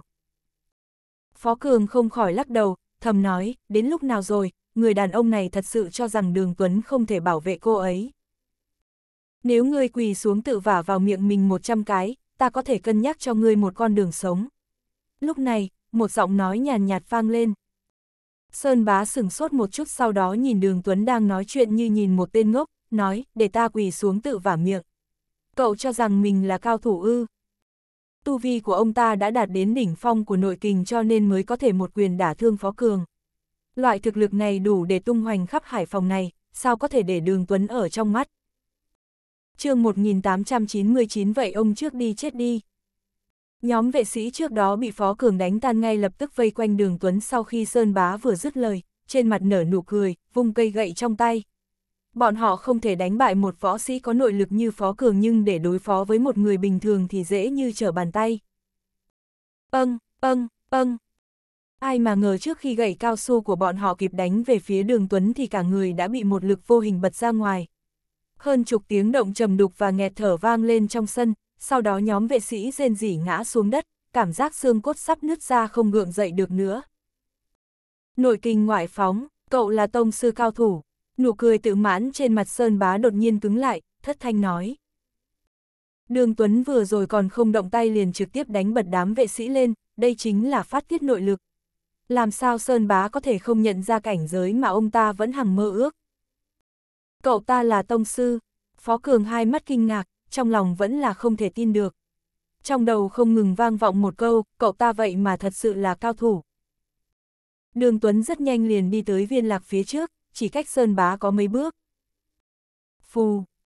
Sơn Bá lập tức quỳ xuống, cúi đầu run rẩy nói, lão già ta không biết tông sư ở trước mặt, xin thứ lỗi. Ngay khi đường Tuấn chuẩn bị nói, Sơn Bá đột nhiên lao ra như một con báo, trên tay cầm một con dao găm đâm đường Tuấn một cái, vẻ mặt cười tâu tuét và tự mãn. Vừa rồi ông ta quỳ xuống để đường Tuấn mất cảnh giác, sau đó tìm cơ hội lấy ra con dao găm đặc biệt được tẩm thuốc độc này. Chỉ cần bị chảy ra, người bị đâm nhất định phải chết. Tự tìm chết, đường Tuấn thấp giọng kêu lên. Anh không né tránh, trực tiếp nắm lấy con dao găm bằng lòng bàn tay. Thành công rồi, Sơn bá vui mừng khôn xiết. Sau đó, ông ta nhìn thấy một cảnh tượng khiến bản thân vô cùng chấn động. Thay vì bị thương, lòng bàn tay của đường Tuấn không những hoàn toàn bình thường không có chút dấu hiệu gì máu, ngược lại lợi dụng tình huống này, một cỗ lực cực lớn đột nhiên ập đến sau đó toàn bộ cánh tay cầm dao găm của ông ta đột ngột bị xé nát. Sơn bá thấy rõ máu của mình tràn vào bầu trời đêm, giống như một làn sương mù đỏ sẫm. a à, cậu dám đánh gãy tay của tôi, tôi giết cậu. Cơn đau do gãy tay ập đến dữ dội khiến Sơn bá không còn tự tin và kiêu hãnh như trước đây nữa. Ông ta toàn thân run rẩy với một ánh mắt cay độc. Vậy ông trước đi chết đi. Đường Tuấn bình tĩnh nói, sau đó vỗ đầu Sơn Bá, Sơn Bá lập tức chảy máu, ánh sáng trong mắt dần dần mờ đi. Ông ta không thể tin rằng mình sẽ chết ở đây. Lạch cạch. Mấy tên vệ sĩ cầm gậy nhìn thấy cảnh này, gậy trên tay trực tiếp rơi xuống đất liền quỳ xuống van xin thương xót. Nhất thời, toàn trường tĩnh mịch. Sao Vương Hồng Huy nhìn đường Tuấn đã giết chết Sơn Bá, ánh mắt lộ rõ vẻ kinh hãi, hai chân yếu ớt trực tiếp quỳ trên mặt đất, cầu xin lòng thương xót, đừng giết tôi. Tôi sẽ cho anh bất cứ thứ gì anh muốn. chương 1900 dược liệu trăm năm. Vương Hồng Huy cũng rất nổi tiếng ở thành phố Hải Phòng, đôi khi gặp đối thủ khó dây dưa trong lĩnh vực kinh doanh, anh ta sẽ sử dụng một số phương pháp bất thường. Nhưng cũng chính anh là người góp tiền, còn những người khác thì góp sức. Trong mắt Phương Hồng Huy, Sơn Bá giống như một cao nhân nhưng bây giờ ở trước mặt anh ta, đường Tuấn đầu tiên xé rách cánh tay của ông ta, sau đó chỉ với một quyền liền giết chết Sơn Bá. Máu loang ra ngay tại chỗ, cực kỳ tàn khốc, chuyện này đã vượt qua giới hạn mà anh ta có thể chịu đựng, làm sao dám chống cự. Đường Tuấn quay đầu lại ra lệnh cho Thành Đại Hải, tìm người xử lý. Thành Đại Hải gật đầu đáp lại, nhưng anh ta cũng không quá ngạc nhiên. Xét cho cùng, đường Tuấn giống như tiên nhân có thể bay lên trời, giết chết một sơn bá chỉ là chuyện tầm thường. Phó Cường do dự bước tới, khom lung đối với đường Tuấn nói, trước kia tôi không biết đường ra là một tông sư cao thủ, trong lời nói có điều gì đắc tội xin cậu bỏ qua cho tôi. Đường Tuấn xua tay, một chút tâm tư so đo mấy chuyện vặt như vậy anh cũng không có. Phó Cường chỉ là một võ giả nội kình trung kỳ, sao có thể để loại tiểu nhân này trong mắt. Sau khi thành đại hải sắp xếp một số việc xong xuôi, rất nhiều vệ sĩ đã giải tán. Đường Tuấn nói với Vương Hồng Huy, theo tôi vào. Vương Hồng Huy ngay lập tức được ân xá, thân thể anh ta gần như cong đến 90 độ để đi theo đường Tuấn. Trình Vân Thiên, cha con Thành Đại Hải và Phó Cường vội vàng theo sau. Phòng khách bên trong biệt thự rất lớn, trên bàn có mở một chai Lafite 1982, hiển nhiên vừa rồi Vương Hồng Huy và Sơn Bá vừa uống rượu vừa tán gẫu. Đường Tuấn ngồi xuống sofa, nhìn về phía Thành Đại Hải hỏi, bây giờ cũng nên nói chuyện. Nếu Long Đức chỉ vì hợp tác với công ty của anh hoàn toàn không cần dùng nhiều thủ đoạn như vậy. Anh nhất định phải có chuyện gì đó khiến họ lo lắng. Thành Đại Hải nghe vậy liền cau mày, anh ta cũng có chút không rõ. Xét về bối cảnh gia đình và quy mô công ty, Long Đức lớn hơn thành thị rất nhiều, thực sự không cần thiết phải sử dụng thủ đoạn này. Vương Hồng Huy ở một bên nhanh chóng nói, anh Đường, tôi biết toàn bộ câu chuyện. Đường Tuấn liếc nhìn anh ta và ra hiệu cho anh ta tiếp tục. Vương Hồng Huy vội vàng nói, tất cả mọi thứ đều là bởi một loại dược liệu trăm năm mà ông chủ thành tìm được trên thị trường trước đây. Thành Đại Hải dường như nhớ ra điều gì đó, kinh ngạc nói, anh đang nói về đoạn cây khô kia. Vương Hồng Huy vội vàng gật đầu nói, đó không phải là cành cây khô.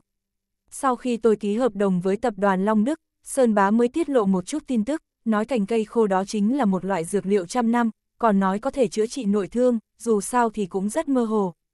Chính vì vụ cành cây khô này mà Long Đức đã xuất thủ với công ty chúng ta. Dược liệu trăm năm, đường Tuấn khẽ nhíu mày. Chỉ là một loại thuốc đã có từ nhiều năm, sao có thể xứng đáng để một võ giả chân khí cảnh xuất thủ. Đường Nhiêu trong lòng vẫn rất thắc mắc, bên kia có tông sư cao thủ, muốn lấy đan dược chỗ thành đại hải mà thần không biết quỷ không hay là chuyện quá đơn giản, vì sao còn muốn làm cho phức tạp như vậy. Sau nhiều cân nhắc, chỉ có một khả năng. Trừ khi vị tông sư cao thủ của đối phương không muốn lộ mặt trước người khác hoặc không tiện ra tay, đó là lý do tại sao bọn họ lại dở thủ đoạn này. Đan dược đó ở đâu? Đường Tuấn hỏi.